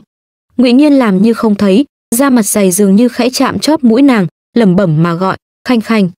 Thẩm Du Khanh mơ hồ nhớ lúc mình ngủ đã gần nửa đêm về sáng, đang lúc buồn ngủ, nàng lại lần nữa rơi vào cảnh trong mơ kia.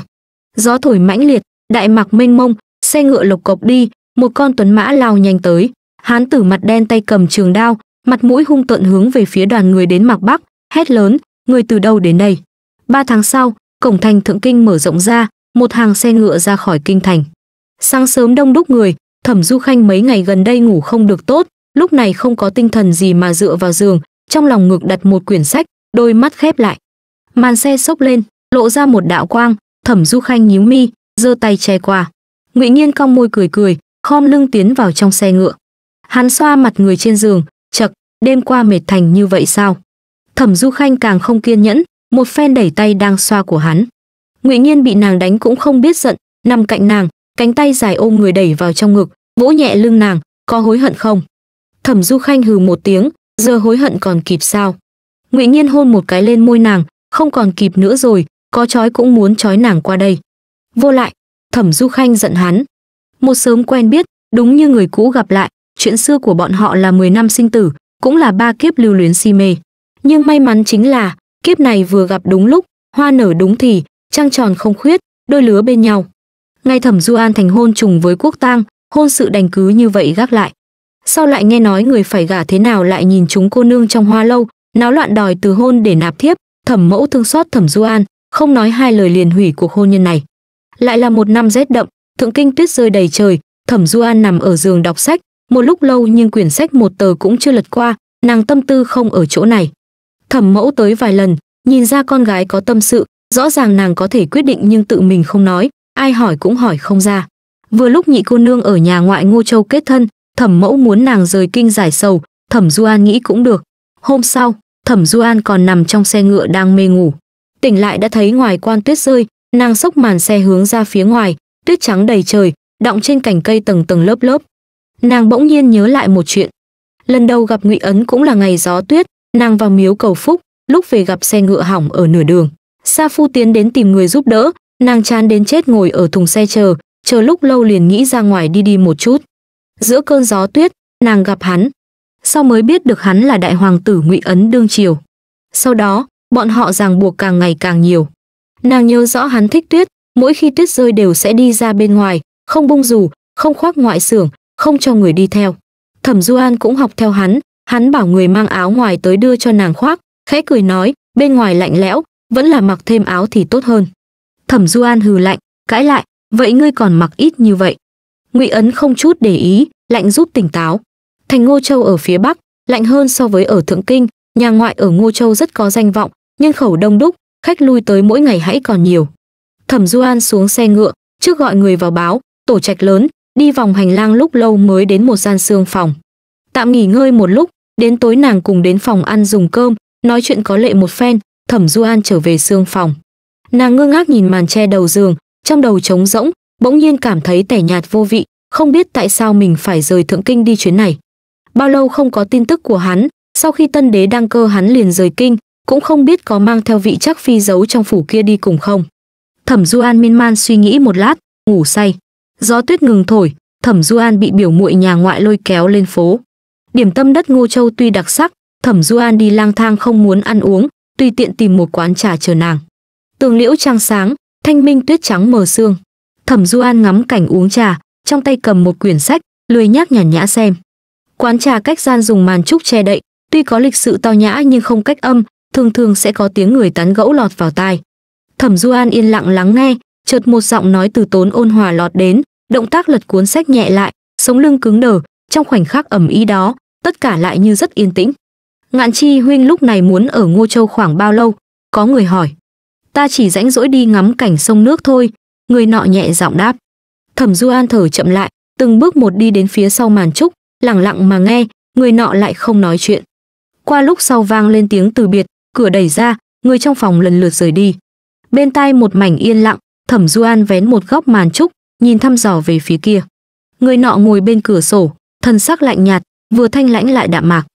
Thẩm du an hô hấp chợt chậm lại, đôi mắt yên lặng nhìn hắn đã bao nhiêu lâu không gặp, hắn thay đổi rất nhiều, hơi thở ôn hòa quanh người nhưng lại làm người khó có thể tới gần.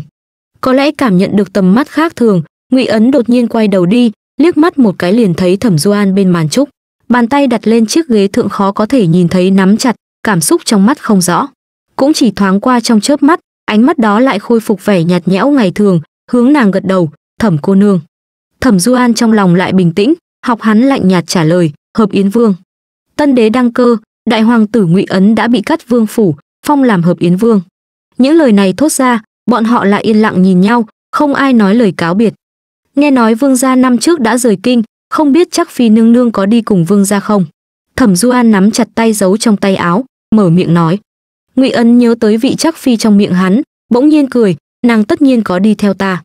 Thẩm du an nhắm mắt, cũng cười, chúc vương ra sớm sinh quý tử. Nàng nâng bước đi, lại bị người gọi lại không phải tới ăn cơm sao, có đói bụng không? Thẩm du an dừng lại, nhìn hắn, vương gia mời ta cùng dùng cơm, chắc phi nương nương nếu biết sợ là không tốt đâu. Ngụy ấn không mặn không nhạt nói, nàng ấy không ngại. Thẩm du an cửa nhẹ mở, người hầu bưng cơm canh tiến vào, bày biện trên bàn. Thẩm du an liếc mắt một cái, đúng toàn là món nàng thích ăn, trong lòng phức tạp, cố ý nói, khẩu vị của vương gia từ bao giờ cũng trở lên đa dạng. Ngụy ấn đẩy chiếc ghế qua đi, không khỏi cười cười lại chưa nói gì thêm. Thẩm du an không thể hiểu được, cùng ăn cơm với hắn, phần lớn thời gian hai người đều yên lặng, cũng không ai nói gì. Bánh gạo tính hàn, ngươi ăn ít thôi. Ngụy ấn ngồi đối diện nàng, lấy tay gắp một miếng bánh gạo rồi cầm đĩa đi. Bỗng như phảng phất trở về như trước đây, thẩm du an trong lòng phức tạp, lạnh nhạt nói, ăn nhiều thì làm sao chứ? Cũng không liên quan gì đến vương gia. Ngụy ấn cũng không tức giận, nhẹ nhàng nói người là ăn ở chỗ ta, nếu có truy cứu gì thì ta không chạy thoát khỏi liên quan thẩm du an bực mình, muốn cãi lại lại thấy thân dưới hắn cả nằm ngồi trên ghế, mím môi không mở miệng nữa. Qua nửa tháng, thẩm du an lên đường về kinh, sau lần gặp ở quán trà đó nàng không gặp lại ngụy ấn nữa, ngẫu nhiên lại nghe nói hắn đã rời ngô châu, cũng không ai biết hắn đi đâu. Đường về kinh không thuận, tuyết lớn rơi ở biên quan, xe ngựa không qua được, bất đắc dĩ ở tạm ở trạm dịch. Thẩm du an tắm gội sớm rồi nghỉ ngơi, sáng sớm hôm sau lúc mở cửa sổ nhìn thấy trời đã bớt tuyết, còn trong màn tuyết trắng xuất hiện một người nàng ngực nhảy dựng, cho rằng mình chắc nhìn lầm, giơ tay dùng sức xoa nhẹ hai mắt lại nhìn ra ngoài. Đúng là hắn. Thẩm du khanh nghe thấy bản thân mình mở miệng, ngươi sao lại ở đây?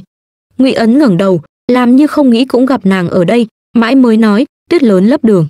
Thẩm du an à lên một tiếng, liền đóng cửa sổ. Ở phòng trong đợi đến mệt, thẩm du an còn cảm thấy nhàn rỗi, không nghĩ ở đây lại gặp người cũ. Du du một giọng nam truyền tới, thẩm du an dương mắt, thấy một người đàn ông vào cửa mặc cẩm y ngọc bào một thân phong trần mệt mỏi. Sư huynh, thẩm du an đứng lên. Nam bá hầu cùng thẩm gia quen hệ từ đời trước, con trai trưởng lục ly cùng thẩm du an cùng trường học, chỉ là sau đó lục ly lại ra ngoài du học, hai người mới không còn liên hệ. Tuyết rơi gió lớn, vốn tưởng bị dừng ở đây sẽ không vui, ai ngờ lại gặp được du du, cũng coi như niềm vui ngoài ý muốn. Lục ly nói. Thẩm du an nhấp môi cười một cái, xem hắn tuyết rơi khắp người nên gọi người đi chuẩn bị trà nóng sư huynh là về kinh sao? Xem như vậy đi. Lục ly ngồi xuống, thấy có người đưa tới trà nóng, cảm thán một câu, vẫn là du du chú đáo. Hai người nhiều năm không gặp, lục ly gặp lại bạn cũ không khỏi kể rất nhiều chuyện lạ bên ngoài, thẩm du an nghiêm túc nghe, khi thì đáp lại vài câu. Bên ngoài trạm dịch, tuyết rơi nhiều, cách một cánh của sổ, ngụy ấn nhìn về hai người ngồi đối diện phía phòng trong, bọn họ giống như quen biết đã lâu, không khí hòa hợp, nàng trong mắt đều mang cười. Vương gia, tôi tớ theo tới ngụy ấn trên mặt không có gì biểu tình, ánh mắt thâm trầm, mấy nơi gần đây có trạm dịch nào không? Tôi tớ nói, bẩm vương gia, phạm vi mấy dặm cũng chỉ có nơi này, hiện giờ đông người, sợ là đến đêm thì không được. Ừ ngụy ấn lạnh nhạt đáp. Hắn ngồi bên ngoài thật lâu, mãi đến khi người dưới lầu về phòng. Gió tuyết lớn sang ngày thứ ba, thẩm du an cũng không nhìn thấy vị trắc phi bên người ngụy ấn. Ngày thứ tư, lúc thẩm du an xuống lầu, thấy ngụy ấn ngồi dựa cạnh cửa sổ, nàng liếc mắt một cái tìm chỗ khác. Mới vừa ngồi xuống, trước mắt hiện ra một bóng người, nàng ngẩng đầu. Chắc phi là giả, hắn nói. Thẩm du an trong mắt lay động. Giọng ngụy ấn trầm thấp, những lời ngày đó đều là giả. Thẩm du an ngực thít lại, đôi mắt nhìn thẳng hắn. Ngụy ấn môi mỏng nhấp thành đường dài, lúc sau không nghe thấy nàng trả lời, không khỏi nói, du an, nàng, thật sự không ngại sao? Ta chỉ là một kẻ tàn phế. Ngươi hiện tại nói mấy lời này có ích gì? Thẩm du an quay đầu đi trong mắt ẩm ướt. Ngụy ấn đột nhiên ngẩn ra, nhắm mắt, cười một cái, ta hiểu rồi. Hắn xoay chiếc ghế quay người đi, trên tay bỗng nhiên có thêm một lực áp xuống, ngụy ấn trong lòng thắt lại, trong mắt là hình bóng nàng đến trước mặt. Cúi người hôn lên khóe miệng hắn, nhẹ như chuồn chuồn đạp nước, trong mắt như ánh sao lấp lóe, đồ ngốc, thẩm du an ta chỉ thành thật với trái tim mình, mà nó đã sớm là của chàng rồi. Chuyện đã kết thúc, Cảm ơn các bạn đã ủng hộ gác ạ.